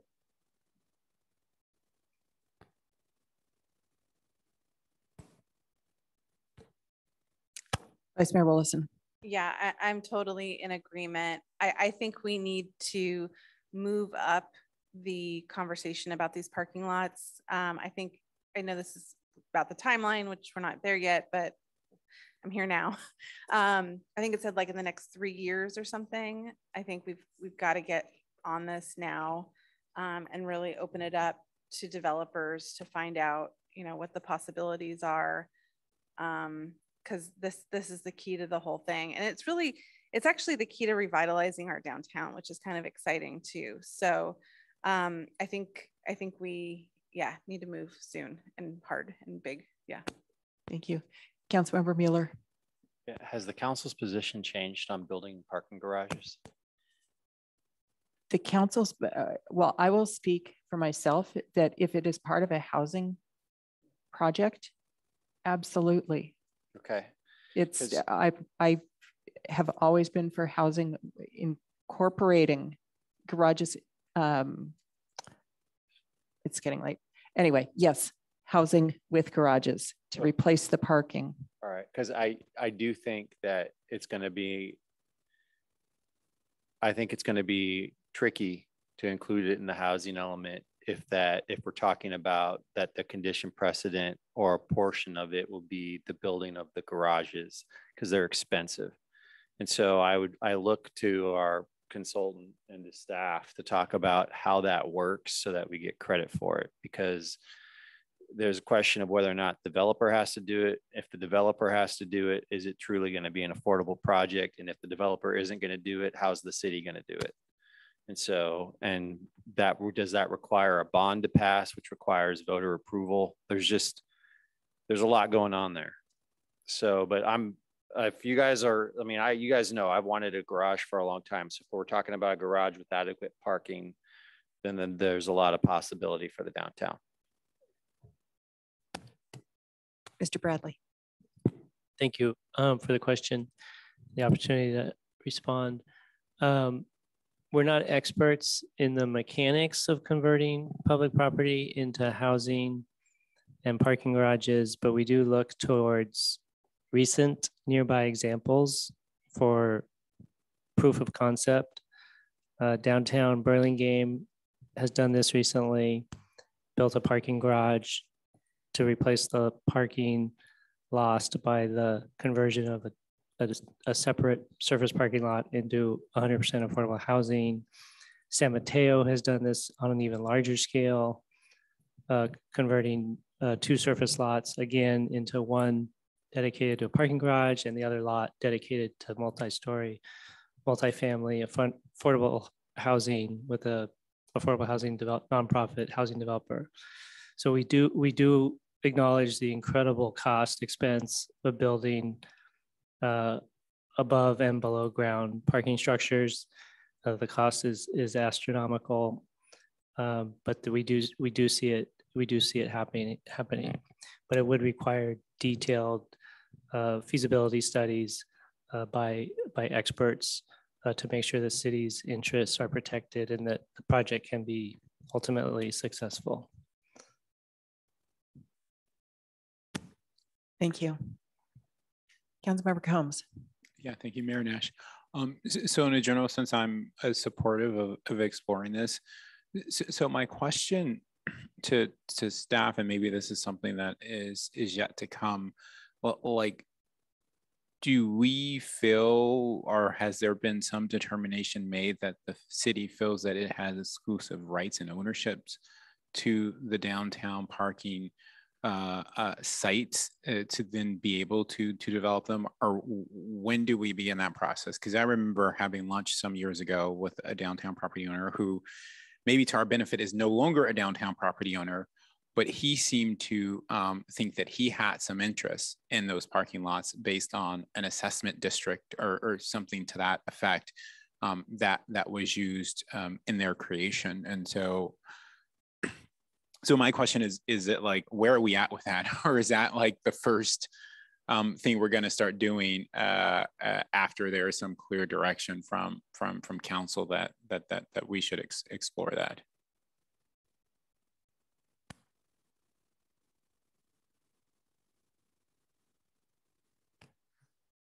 Uh, let's see. So I, I, can take the the first stab. Uh, my general understanding is the um, uh, city owns the, the majority of the eight parking plazas downtown. There's two that have a combination of private and public ownership. One is uh, the one with the Draeger's, which is Plaza Four, and the other is um, Plaza Six, that includes uh, Wells Fargo. So those are two where it's clear that there are private property owners that own a portion of the public plaza from the uh, person who's parking in this in in the lots. It's indistinguishable where the property lines are. So it definitely uh, appears public but so there's those two lots. So those two parking plazas aside the city um, every piece of documentation that we have come across indicates that the city owns them but it was acquired through the assessment district so it's a matter that i think the issue at hand is how the city goes about um, repurposing the lots for non-parking uses in the future. And that's where there's some details that the city will need to work through as part of this process. There may be a difference between if the city wants to actually sell the land versus whether or not the city wants to retain a ground lease. So some of those yeah. mechanics um, definitely um, need to be uh, worked out. But in terms of actual ownership, all indications are the, the city owns them and the city has uh, uh, certain rights. And and so, but but again, you you mentioned the assessment district that that property owners paid into, correct? Correct. Right. And yeah. and so, have we? Is even a part of this process that we're going to go and check with those property owners and see because it's one thing to say that like every documentation sh shows that like the city owns it and, and can um, you know exploit it to the extent it, it thinks appropriate.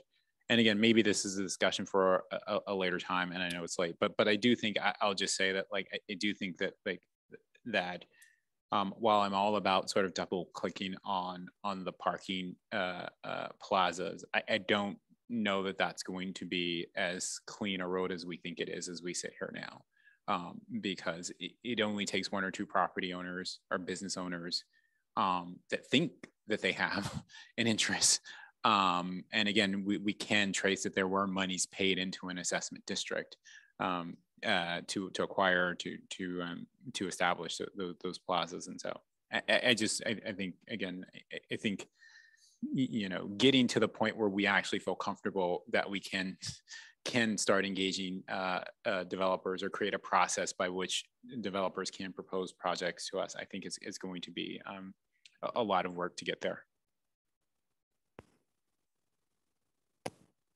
Councilmember Taylor. Thank you, Mayor Nash. And, and I agree with Councilmember Combs. And is it possible to just take those two parcels off and look at the six?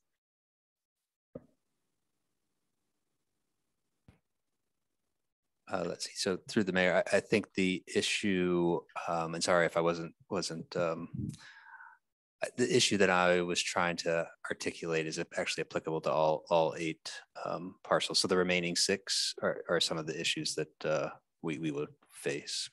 So um, the, the the two are probably more complicated, but the other six still have some complications. Thank you.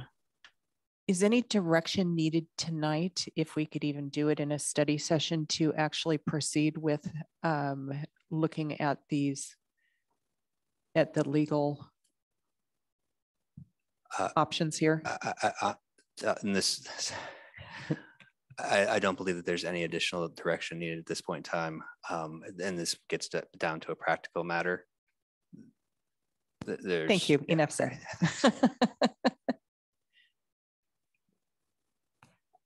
Okay, other items that um, people are interested in discussing about the sites? Councilmember Combs. Well, one of the public comments, and Mr. Bradley, I don't know if you recall, mentioned a motel on El Camino.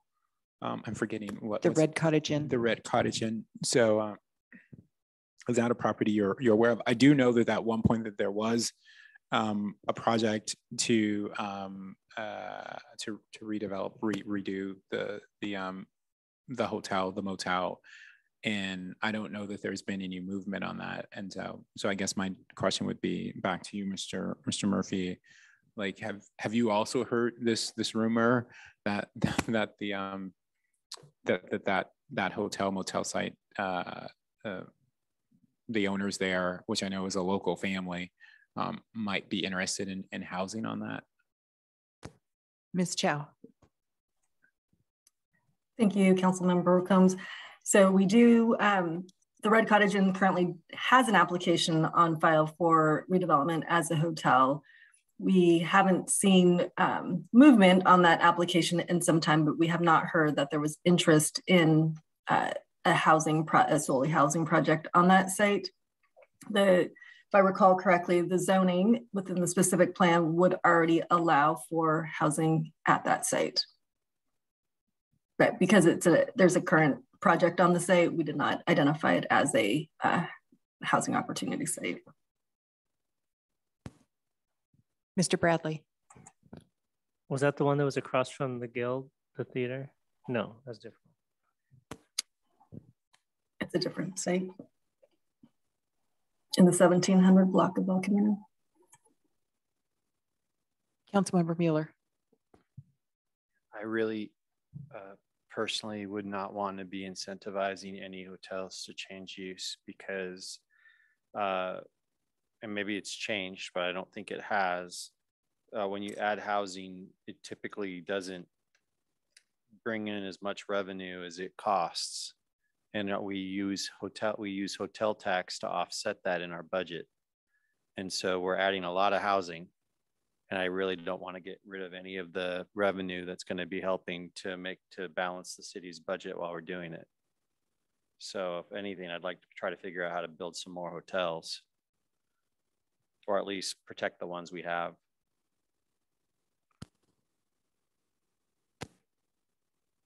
Thank you. With that, I think let's move into the policy portion. And any, actually, first of all, can we take a vote to proceed past 11 o'clock?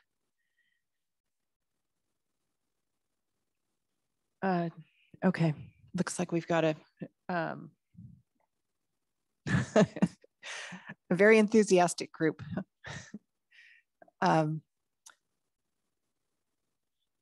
I guess on the policies, I will just jump in as far as on the downtown specific plan. Um, I'd like to better understand, and I don't have the page in front of me. Um, there was something about minimum residential requirements, and I wanted to better understand that. Um,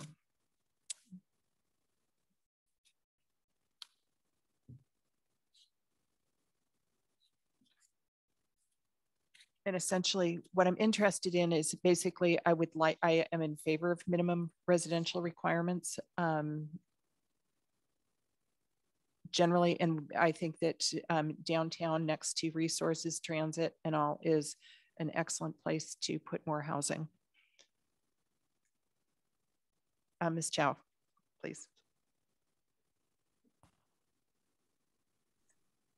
Thank you. So the idea that right now the specific plan does not contain minimum densities. And so sometimes if there's a range between say like zero and, and 40 dwelling units fee acre, someone could, uh, a potential applicant could come in with a, a 10 unit to the acre project. And what we're really trying to do is uh, maximize uh, our uh, housing production and looking at establishing minimum densities. So providing um, uh, better utilization of the land, especially with uh, square footage. So sometimes we see fewer units with larger sizes. And so potentially establishing a minimum and creating uh, a sort of a, a, sliding scale of the square footage as well. So we did something similar with our um, RMU zoning district in the um, Bayfront area where in order to um, utilize your maximum square footage, you needed to increase the density. So those are some of the options that we're looking to explore in the specific plan as well.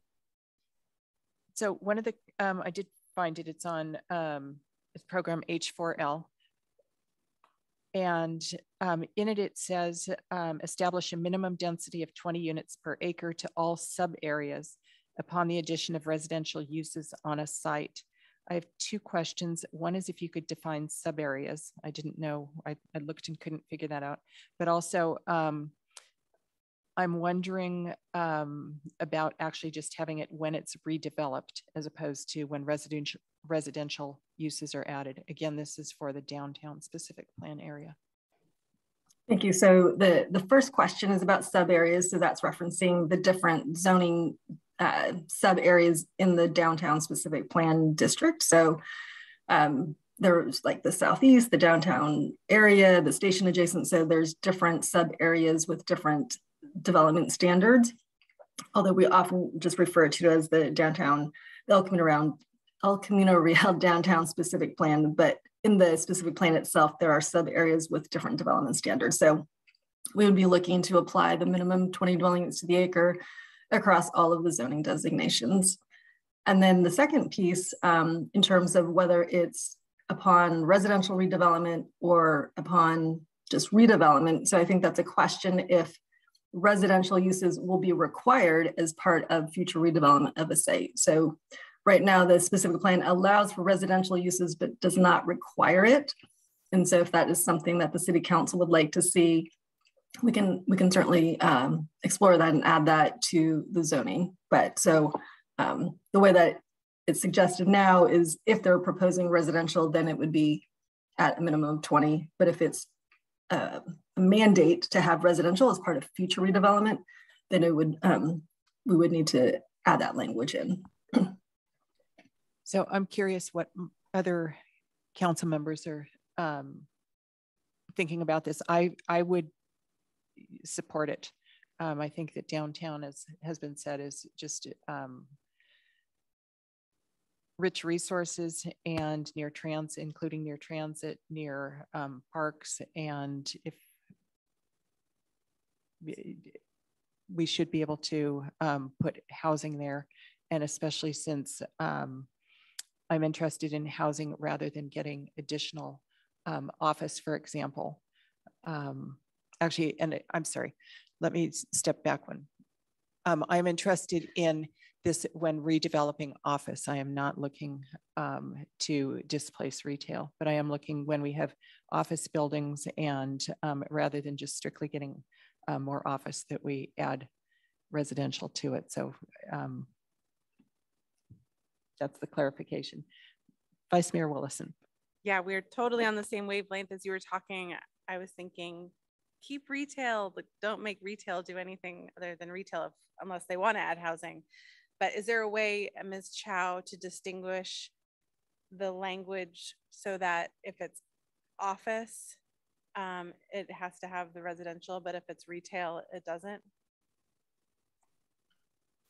So for clarification, are you looking at existing uses of office or if they redevelop with office, it must contain residential?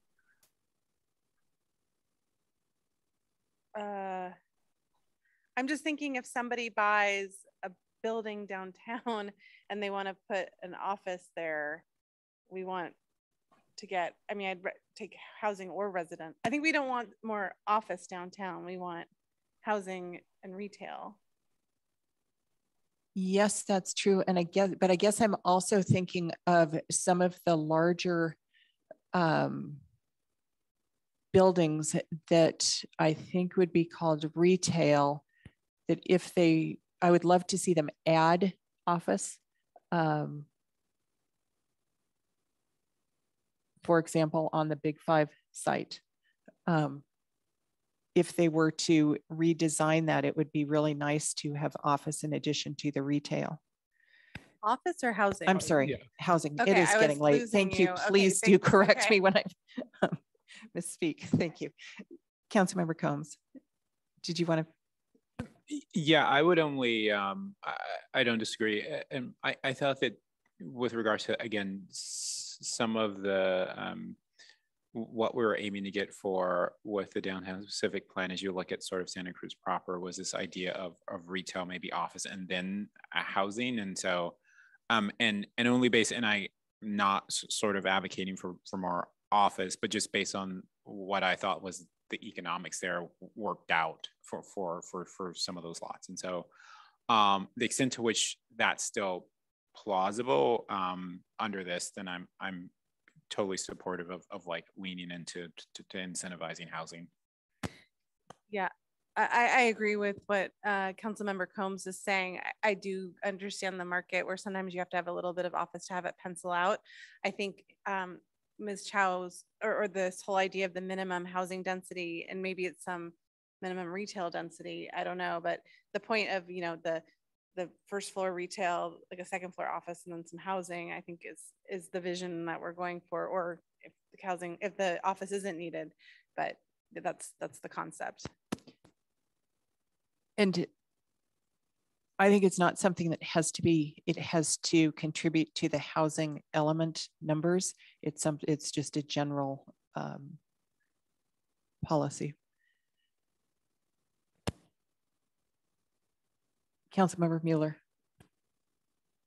Yeah, I just, I know that, um, that it's really in vogue right now to complain about housing, I mean, complain, complain about office because of the housing office, uh, balance, but there's different types of office. And, uh, in my time on council, there was a time when we were really concerned and, and many are still concerned that class one A office at small uh, at small sizes disappeared, made it very difficult for new businesses to start and new uh, and uh, new companies to start in this area, and that that's long term going to be a tremendous problem for us. So I just um, I think if we're going to be honest about what causes the jobs housing balance, it's not some office added to our downtown. It's the giant office campuses that are being built and that what we're really trying to achieve in all this is a good mix uh, of of type. And so um, I do think we need to figure out, and to the extent that downtown hasn't seen uh, housing be built in the specific plan as we expected, or even the retail that we wanted, for years we've been told it's because we don't have the proper parking require parking uh, available to make it work. So I just uh, so I do want to encourage, uh, I do want to encourage obviously housing, but I don't, I don't necessarily think all office is bad. And I do think that it's going to come down to, again, the parking garage and what we do uh, with respect to parking downtown if we really want to make it all, all, all work correctly. Thank you. Any other comments on the policies or programs? Vice Mayor Wolosin.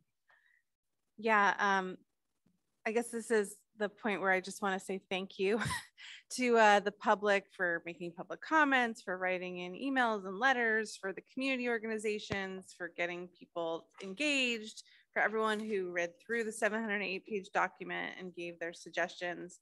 I think our earlier conversations about the likelihood of sites developing and the feasibility of these sites actually coming to fruition really um, make the case for us needing the strong policies and programs to complement the site selection that we have. And so um, I know there were a lot of suggestions that came in um, from different community members. Um, I'd particularly want us, and I don't know if this is something that you'll be doing, you know, what type of parking requirements, um, affordable housing incentives, you know, is our 100 unit an acre AHO, you know, high enough, dare I ask? Um, ministerial review, I know Ms. Chow said we're considering that, um, potentially increasing other forms of density, um, our BMR guidelines. Um, MidPen talked about the TIA guidelines, which is one of my favorite topics, and about how studying LOS might add to major delay and cost uh, of the environmental, it's not part of the EIR, but it's part of the review process. So whether we want to remove that constraint, um, a lot of really great ideas came out.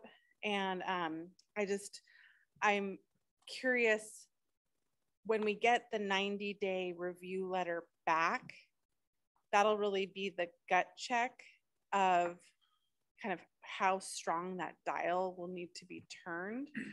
Um, and so I just want to, I'm hoping that there'll be an opportunity, and I'm asking for an opportunity between the return of the 90 day letter and the final submission to HCD that council has another opportunity to look at the feedback we received and then to look again at the policies.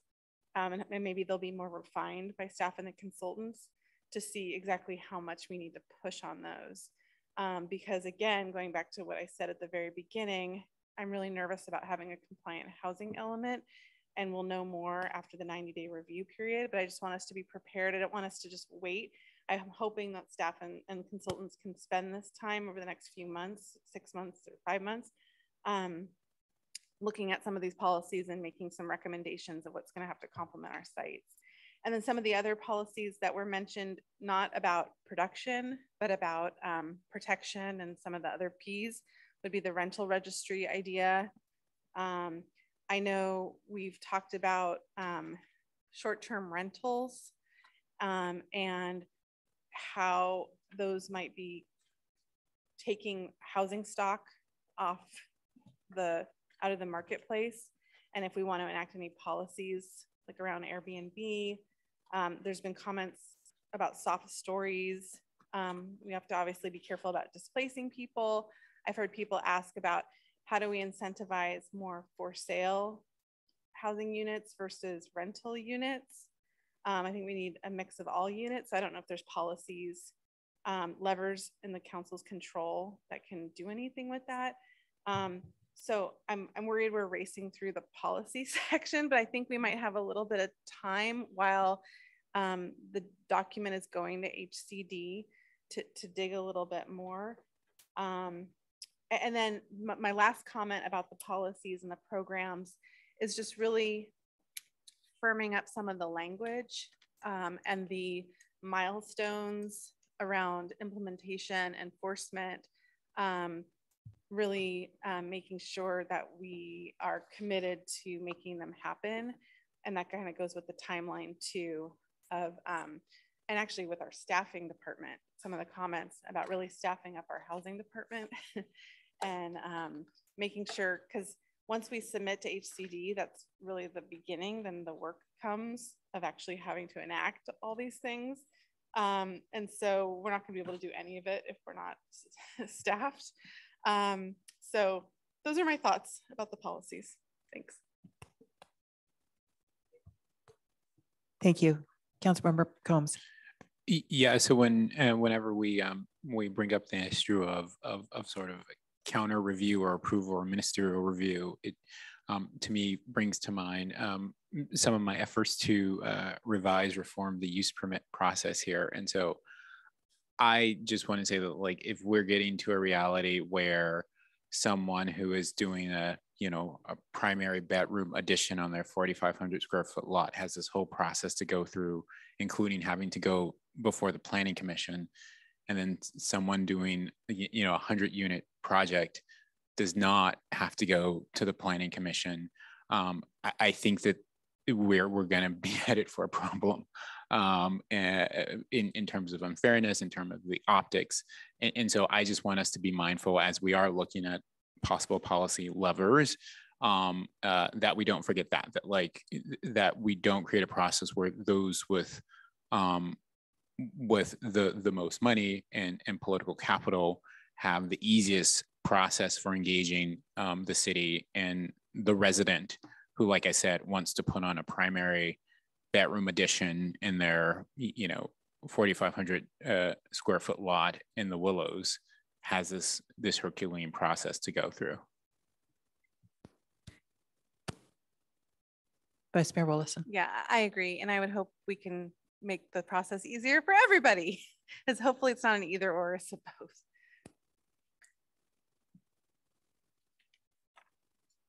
I would just um, like to add an interest in the anti-displacement strategy and of all the items that were brought forward by the um, Joint Planning Commission and Housing Commission study session um, that were on page C 1.2 um, of our staff report. The one that really stands out to me is the anti-displacement strategy. Um, as far as if we can push that ahead, and I know that we've um, got staffing challenges at this point to say the um, and so just um, I'll leave it. Well, actually, the uh, the one other thing that I'll put forward is the rent protections. Um, but realizing that everything's a trade-off, and so we need to make take that into account. Thank you. Um, may I ask a question? Um, you might not know the answer, but this is following up, it was hours ago on MPCSD's concern about the language change of the policy of working with the school district. Um, I think I understand why the language was changed, but I, what I don't understand is materially how it's different. Because my sense is our staff and our council and everyone is going to be working with and consulting with the school district. So um, maybe it's a question for staff, but materially, how does that changing that language impact how we interact or consider mitigations to the school district? Because I know our hands are tied in a lot of ways about how we're allowed to do that. So I want to be sympathetic to the school district. I also know our charge up here is to make housing development easier. But again, at the end of the day, I'm not even sure what the difference is between the two. Yeah, I, I reviewed the existing element and the draft element, and I couldn't, I couldn't pinpoint it tonight. Um, if, if there's anyone else on the team that could speak to that.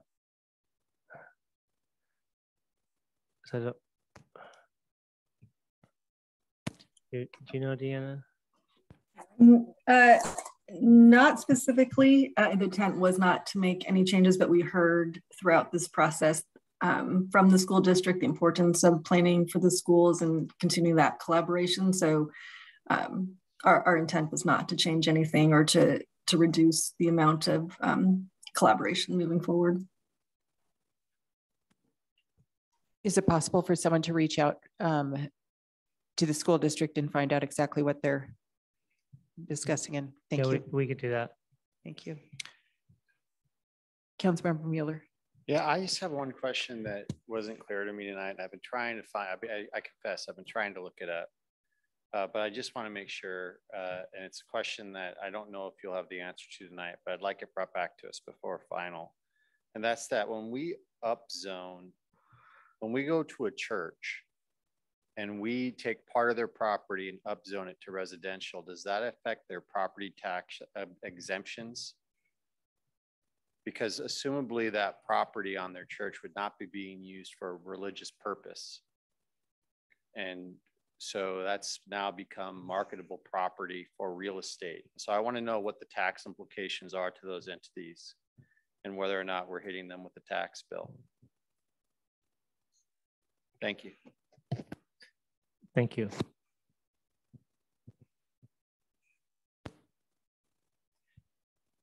Councilmember Taylor, did you have any comments? Yes, thank you, Mayor Nash. I, I have a question on page um, C 1.69, um, and that is this is the timeline where items will be implemented.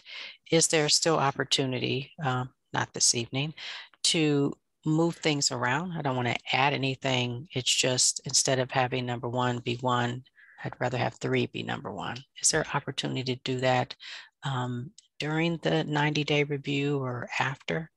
Or would that have to be this evening? Uh, we could we could do it now. Um, we could make changes during or after the 90 day review. We just have to be careful that um, we didn't make something slower that HCD had already seen as going mm. faster. Should be be better if it was in the other direction. Oh, oh, that makes sense. And I'm asked, go ahead.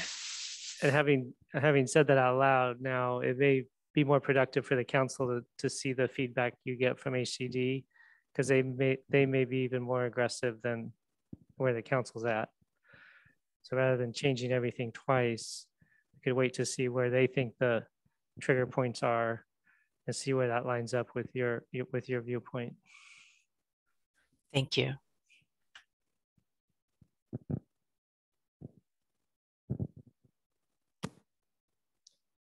Not seeing any more comments up here. What um, additional information, if any, does staff need to keep going? Um, and thank you so much to all staff members for all the incredible work that's gone into this. And it's and sticking with us tonight and the other all the other meetings. Thank you. So is there something additional that is needed? Anything else, Deanna or Sung, that um, you wanted to get covered that we didn't we didn't get a chance to?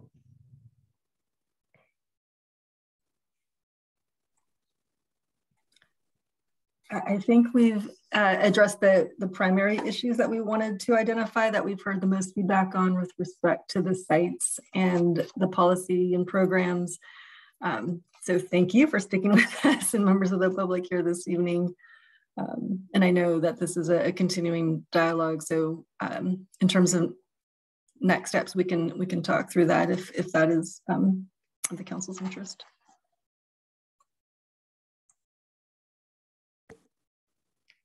Thank you.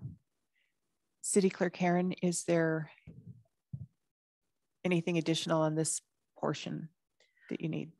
Um, I believe I am clear on the direction, the discussion, and the clarification received tonight on the study session.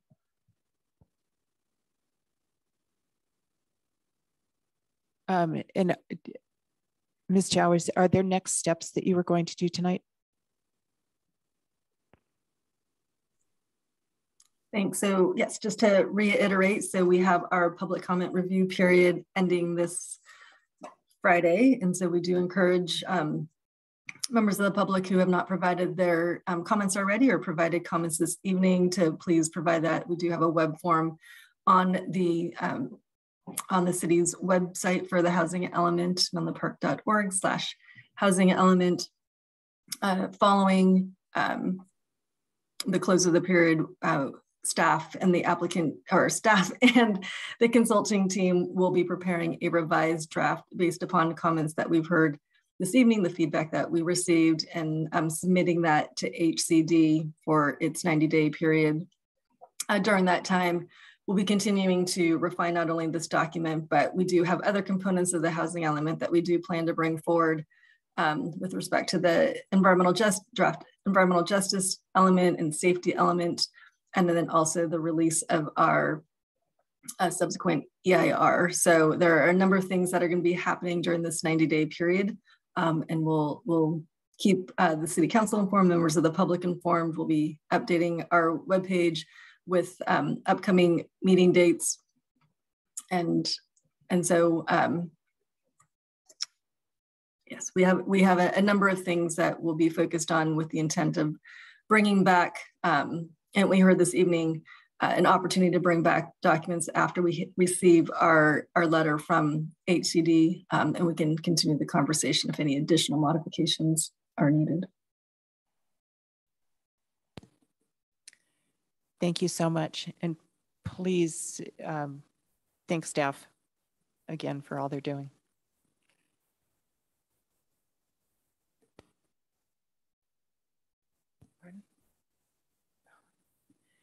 Ms. Taylor, uh, Councilmember Taylor. Thank you, Mayor Nash. When I, I made a comment uh, a few moments ago, I did not um, say that I support uh, having a anti-displacement strategy come to the council or come sooner um, as a program. Thank you.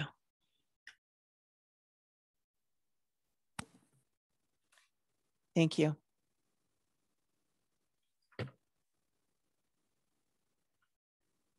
So at this point, we are going to um, continue items um, D1 and D2, and we will proceed with closed session for D3. Um, City Clerk Herren, could you please call for public comment on closed session item D3? Yes, and um, actually, if I may just check in with our city attorney, can I open public comment for all three items? They were all agendized, or am I only taking it on D3? You can do for all of them. That's Thank you. fine. Perfect. Okay, so if any member of the public wishes to speak on our closed session items, D1, closed session for public employment title city manager. Item D2, public employment evaluation for interim city manager, or item D3, public employment evaluation of the city attorney. Please engage that hand feature in the bottom of your screen. If you're calling in from a landline or a cell phone, please press star nine now. Final call for public comment on our closed session items, D1 through D3. And our first speaker will be Pamela Jones. And Pam, if you could let me know uh, which item you are speaking on, that would be super helpful. Thanks. Uh, yes, thank you. Um, City Attorney, and um, the reason that, I, that I'm speaking on this one is I don't, um, I would like to have the same process, uh, the same information with our previous attorney that is being required publicly now on our current attorney. Um, and I'm not sure if, if that means I need to do a public um, records request. I, you know, I don't know how to proceed on that. But since the topic is now up, um, I think we need to look over the last, actually probably the last um, 12 years. Thank you. Thank you for your comment. So this will be the final call for public comment on our information items D1 through D3. Seeing no hands, Mayor Nash may continue. Thank you. The City Council re will report out any action from tonight's closed session at the June 14th City Council meeting. And with that, we will adjourn. Thank you.